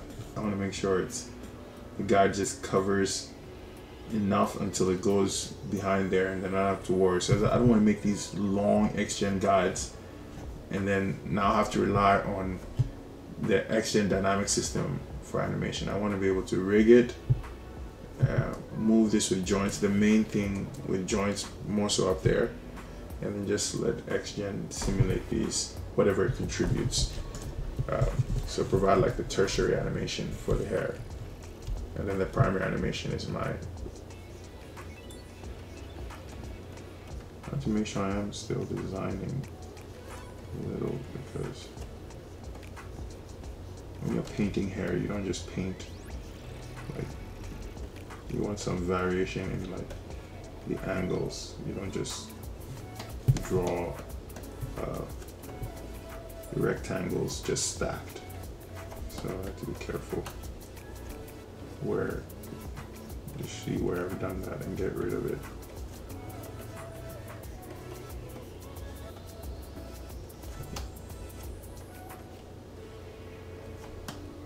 Yeah. And then you have uh, variance in um, in uh, intensity. It helps to make it look like real hair.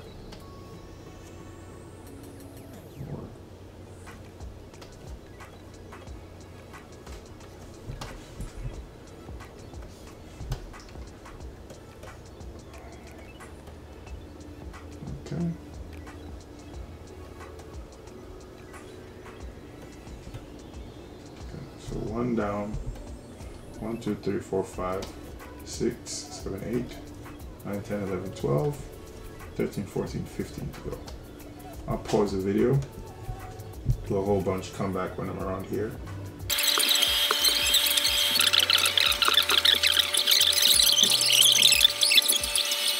I got one, two, three, four done.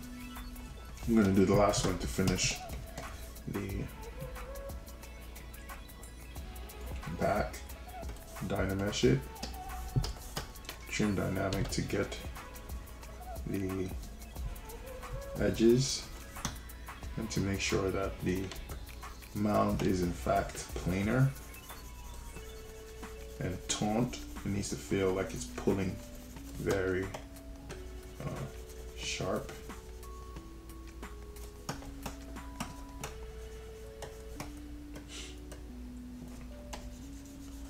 get this side.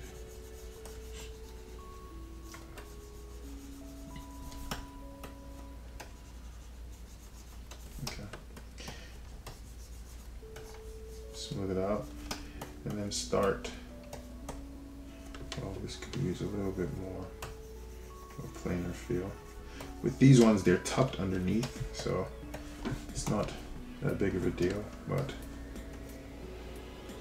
I'm gonna start with. One thing I didn't mention is I have to be very careful about not just stacking. Um, if these these details end up being the primary thing that describe the way this thing is, uh, I have to really make sure they are varied. Here, tucks in, here pulls out.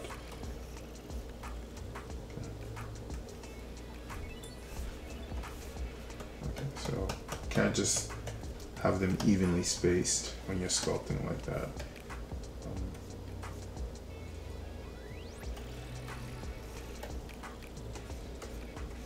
bundled hair, clumps of hair. Want to use as many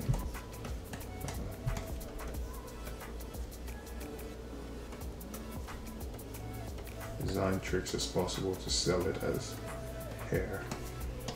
Something like this. And here, it's a little simpler.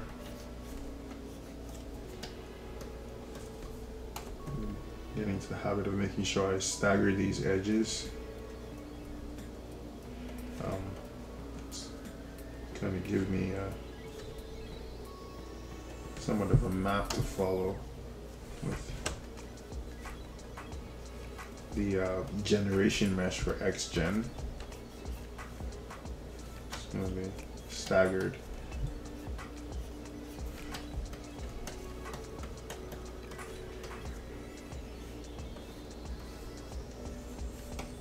I'm gonna take the build up, recess and pull some areas to get something different.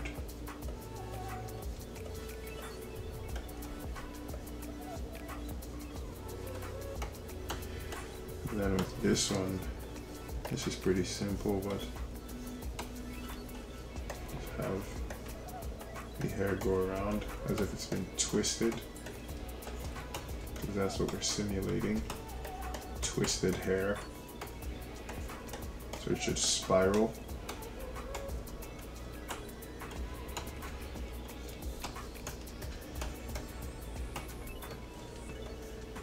Try to ensure that the topology also is respecting that. This way when we go into Maya, if I need to, I can just convert, uh, a, create a curve from the topology and then that curve can help with XGen.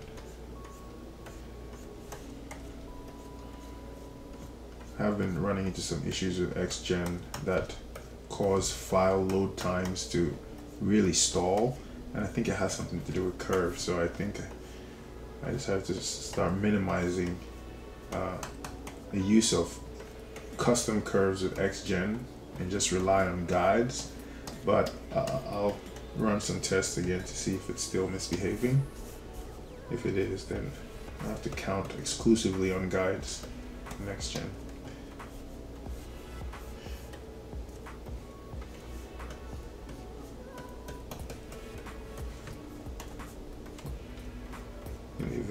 it's not problematic, this spiraling geometry will be very useful uh, to draft those curves.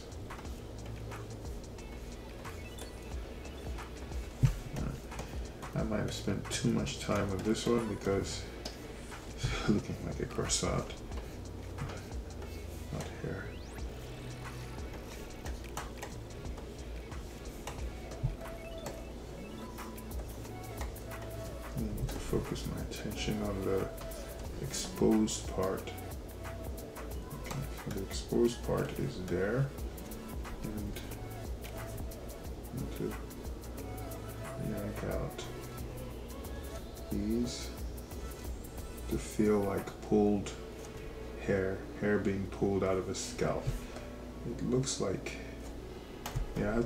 Careful with this.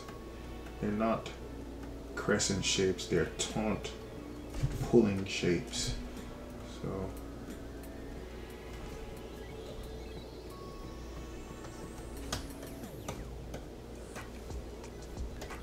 be really pulling a straight, forceful line.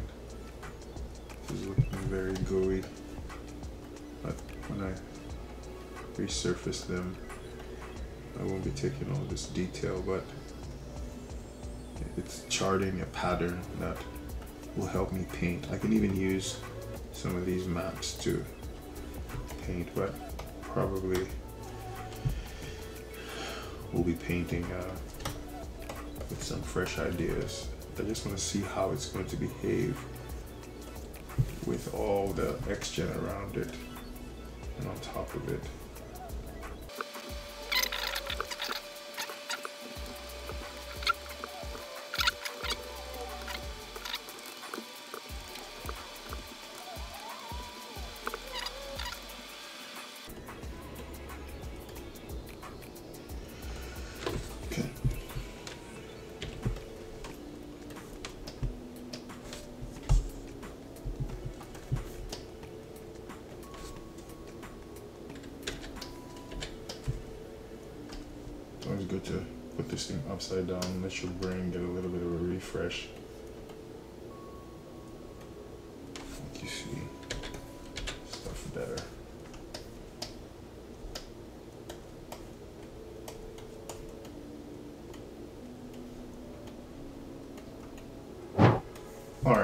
To get started on this side.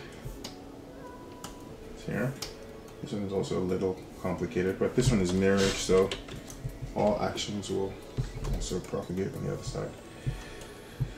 I'm gonna solo this and give it just slightly a little bit more resolution than the three. Yeah, that should work. And always, I want that nice planar feel. This is something I seem to be forgetting to do. Very important. All throughout this, I have to be paying attention to that. Make sure that it's planar and feels taut.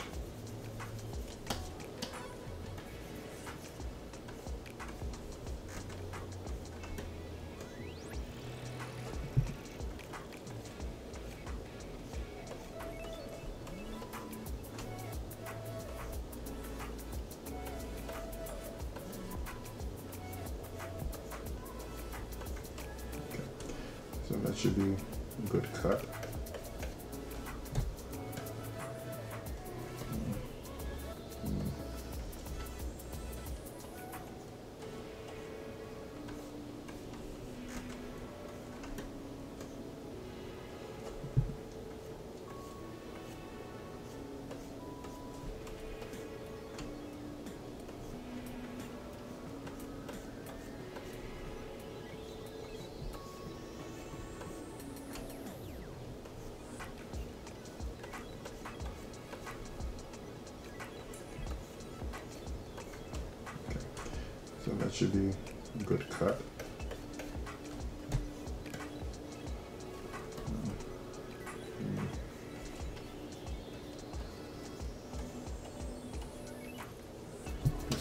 On the outskirts.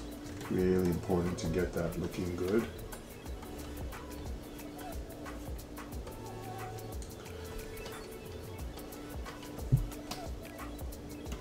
I want to keep mentioning that this approach that I'm attempting right here is experimental.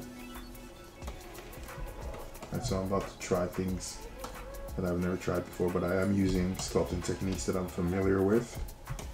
But the end result is going to be going to be just as surprised as the end result as you will be.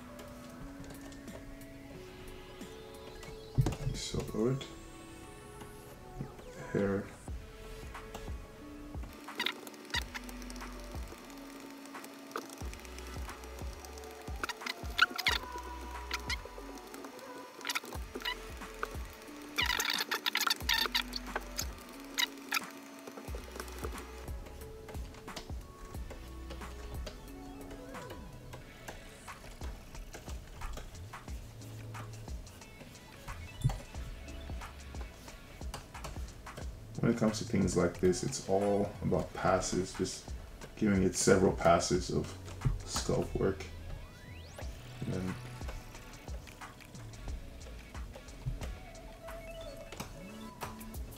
as you get closer to the end, you start focusing on polishing it.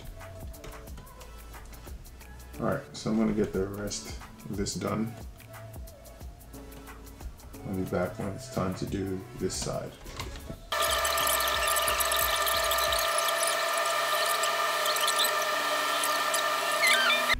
Alright, so I got these three done. One, two, three. And I'm gonna get the last one on the side so I can move to the back to finish this. So I'm gonna solo it.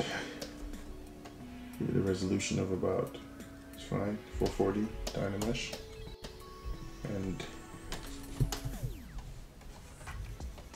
routine flatten to get that planar taunt feel. And flatten these edges.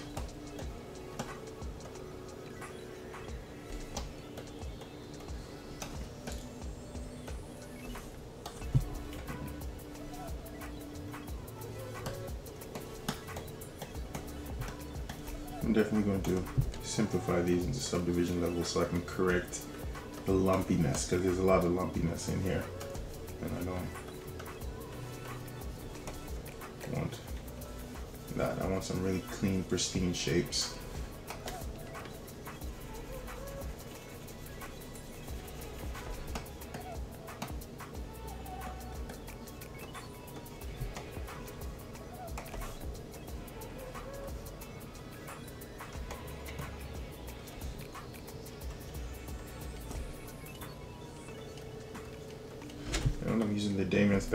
On the corner in order to get like a broken up feel just cut in like that.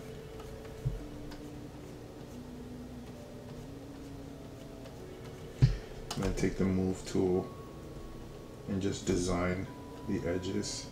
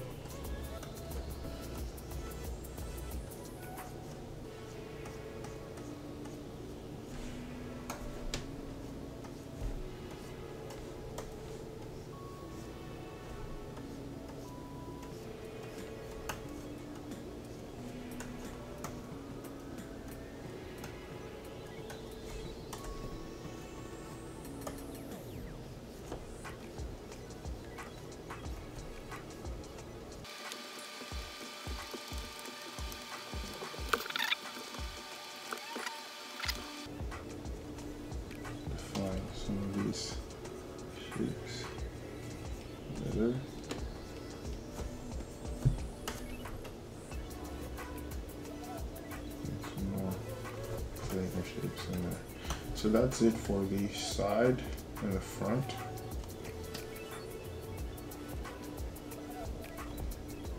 Yep, so it's time to get the back. I think it looks pretty good.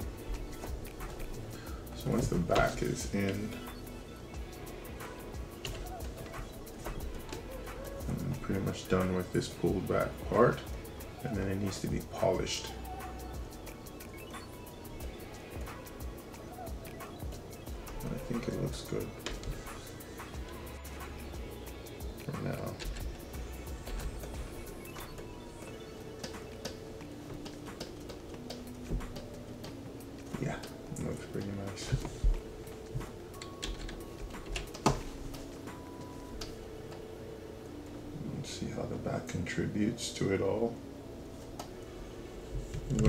Most of this back done and I'll come back when it's time to do to finish off and then I'll be done with this pulled back hair until polish.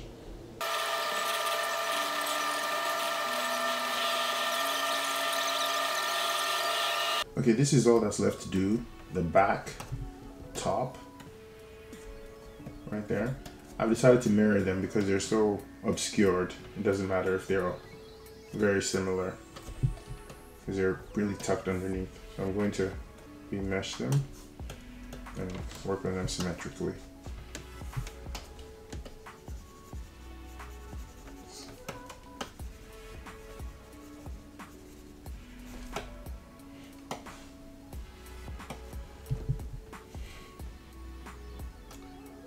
Out here, just to make them easy to work on, and isolate them.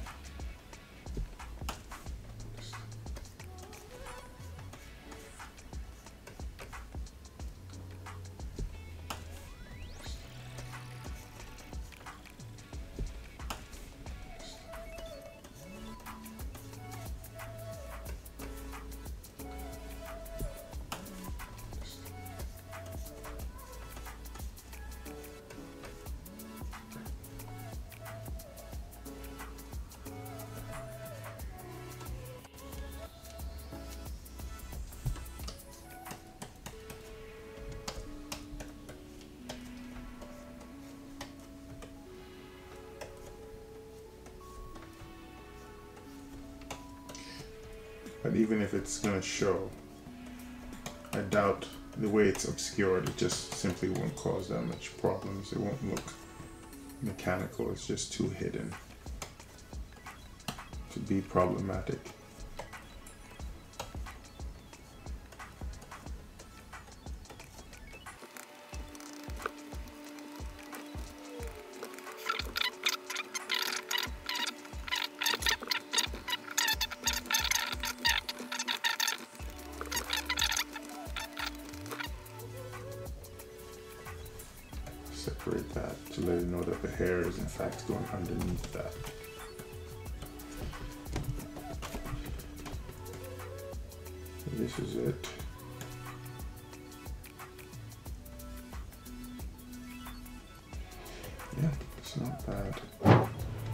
Around it and do a little bit of shape cleanup.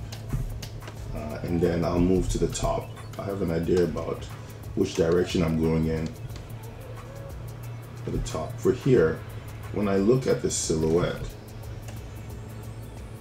turn off. I turn on color on a lot of the braids. The way to turn it off is to go to Subtool Master, go to fill, but don't fill it with anything, and it should it should uncheck all of them.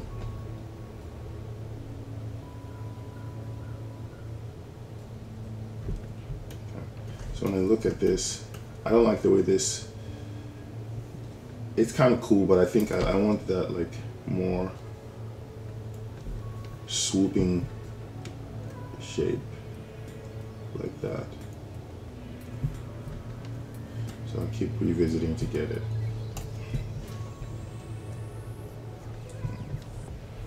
Yeah, like that. Swooping like that and swooping like this. And some of these individual shapes, I was going to go out of my way to not have them have these interesting mounds to be smoother, but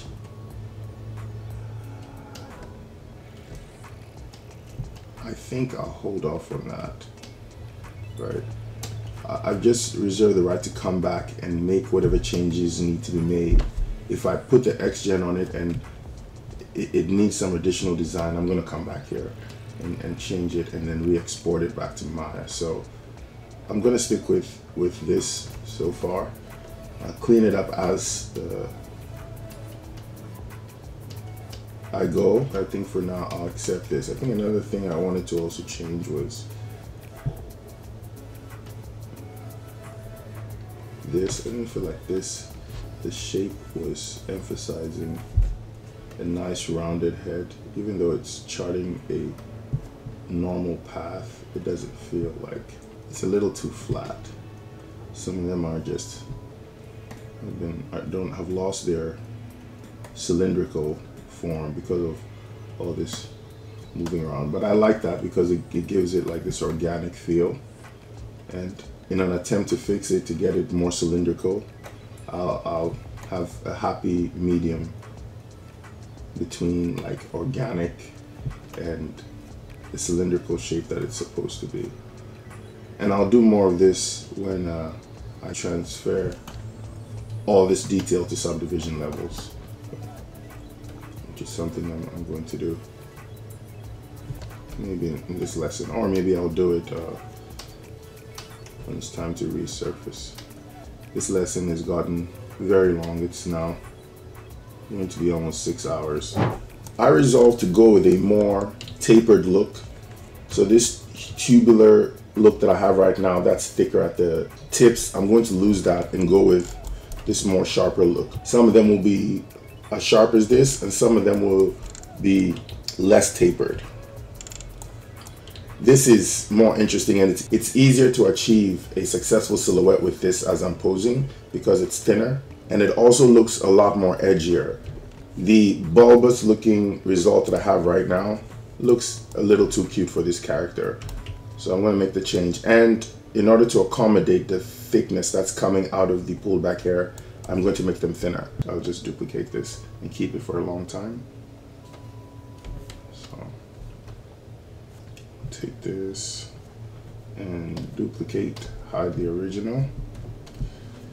And the first thing I'm going to do is go to deformation and deflate them to make them about the thickness they're supposed to be.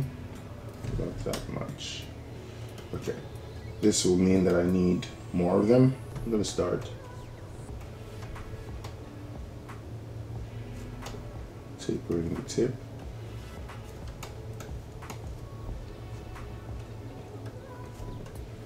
And give it a lot more treatment, but taper it first.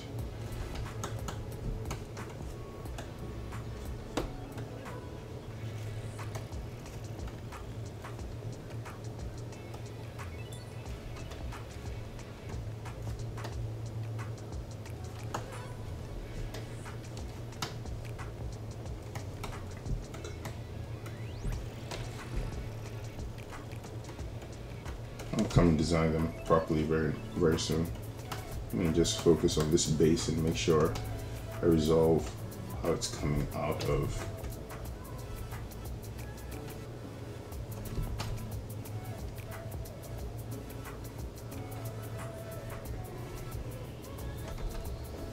Okay, so how it's coming out of the hair can have any of this irresponsible overlapping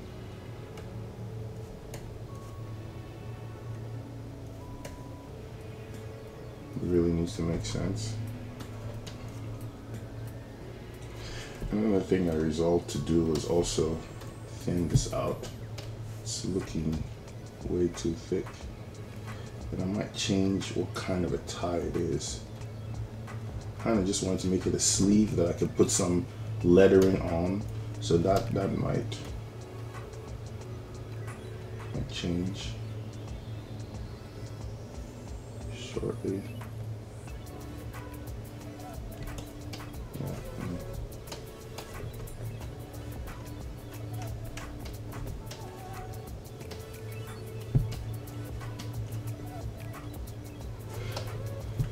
Hoping that I don't have to add more because all that is is a new joint chain that it has to have. So I want to be um, careful about how much more I add. That's why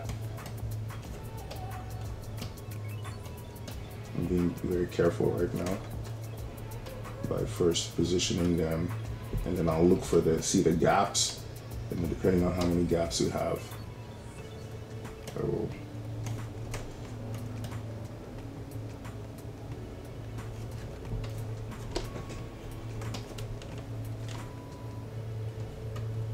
decide what to do.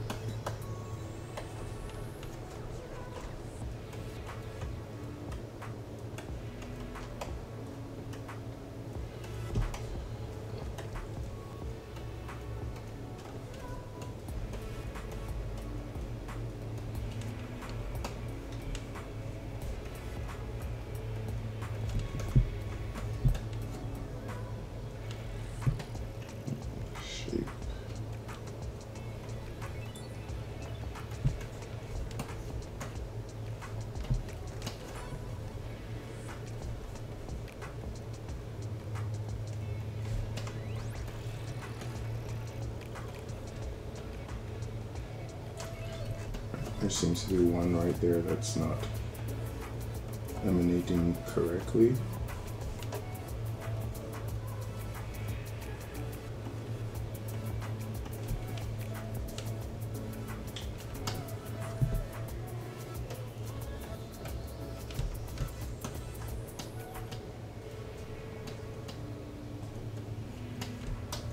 and I just realized that if it comes down to it, I may have to add as many as I need and take the the hit that comes with running a joint chain through all of them. Just have to deal with it.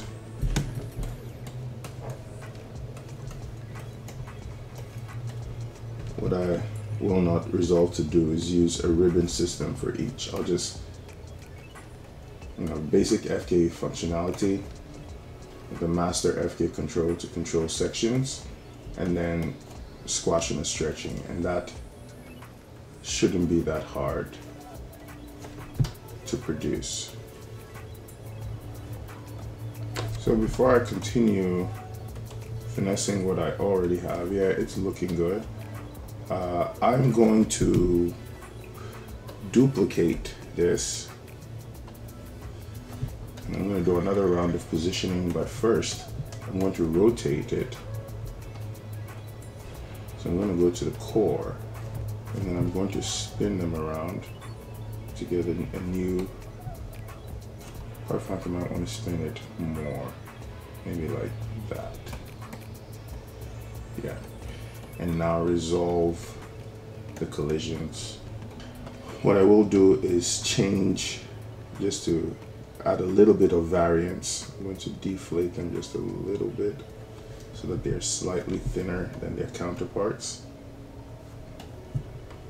And then start positioning them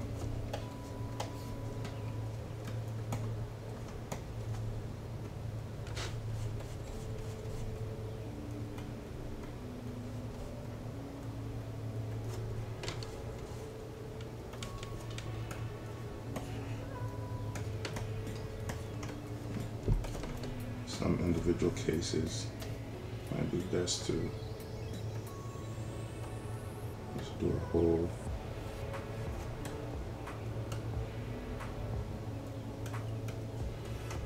new rotation. Now that I think about it, because of how many they are, there needs to be some more interesting design than just this like tubular massing. So I might have to change course. I might have to change course and go with a different look because I just don't want to be looking at this huge mass with very similar tubular design. So I might need to push and get a little creative or else it's just not going to look as interesting.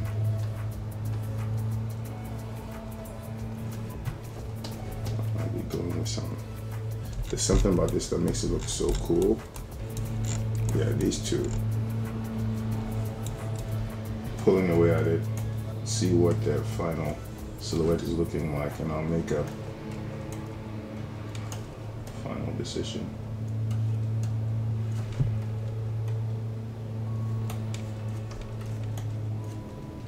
Yeah, this feels like a plant, a pot of some type of plant. It's just so even. It doesn't feel like hair. I think I'm going to stick with this. This is what I'm going to go with. So I'm going to go do this type of butted design. And another thing that I'm doing wrong is that it doesn't flow out in arcs. This thing is very rigid. It's kinky hair, so it's kind of it has takes these interesting shapes, right? These planar shapes, right? But it doesn't pour down, it's shooting out. And it does make you feel more potent. And in this instance, it is twisting out of the core and turning into that. So this is officially my master reference. I, I realized that this was one of the first images that I showed of what, what, I, what I was trying to achieve. So this is what they're gonna look like. So I'm going to make the modifications to match up with that. I'm going to give it a little bit of noise, uh, several tiers of noise uh, to break to break up the detail, the surface detail.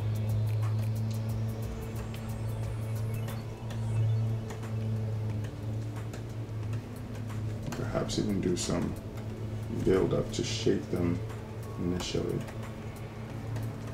Let's get a little bit of designing of each piece.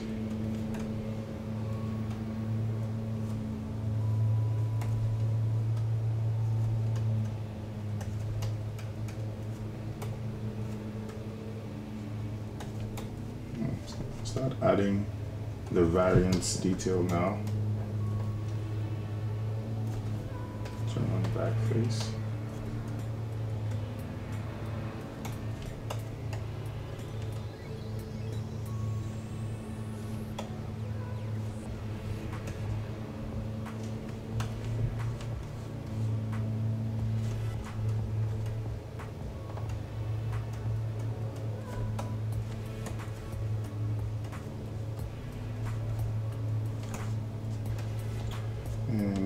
Adding those shapes, those interesting shapes.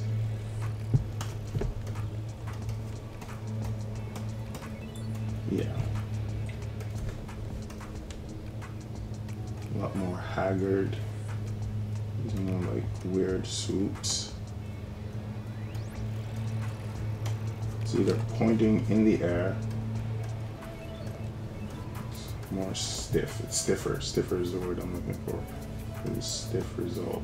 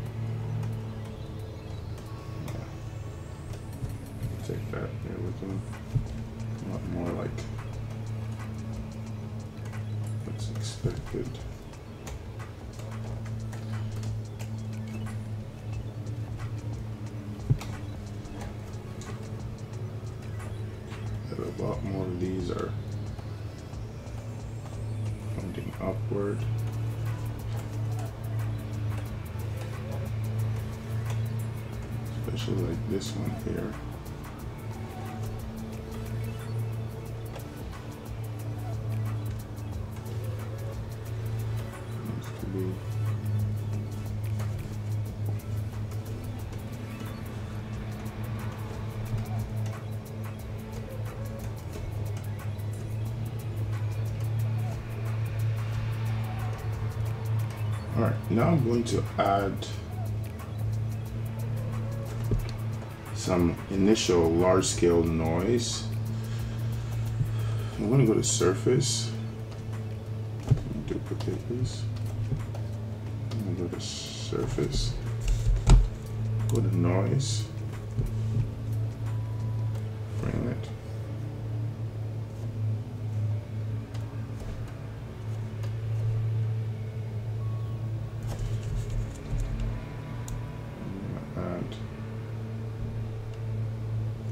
large scale noise to really break it up.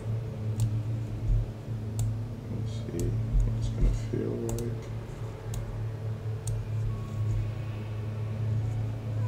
I'm gonna go to layers, add a layer, put it on a layer. So I'll go, yeah, it's initial nice breakup at this stage.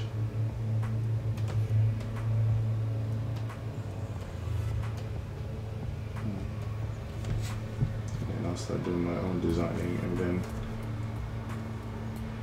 um, as I subdivide I'll move to.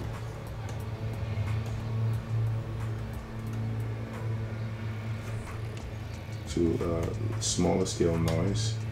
This doesn't stay true to the haggard look. So I'm gonna lose that. Okay. This one is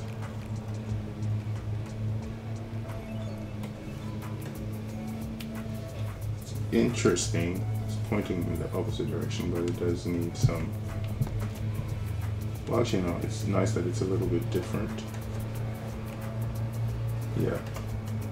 With something like this, there's just too many of them to go with um, with just one look. You really, I really have to add visual interest. Now I'm going to start processing what I'm doing here with this tie.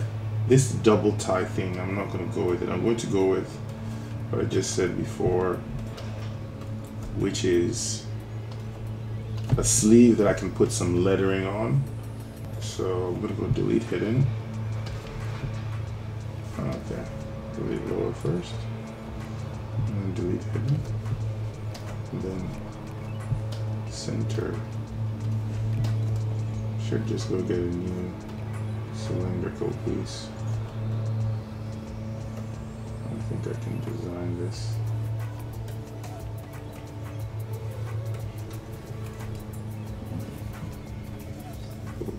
Planar surface. And then also, it breaks up all the, it does add some detail contrast because these things are going to be so busy with information.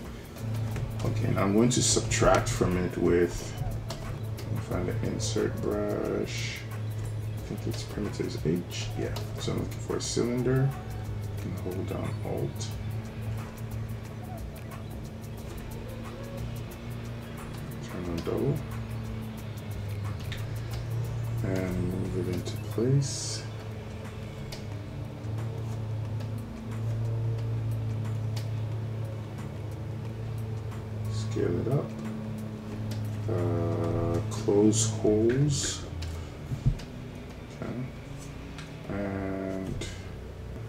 Split hidden.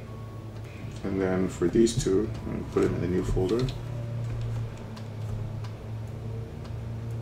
Uh, turn off render, uh, boolean,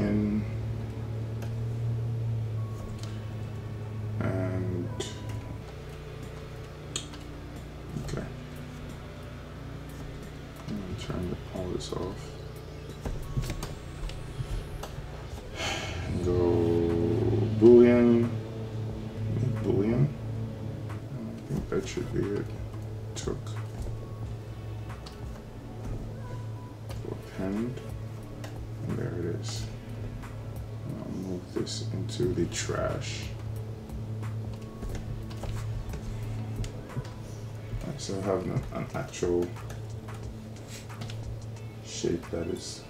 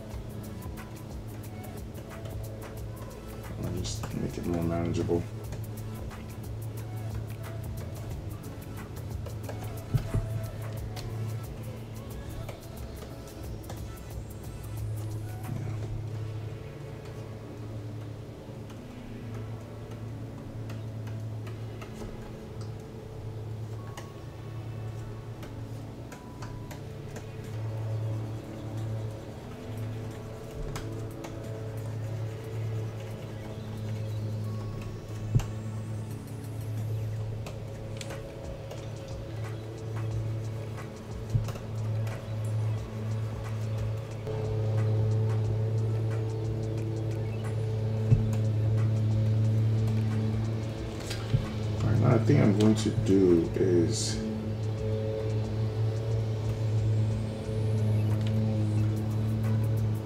I don't like how all of them look the same. So I'm going to isolate a few of them, do a deflation. I think at this stage I have maxed out the amount of effect noise is going to have on it. It's just going to keep swelling up the mesh. So what I'm going to do is going to go to layers, turn it off, bake all, and then start, and then divide it. I think it's time to take it to the next level and polish them.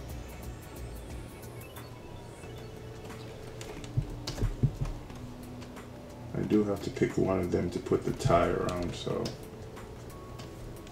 yeah, it's you have an idea of what type of design you want to do, but ultimately if it doesn't succeed, it's not successful, you're going to have to play around or else you end up with a really cheap looking result.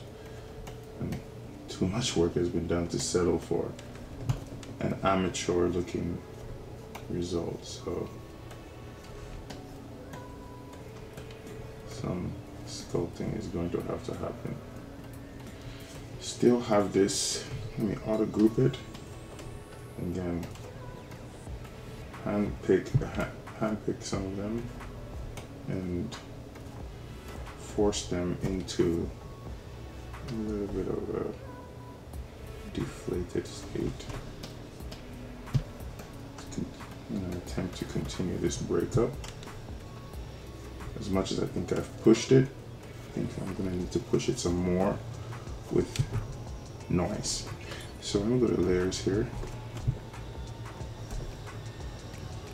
Recall and in this instance I'm to stop using layers, it's just slowing me down. So I'm going to grab these, go to noise, edit, bring this thing back down, increase the strength, and apply to mesh.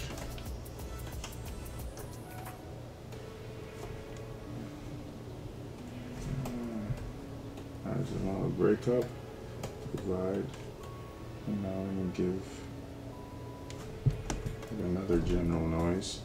Go to edit, change.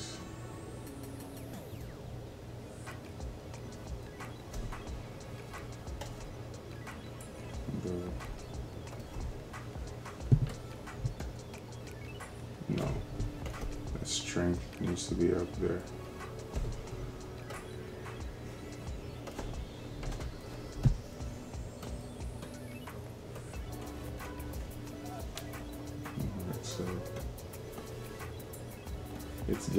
But I'm gonna have to do a lot more to add visual interest. So now it becomes responsibility of just sculpting. So these things are re look really abstract.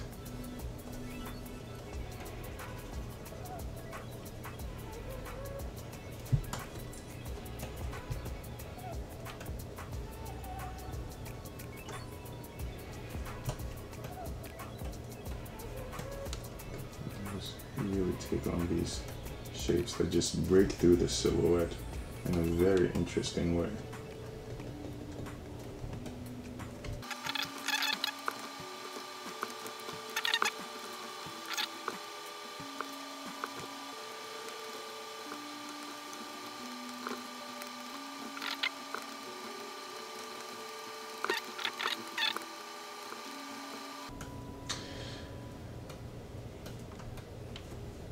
Another way, way I haven't really with uh, height, your heights.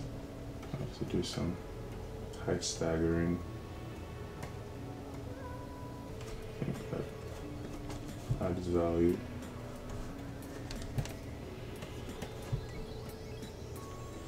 And Look straight on at her. A lot of these feel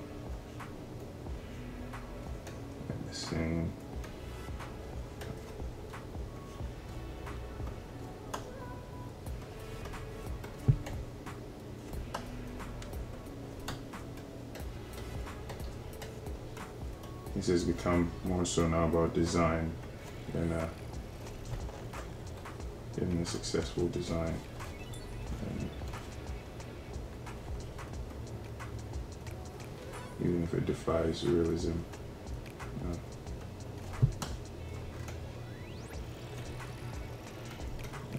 this side, clear some of these. I do not like this anymore from the front view, it's not really contributing well. It's not really doing helping the silhouette. And the front view is the most prominent view. So this will now need to change its the course of its shape.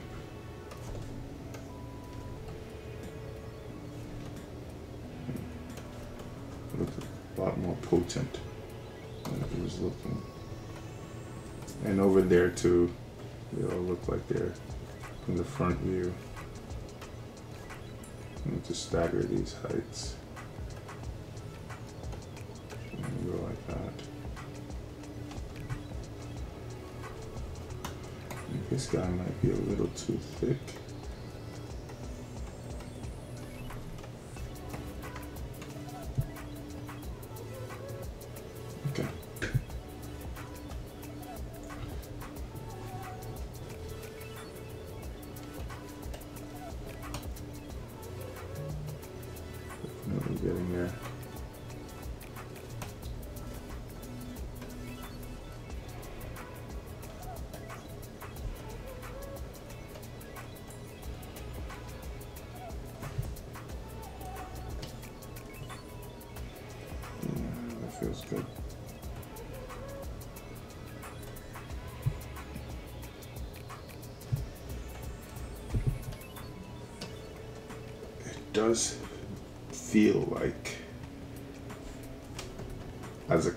A collective, it might be a little too small.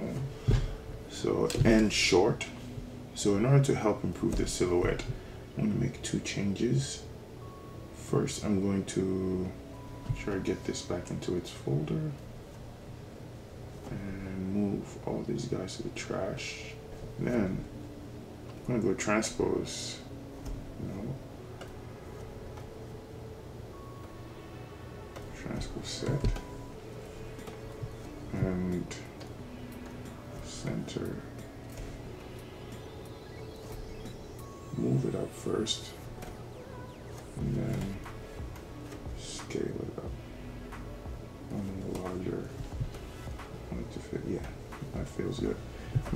Does mean to come back here grab this tie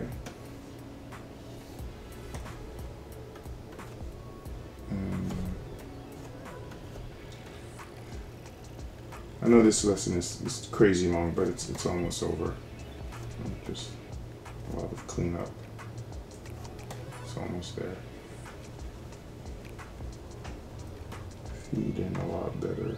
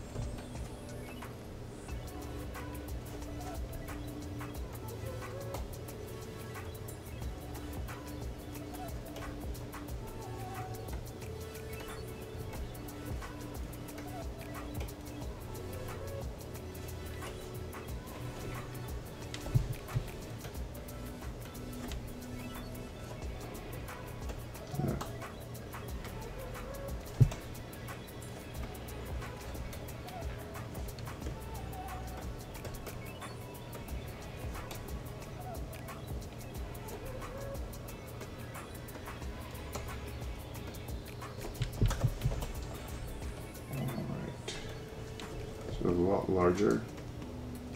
Looks healthier.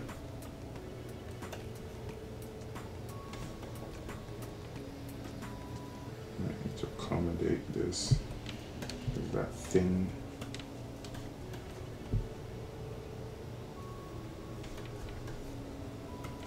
So I think it's good. Scaling it up did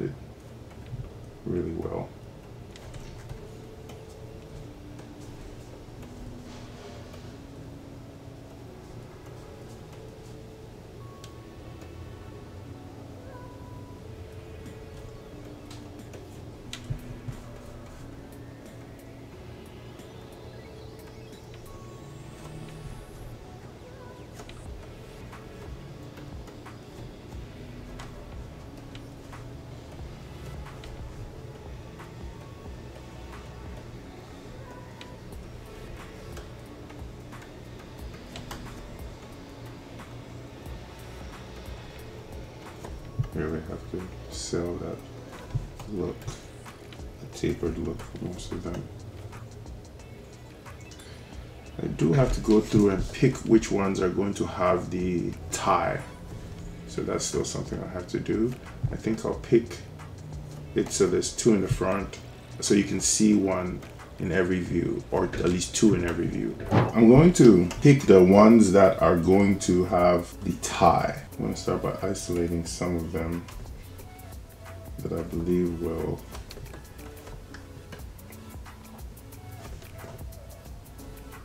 this maybe about four and I'm going to mask everything and just look like this and see if these are the ones that tie in this view if it looks good. Yeah, that, that one will be clashing, so that would be not so good. So if I isolate this, yeah, maybe three is good. Although because there's a sheer volume of them, it won't hurt to have a fourth one. So I'm feeling like maybe this one should be it. So I think that might be it. These are the ones that will receive the tie. I think it's nice breakup. I'm going to be playing with a lot of colors in uh, Substance Painter to design this thing. So I'm going to invert this and group mask, group mask so that I have two different colors. And I can um, isolate them to do the work. So I'll say split hidden. Uh, I have to go to a lower subdivision level to do that and hope that it propagates the subdivision data. I think it will. I'll go split hidden. And it worked. It preserves the subdivision information. So the ties Very simple. I'm gonna auto group this. Do a group split. I'm gonna go down to split here and do a group split. Okay, that's all four of them. So I'll start with that one. So, and get my mask pen, crank down the focal shift, and do a simple extraction.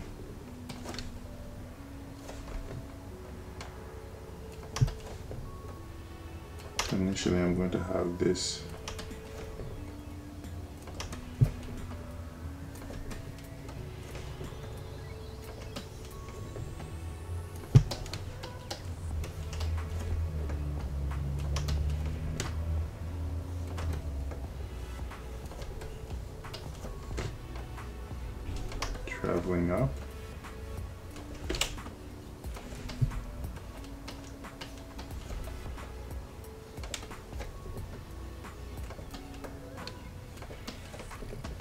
sure it's escalating up the chain.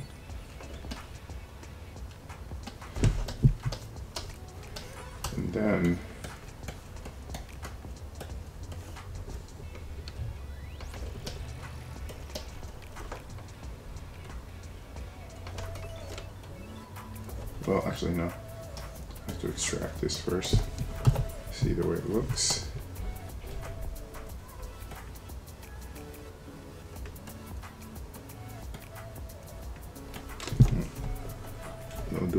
extraction at 1001.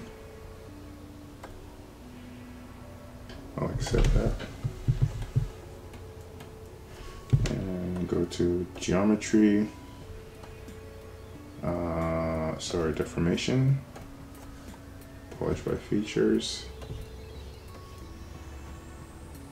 and also polish by groups. And I'm going to resurface it at a very low number, like 1K. Actually, before I do that, I am going to lose, I'm gonna go to Z remesher and make sure I'll lose a thickness for now. Go delete hidden. And then resurface at 0.5. And I'll give, for now, for its thickness, I'll count on dynamic subdivision. So I'll go to dynamic subdivisions and give it a thickness. And make sure the thickness is going in the opposite direction. And so I have room to play with it before I uh, commit to it. And smooth subdivision, I'm gonna crank that down. Make necessary adjustments.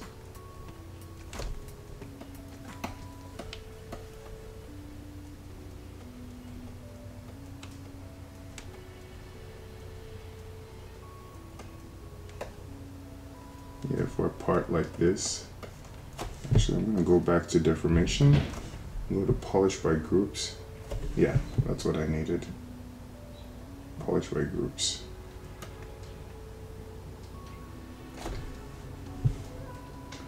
Glad you can still do that with dynamic subdivision on.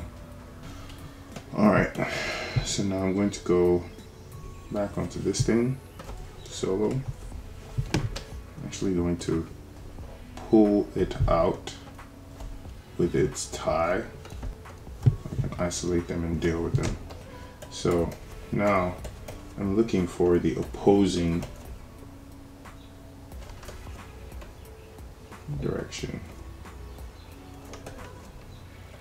connect this here like so.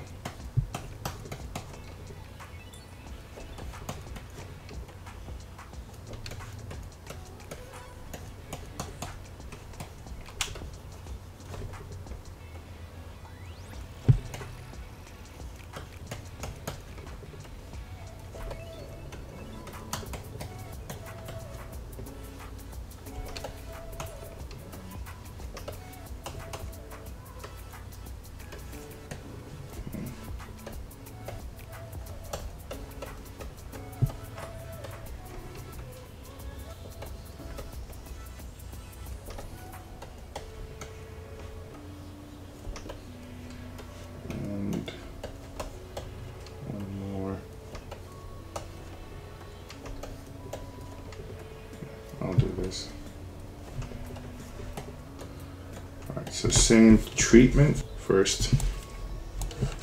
Let's see if I remember what I did. I extracted, except, um, did a initial polish by features, see an initial smoothing, and take the upper, outermost level, delete hidden, and then remesh at 0.5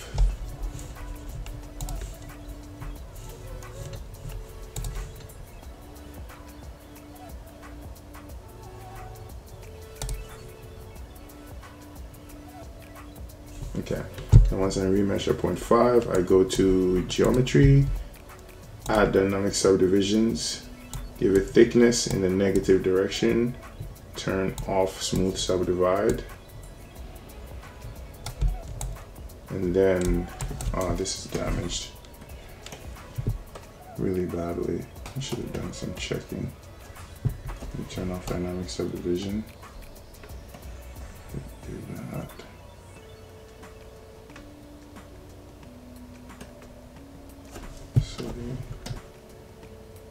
Weird. I shouldn't have done that.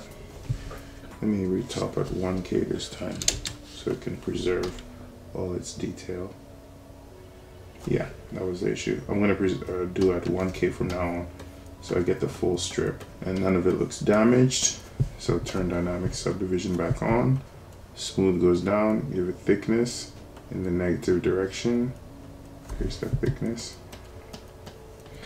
And then in solo and go deformation polish by groups. Yeah, and then that smooths it out. So if I take a look at it now, I should have my tie and I can decide whether this part is elevated.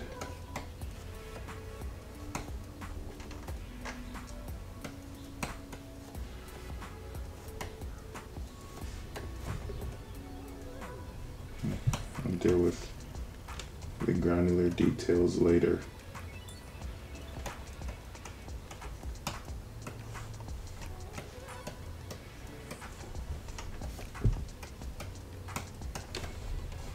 And I have to see what it looks like.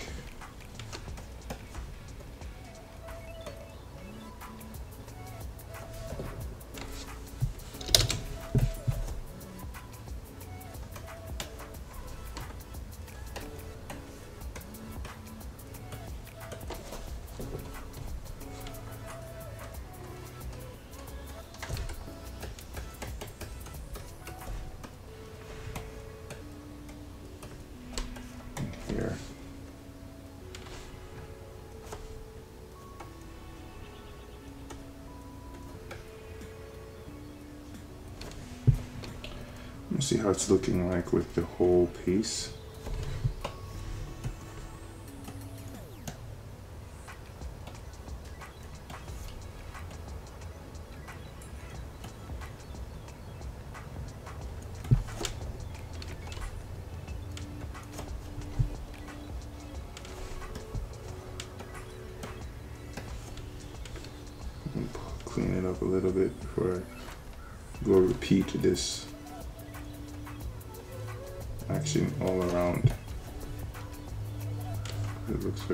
Right now.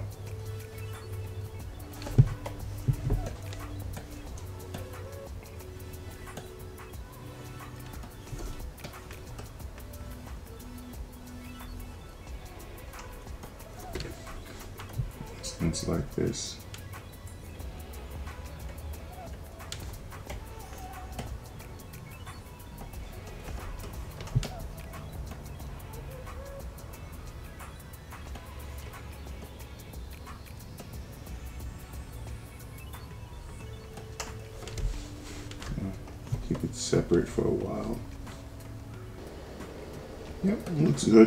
Really nice. So I'm gonna go get the rest.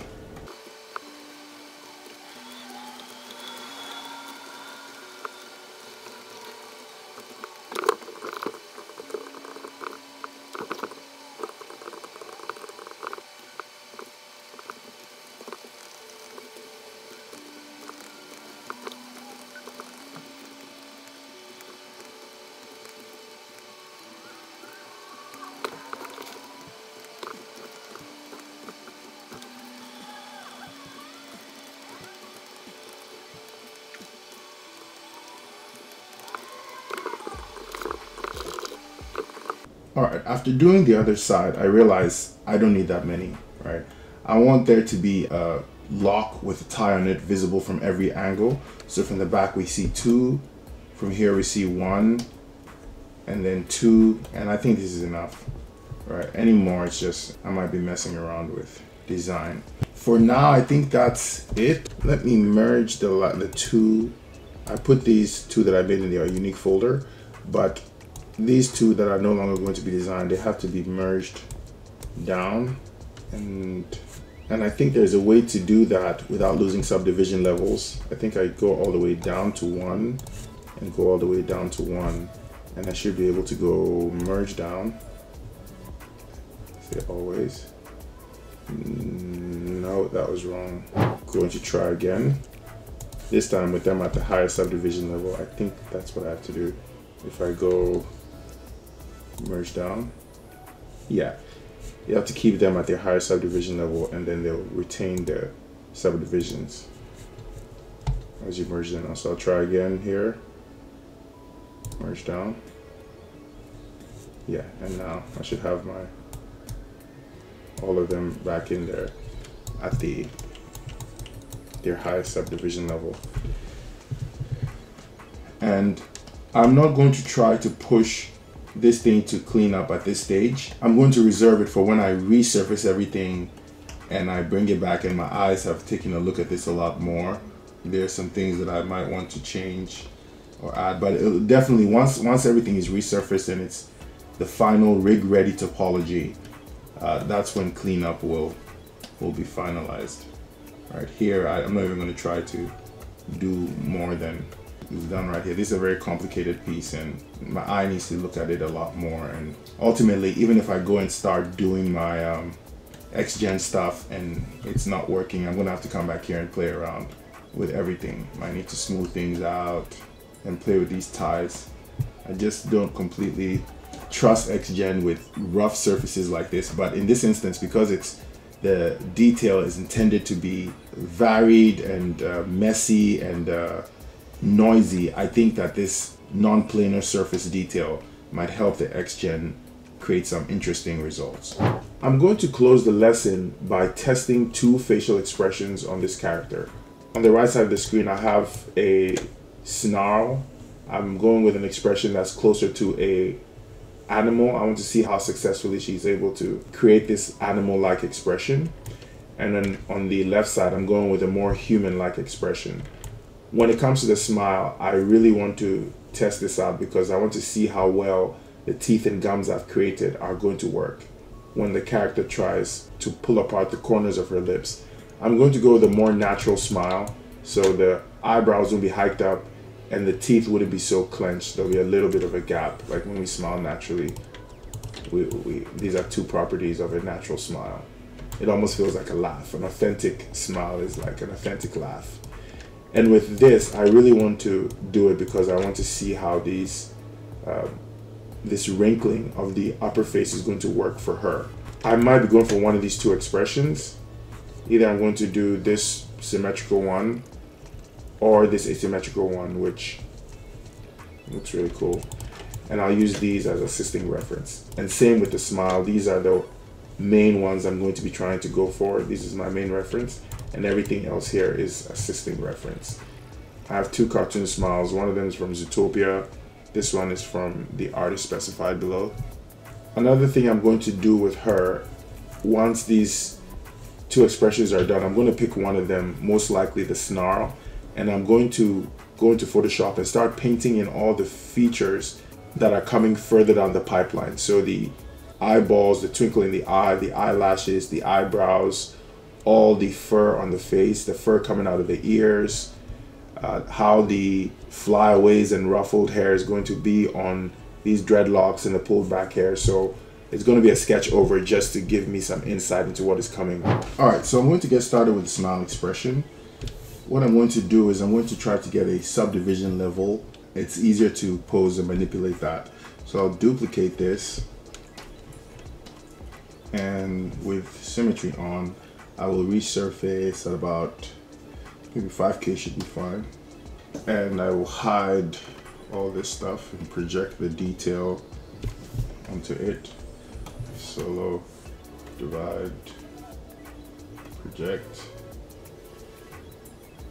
Divide project. That should be enough for what I'm about to try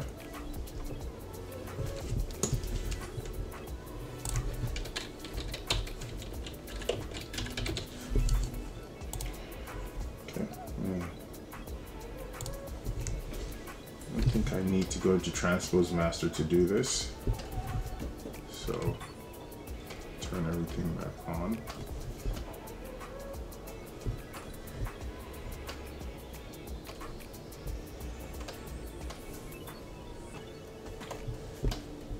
And go to the lowest subdivision level and start posing this smile.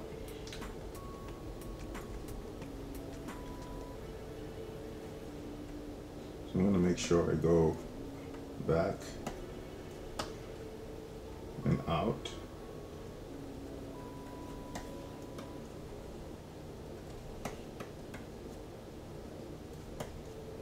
A nice big smile.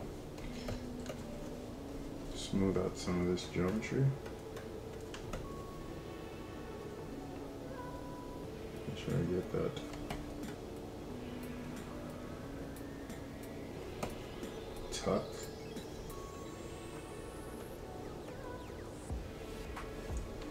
And I'm gonna have to take this up enough just until I start to see the gums.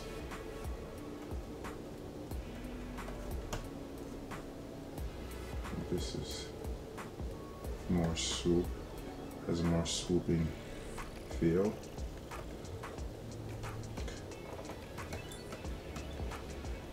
But also with doing this, one thing I'll have to pay, keep track of is the cheeks. When you smile, you do have they, they do swell up.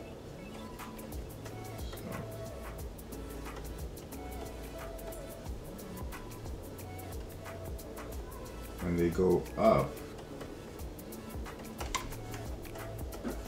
and push the eye a little bit shut. So on a natural smile and looks really uncanny right now, probably because teeth are in the wrong position.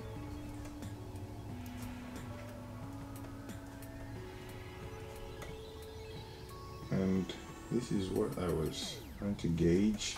Look at the reference, there is a lot of occlusion here. All this is meat, it's cheek meat, so you want to be careful not to um, get too much of that, uh, get the right amount of it.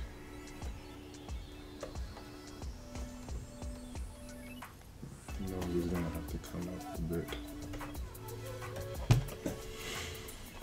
I think the teeth are the correct size. This is primarily what I wanted to see. I might be wrong. I might need to go for bigger teeth. Go up in subdivision level and start putting in some of the details that I need.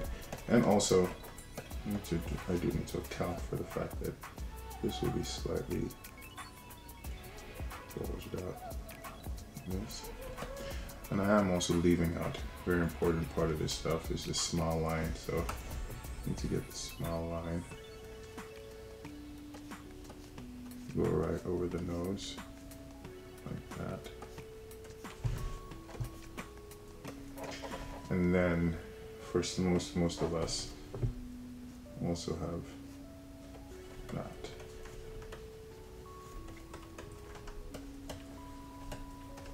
yeah, it's not bad.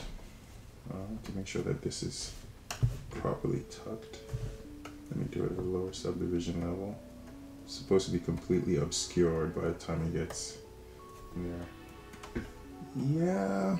Okay, I think the teeth have to be bigger. I'm going to make a copy of them. Make this planar. and also deal with detail here. It needs to be smoothed out.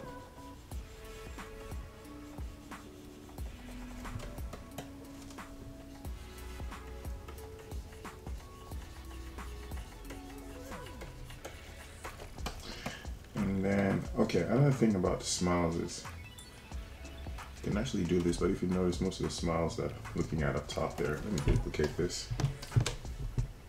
and move this. It's nice when the top is a straight line, like it's close to a straight line. Okay, but then that exposes a lot of teeth. And all that's telling me is that the teeth kind of need to be higher. All right, let me do this and duplicate this folder this is where my teeth and my gums and everything are. And bring them down. We'll call it rename folder. Call it smile fix. And I'm going to go with make sure everything inside here does not have a mask.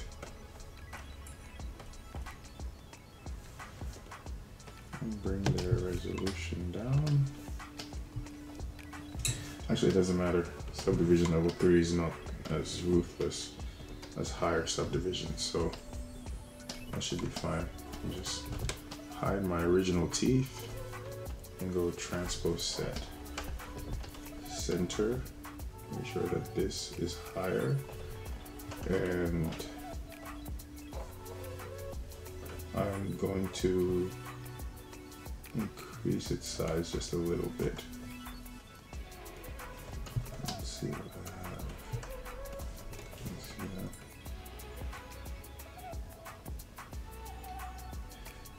Yeah, the size is good, but the, I've increased it too high. Transpose set, so it needs to come down about there, so we see a little bit of the gums, and then you have to move it back.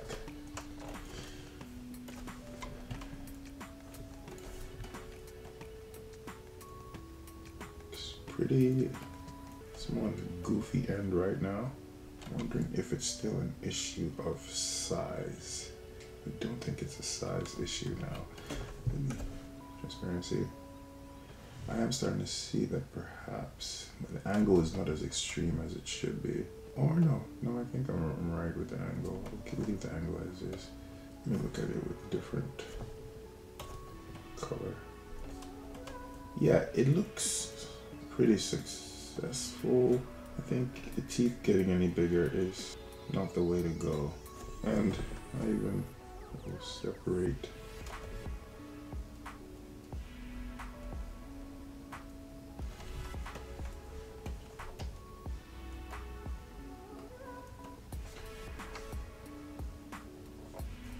Yeah, I think it's I think it's pretty good. It's bad. I think yeah, that's about how much the teeth have to go up to accommodate this expression.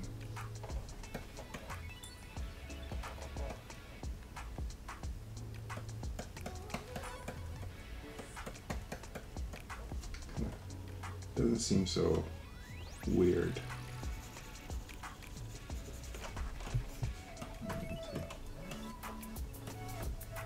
Smooth these cheeks out.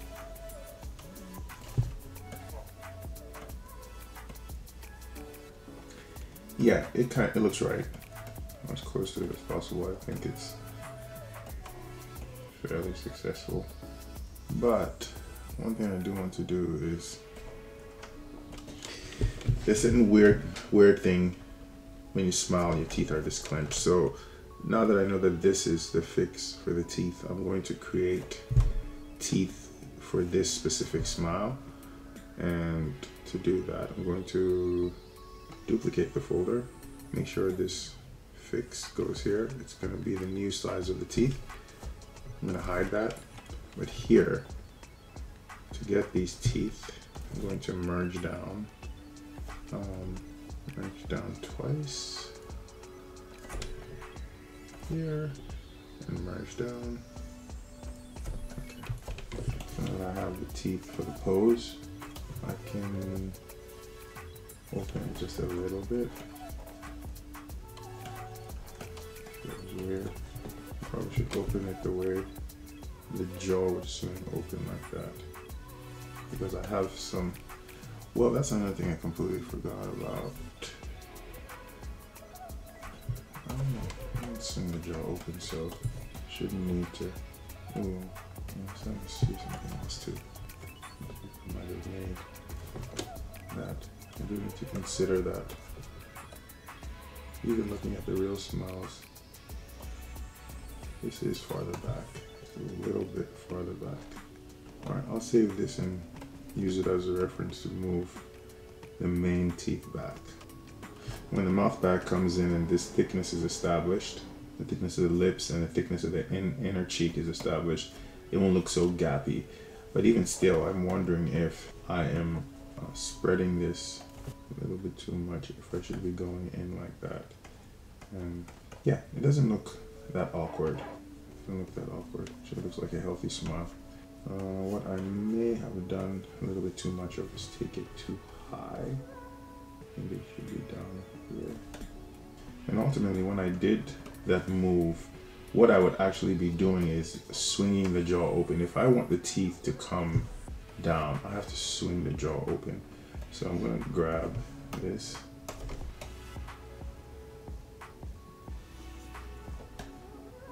Because it's not feeling, it's actually a good, it's not a bad smile at all. Blur the mask and then rotate the jaw from where sort of would be rotated. Yeah, it looks like a very anime-like smile. So let me take this and turn on transparency and sort of go to where about the jaw would swing open and just kind of swing it open just a little bit.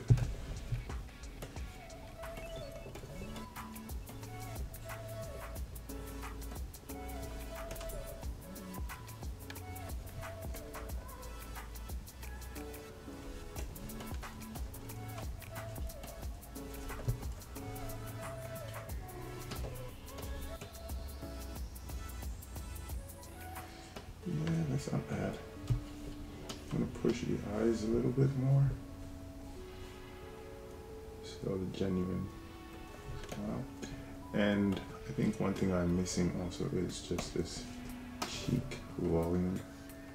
It really is. That is something I'm going to simulate with the morph target. It's just this cheek has to come up. Yeah, that might have been what was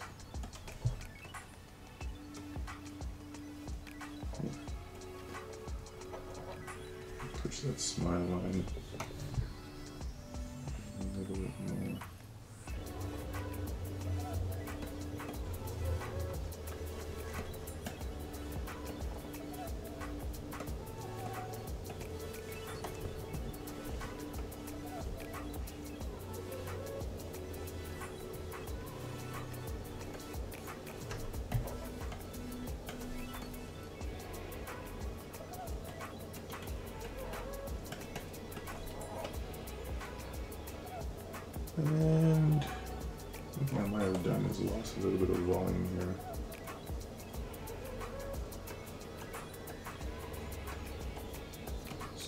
So what came out of this test is that the teeth needed to get bigger and the lower teeth need to be moved back a little bit more. So when we close our mouth, really, I think really does depend on the person, though. Yeah, I think it either, it really does depend on the person. It's weird because when she smiles, there doesn't appear to be an overhang. I didn't know that we had an overhang, which is really weird. I'm an anime version of this. But all these people, I hope these photos weren't edited to put the top teeth always in front of the back teeth. Yeah, I don't think so. I think it depends on, on the, either this these photos have been edited and this is how smiles look attractive when you show more of the top teeth. So there's been some editing done, or just some people have a big over. A lot of people have a lot of overhang up top, but that's something I never really paid attention to. That's weird. Yeah, hers are about lined. Hers are aligned. This appears to be an overhang, and everybody else is anyway this is why the, the, the, teeth have their own control system and i can at animation time move them front back side or whatever so i might just leave the original at the distance it is and whilst i'm posing if i find that i need to simulate that effect i will um, use the control system of the bottom teeth and gums to move it back and forward but i think that's it for the smile so i'm going to move on to the the snarl Just with everywhere else. Good start. It's time to do the uh, the snarl. I've decided to go with a side snarl. I don't care as long as I get to open the mouth and see what it feels like with the mouth open. So I'm going to do this one where I emphasize the creases on just one side. And I have some more images of side snarls to assist me. Yeah, initially I was gonna go with the whole top area, but uh, I don't want to do that. I just this is more cooler expression, more like a has more personality to it than just that. Okay, I'm gonna use this same uh, one, a copy of the subdivision level I created previously, and I'm going to use the teeth from my smile. I don't think it would be a problem, so I'm going to duplicate and get it out of here. Duplicate, get it out of here. So then this will be, yeah, so that's my smile test. And this will be my SNO snarl test. And I'm going to need the tongue for that, this too. So I'll duplicate it.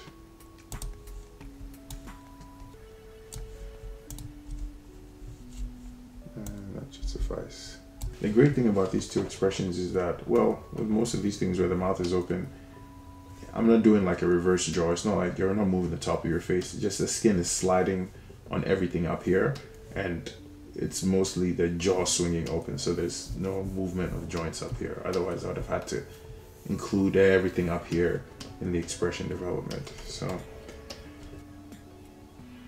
so I'm going to take this and go Z plugin, uh, transpose master, T pose mesh.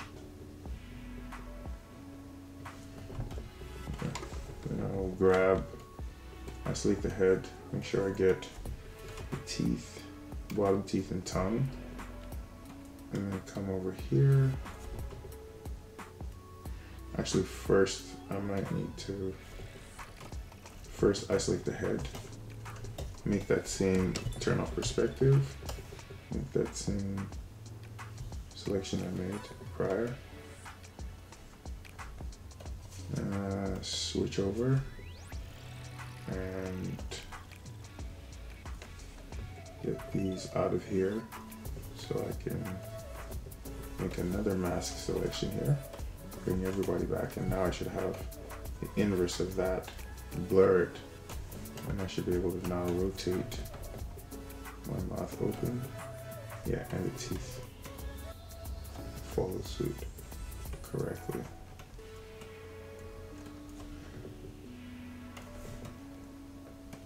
I could continue here, but I think I will T-pose subtract. So I'll go to Z plugin, T-pose subtract to get everything back.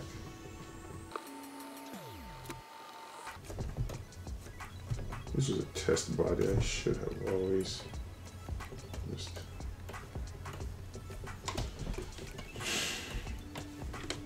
ripped off the bottom half. Okay, so I'm gonna come over here now and start with this side snarl. To turn off symmetry.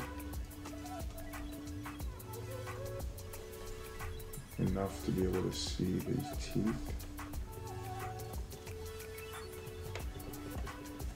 And it won't slide. I have to be very careful because it doesn't have the capacity to slide, move the nose Actually, no. This entire collective will move up. Right? It's sliding. It's sliding the top of the mouth along the teeth, but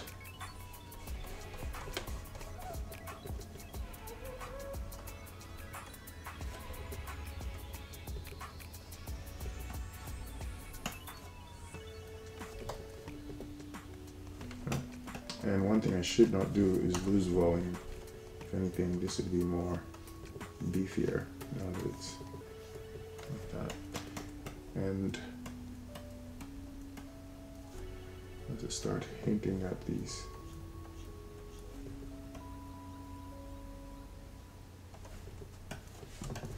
Move this a little bit higher. Foundational creasing. furrow this a little bit. Make sure that I'm getting the correct flow out of the nose.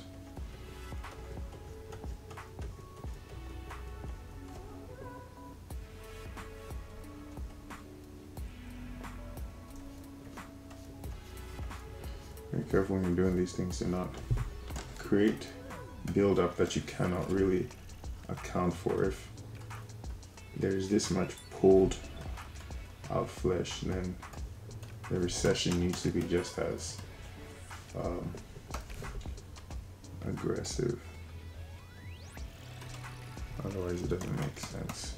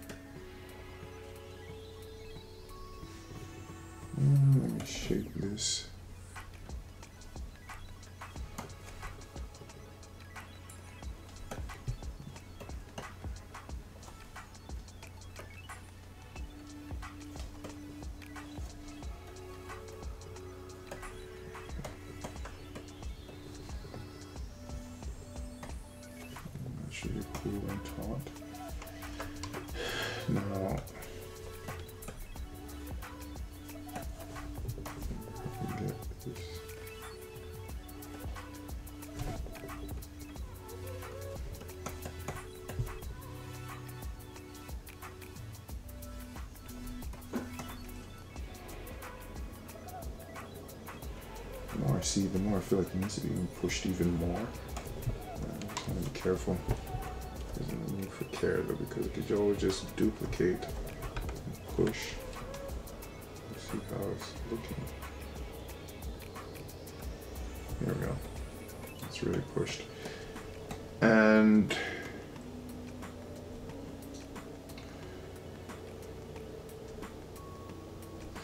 yeah, I feel like these this mouth really needs to be pushed. Like should really be pushing it. At animation time I won't be pushing it this far. So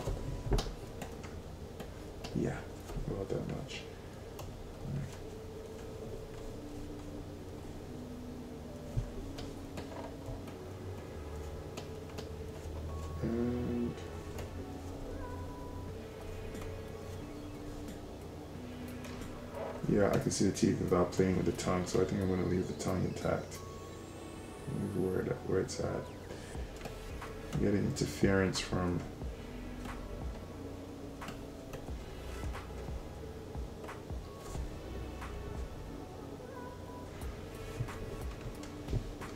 Actually, I do want to do something with the tongue because it appears to be penetrating the teeth.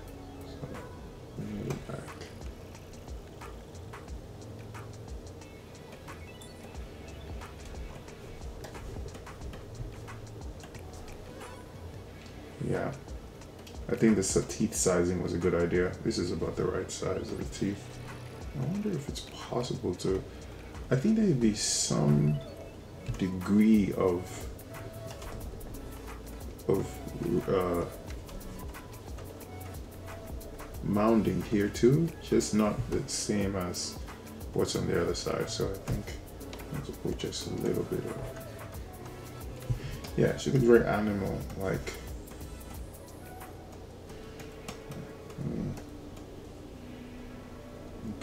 The intensity of this fold because it's closer to the point of uh, the source of all this creasing. So like I did a horrible job with um, yeah, like here, if you were to do this, this is really tight. So I think this should be like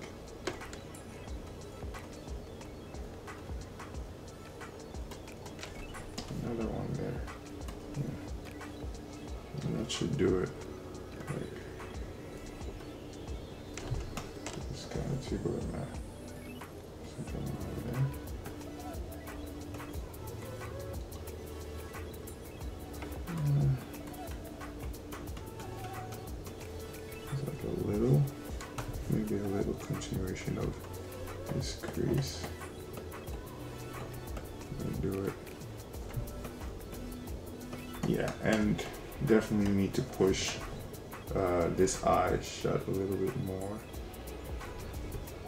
I also don't think you can get away with, well, it's fine. This adds a little bit of asymmetry. Alright, so that's it for here. I think this face design is not bad. It's going to make for some interesting animation, interesting morph targets.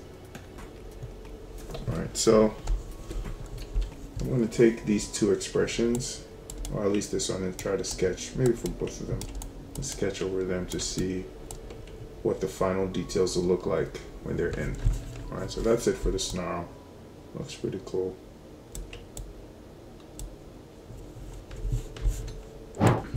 Okay, so I'm in Photoshop now, and I'm going to do a quick paint over to try to visualize some of the stuff that is coming down the chain.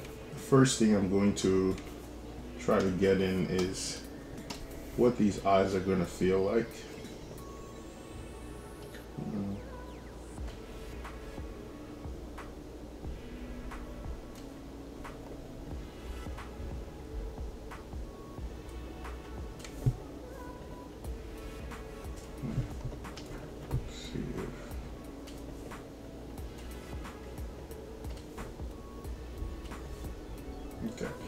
So this is gonna be the, next I'm gonna make the brush really thin and start seeing what some of this, are actually, yeah, let's start seeing what the fur is gonna feel like as it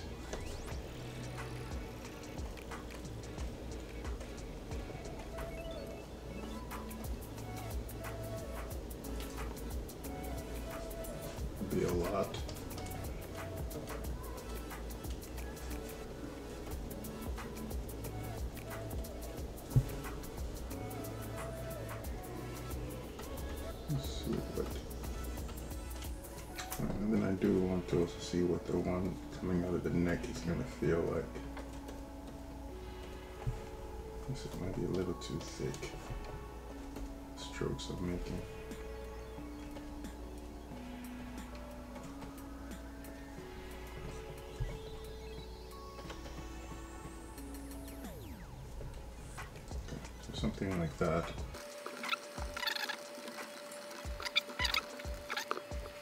this stuff in here.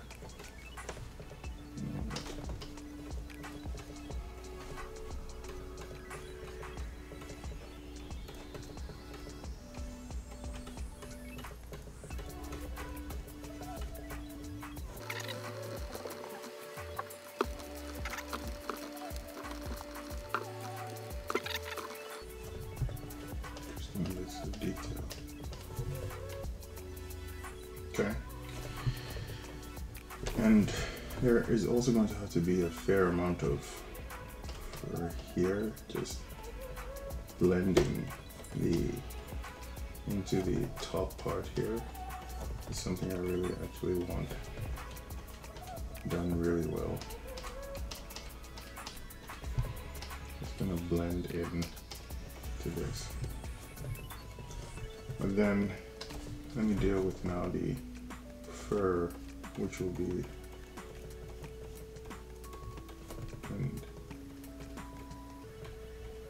the flyaway hairs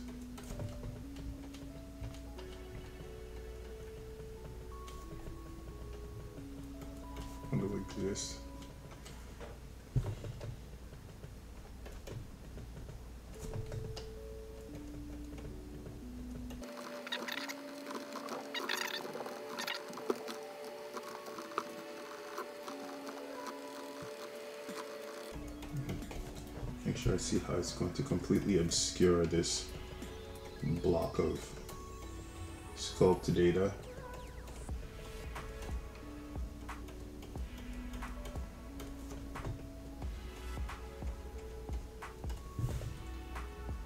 So it'll look cool. Just gotta be careful to make sure it doesn't look too messy and scruffy. So these ones, I gotta be careful with them. Might need to be super light.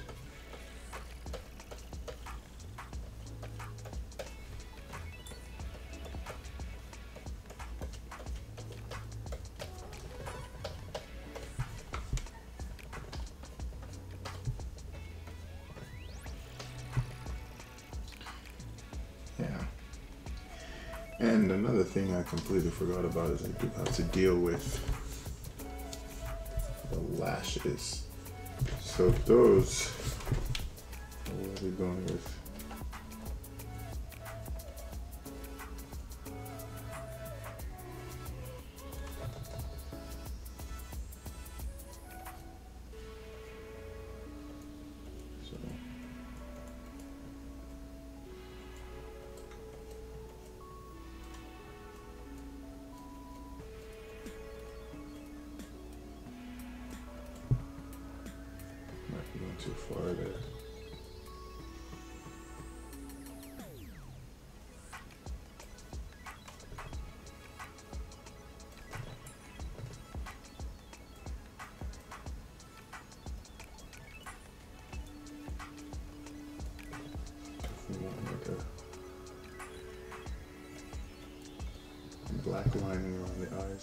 Helps.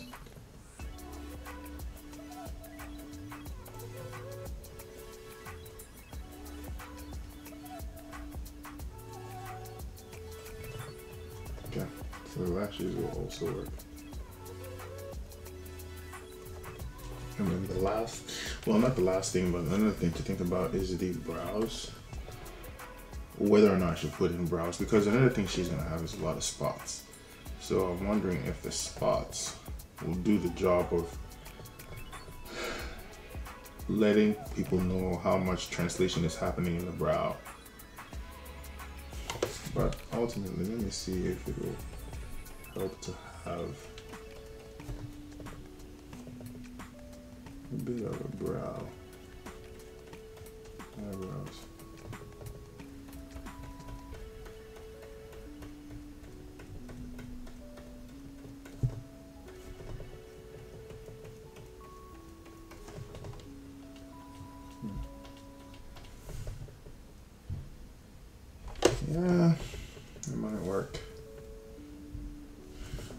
Last thing I want to overlay, this one I'm going to overlay with a multiply.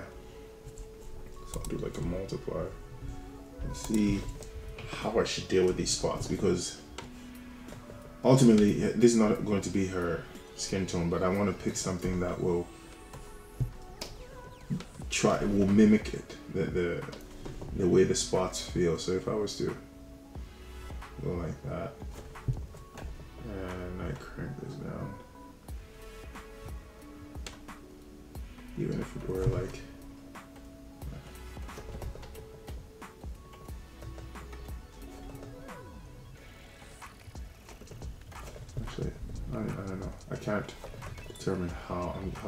how light I'm gonna make those spots. So I need to see what they feel like at their darkest.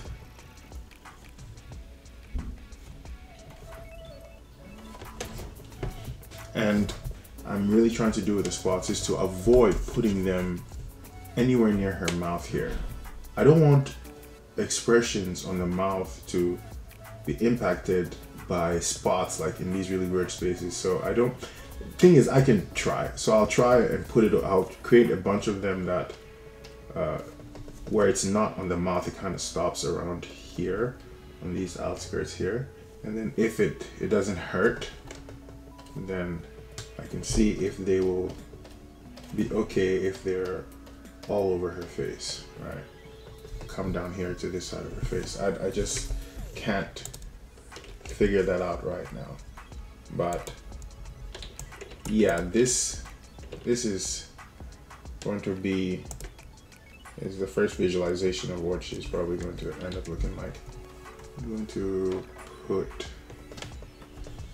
grab a white brush and set it to an overlay. Should yeah, and then I should to shade her teeth just to be brighter. So I see what's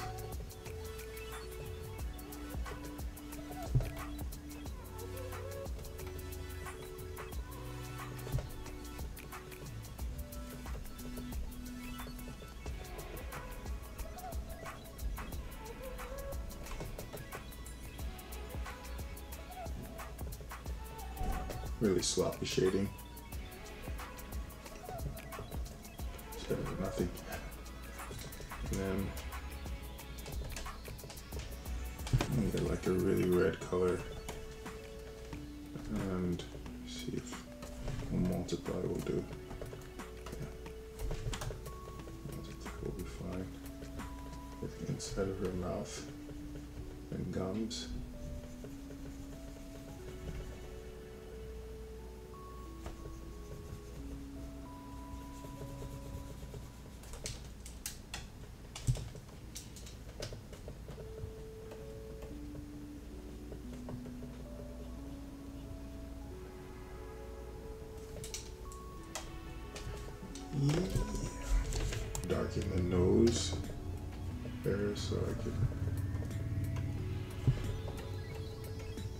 Continue to get this visual.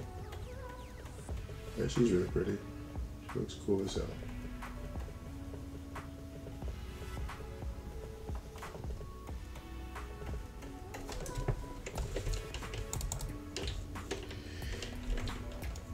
Yeah, it's kind of interesting might make these uh, I'll get to control with XGen how this flyaways how these flies are gonna look and probably change them for different animations to get different things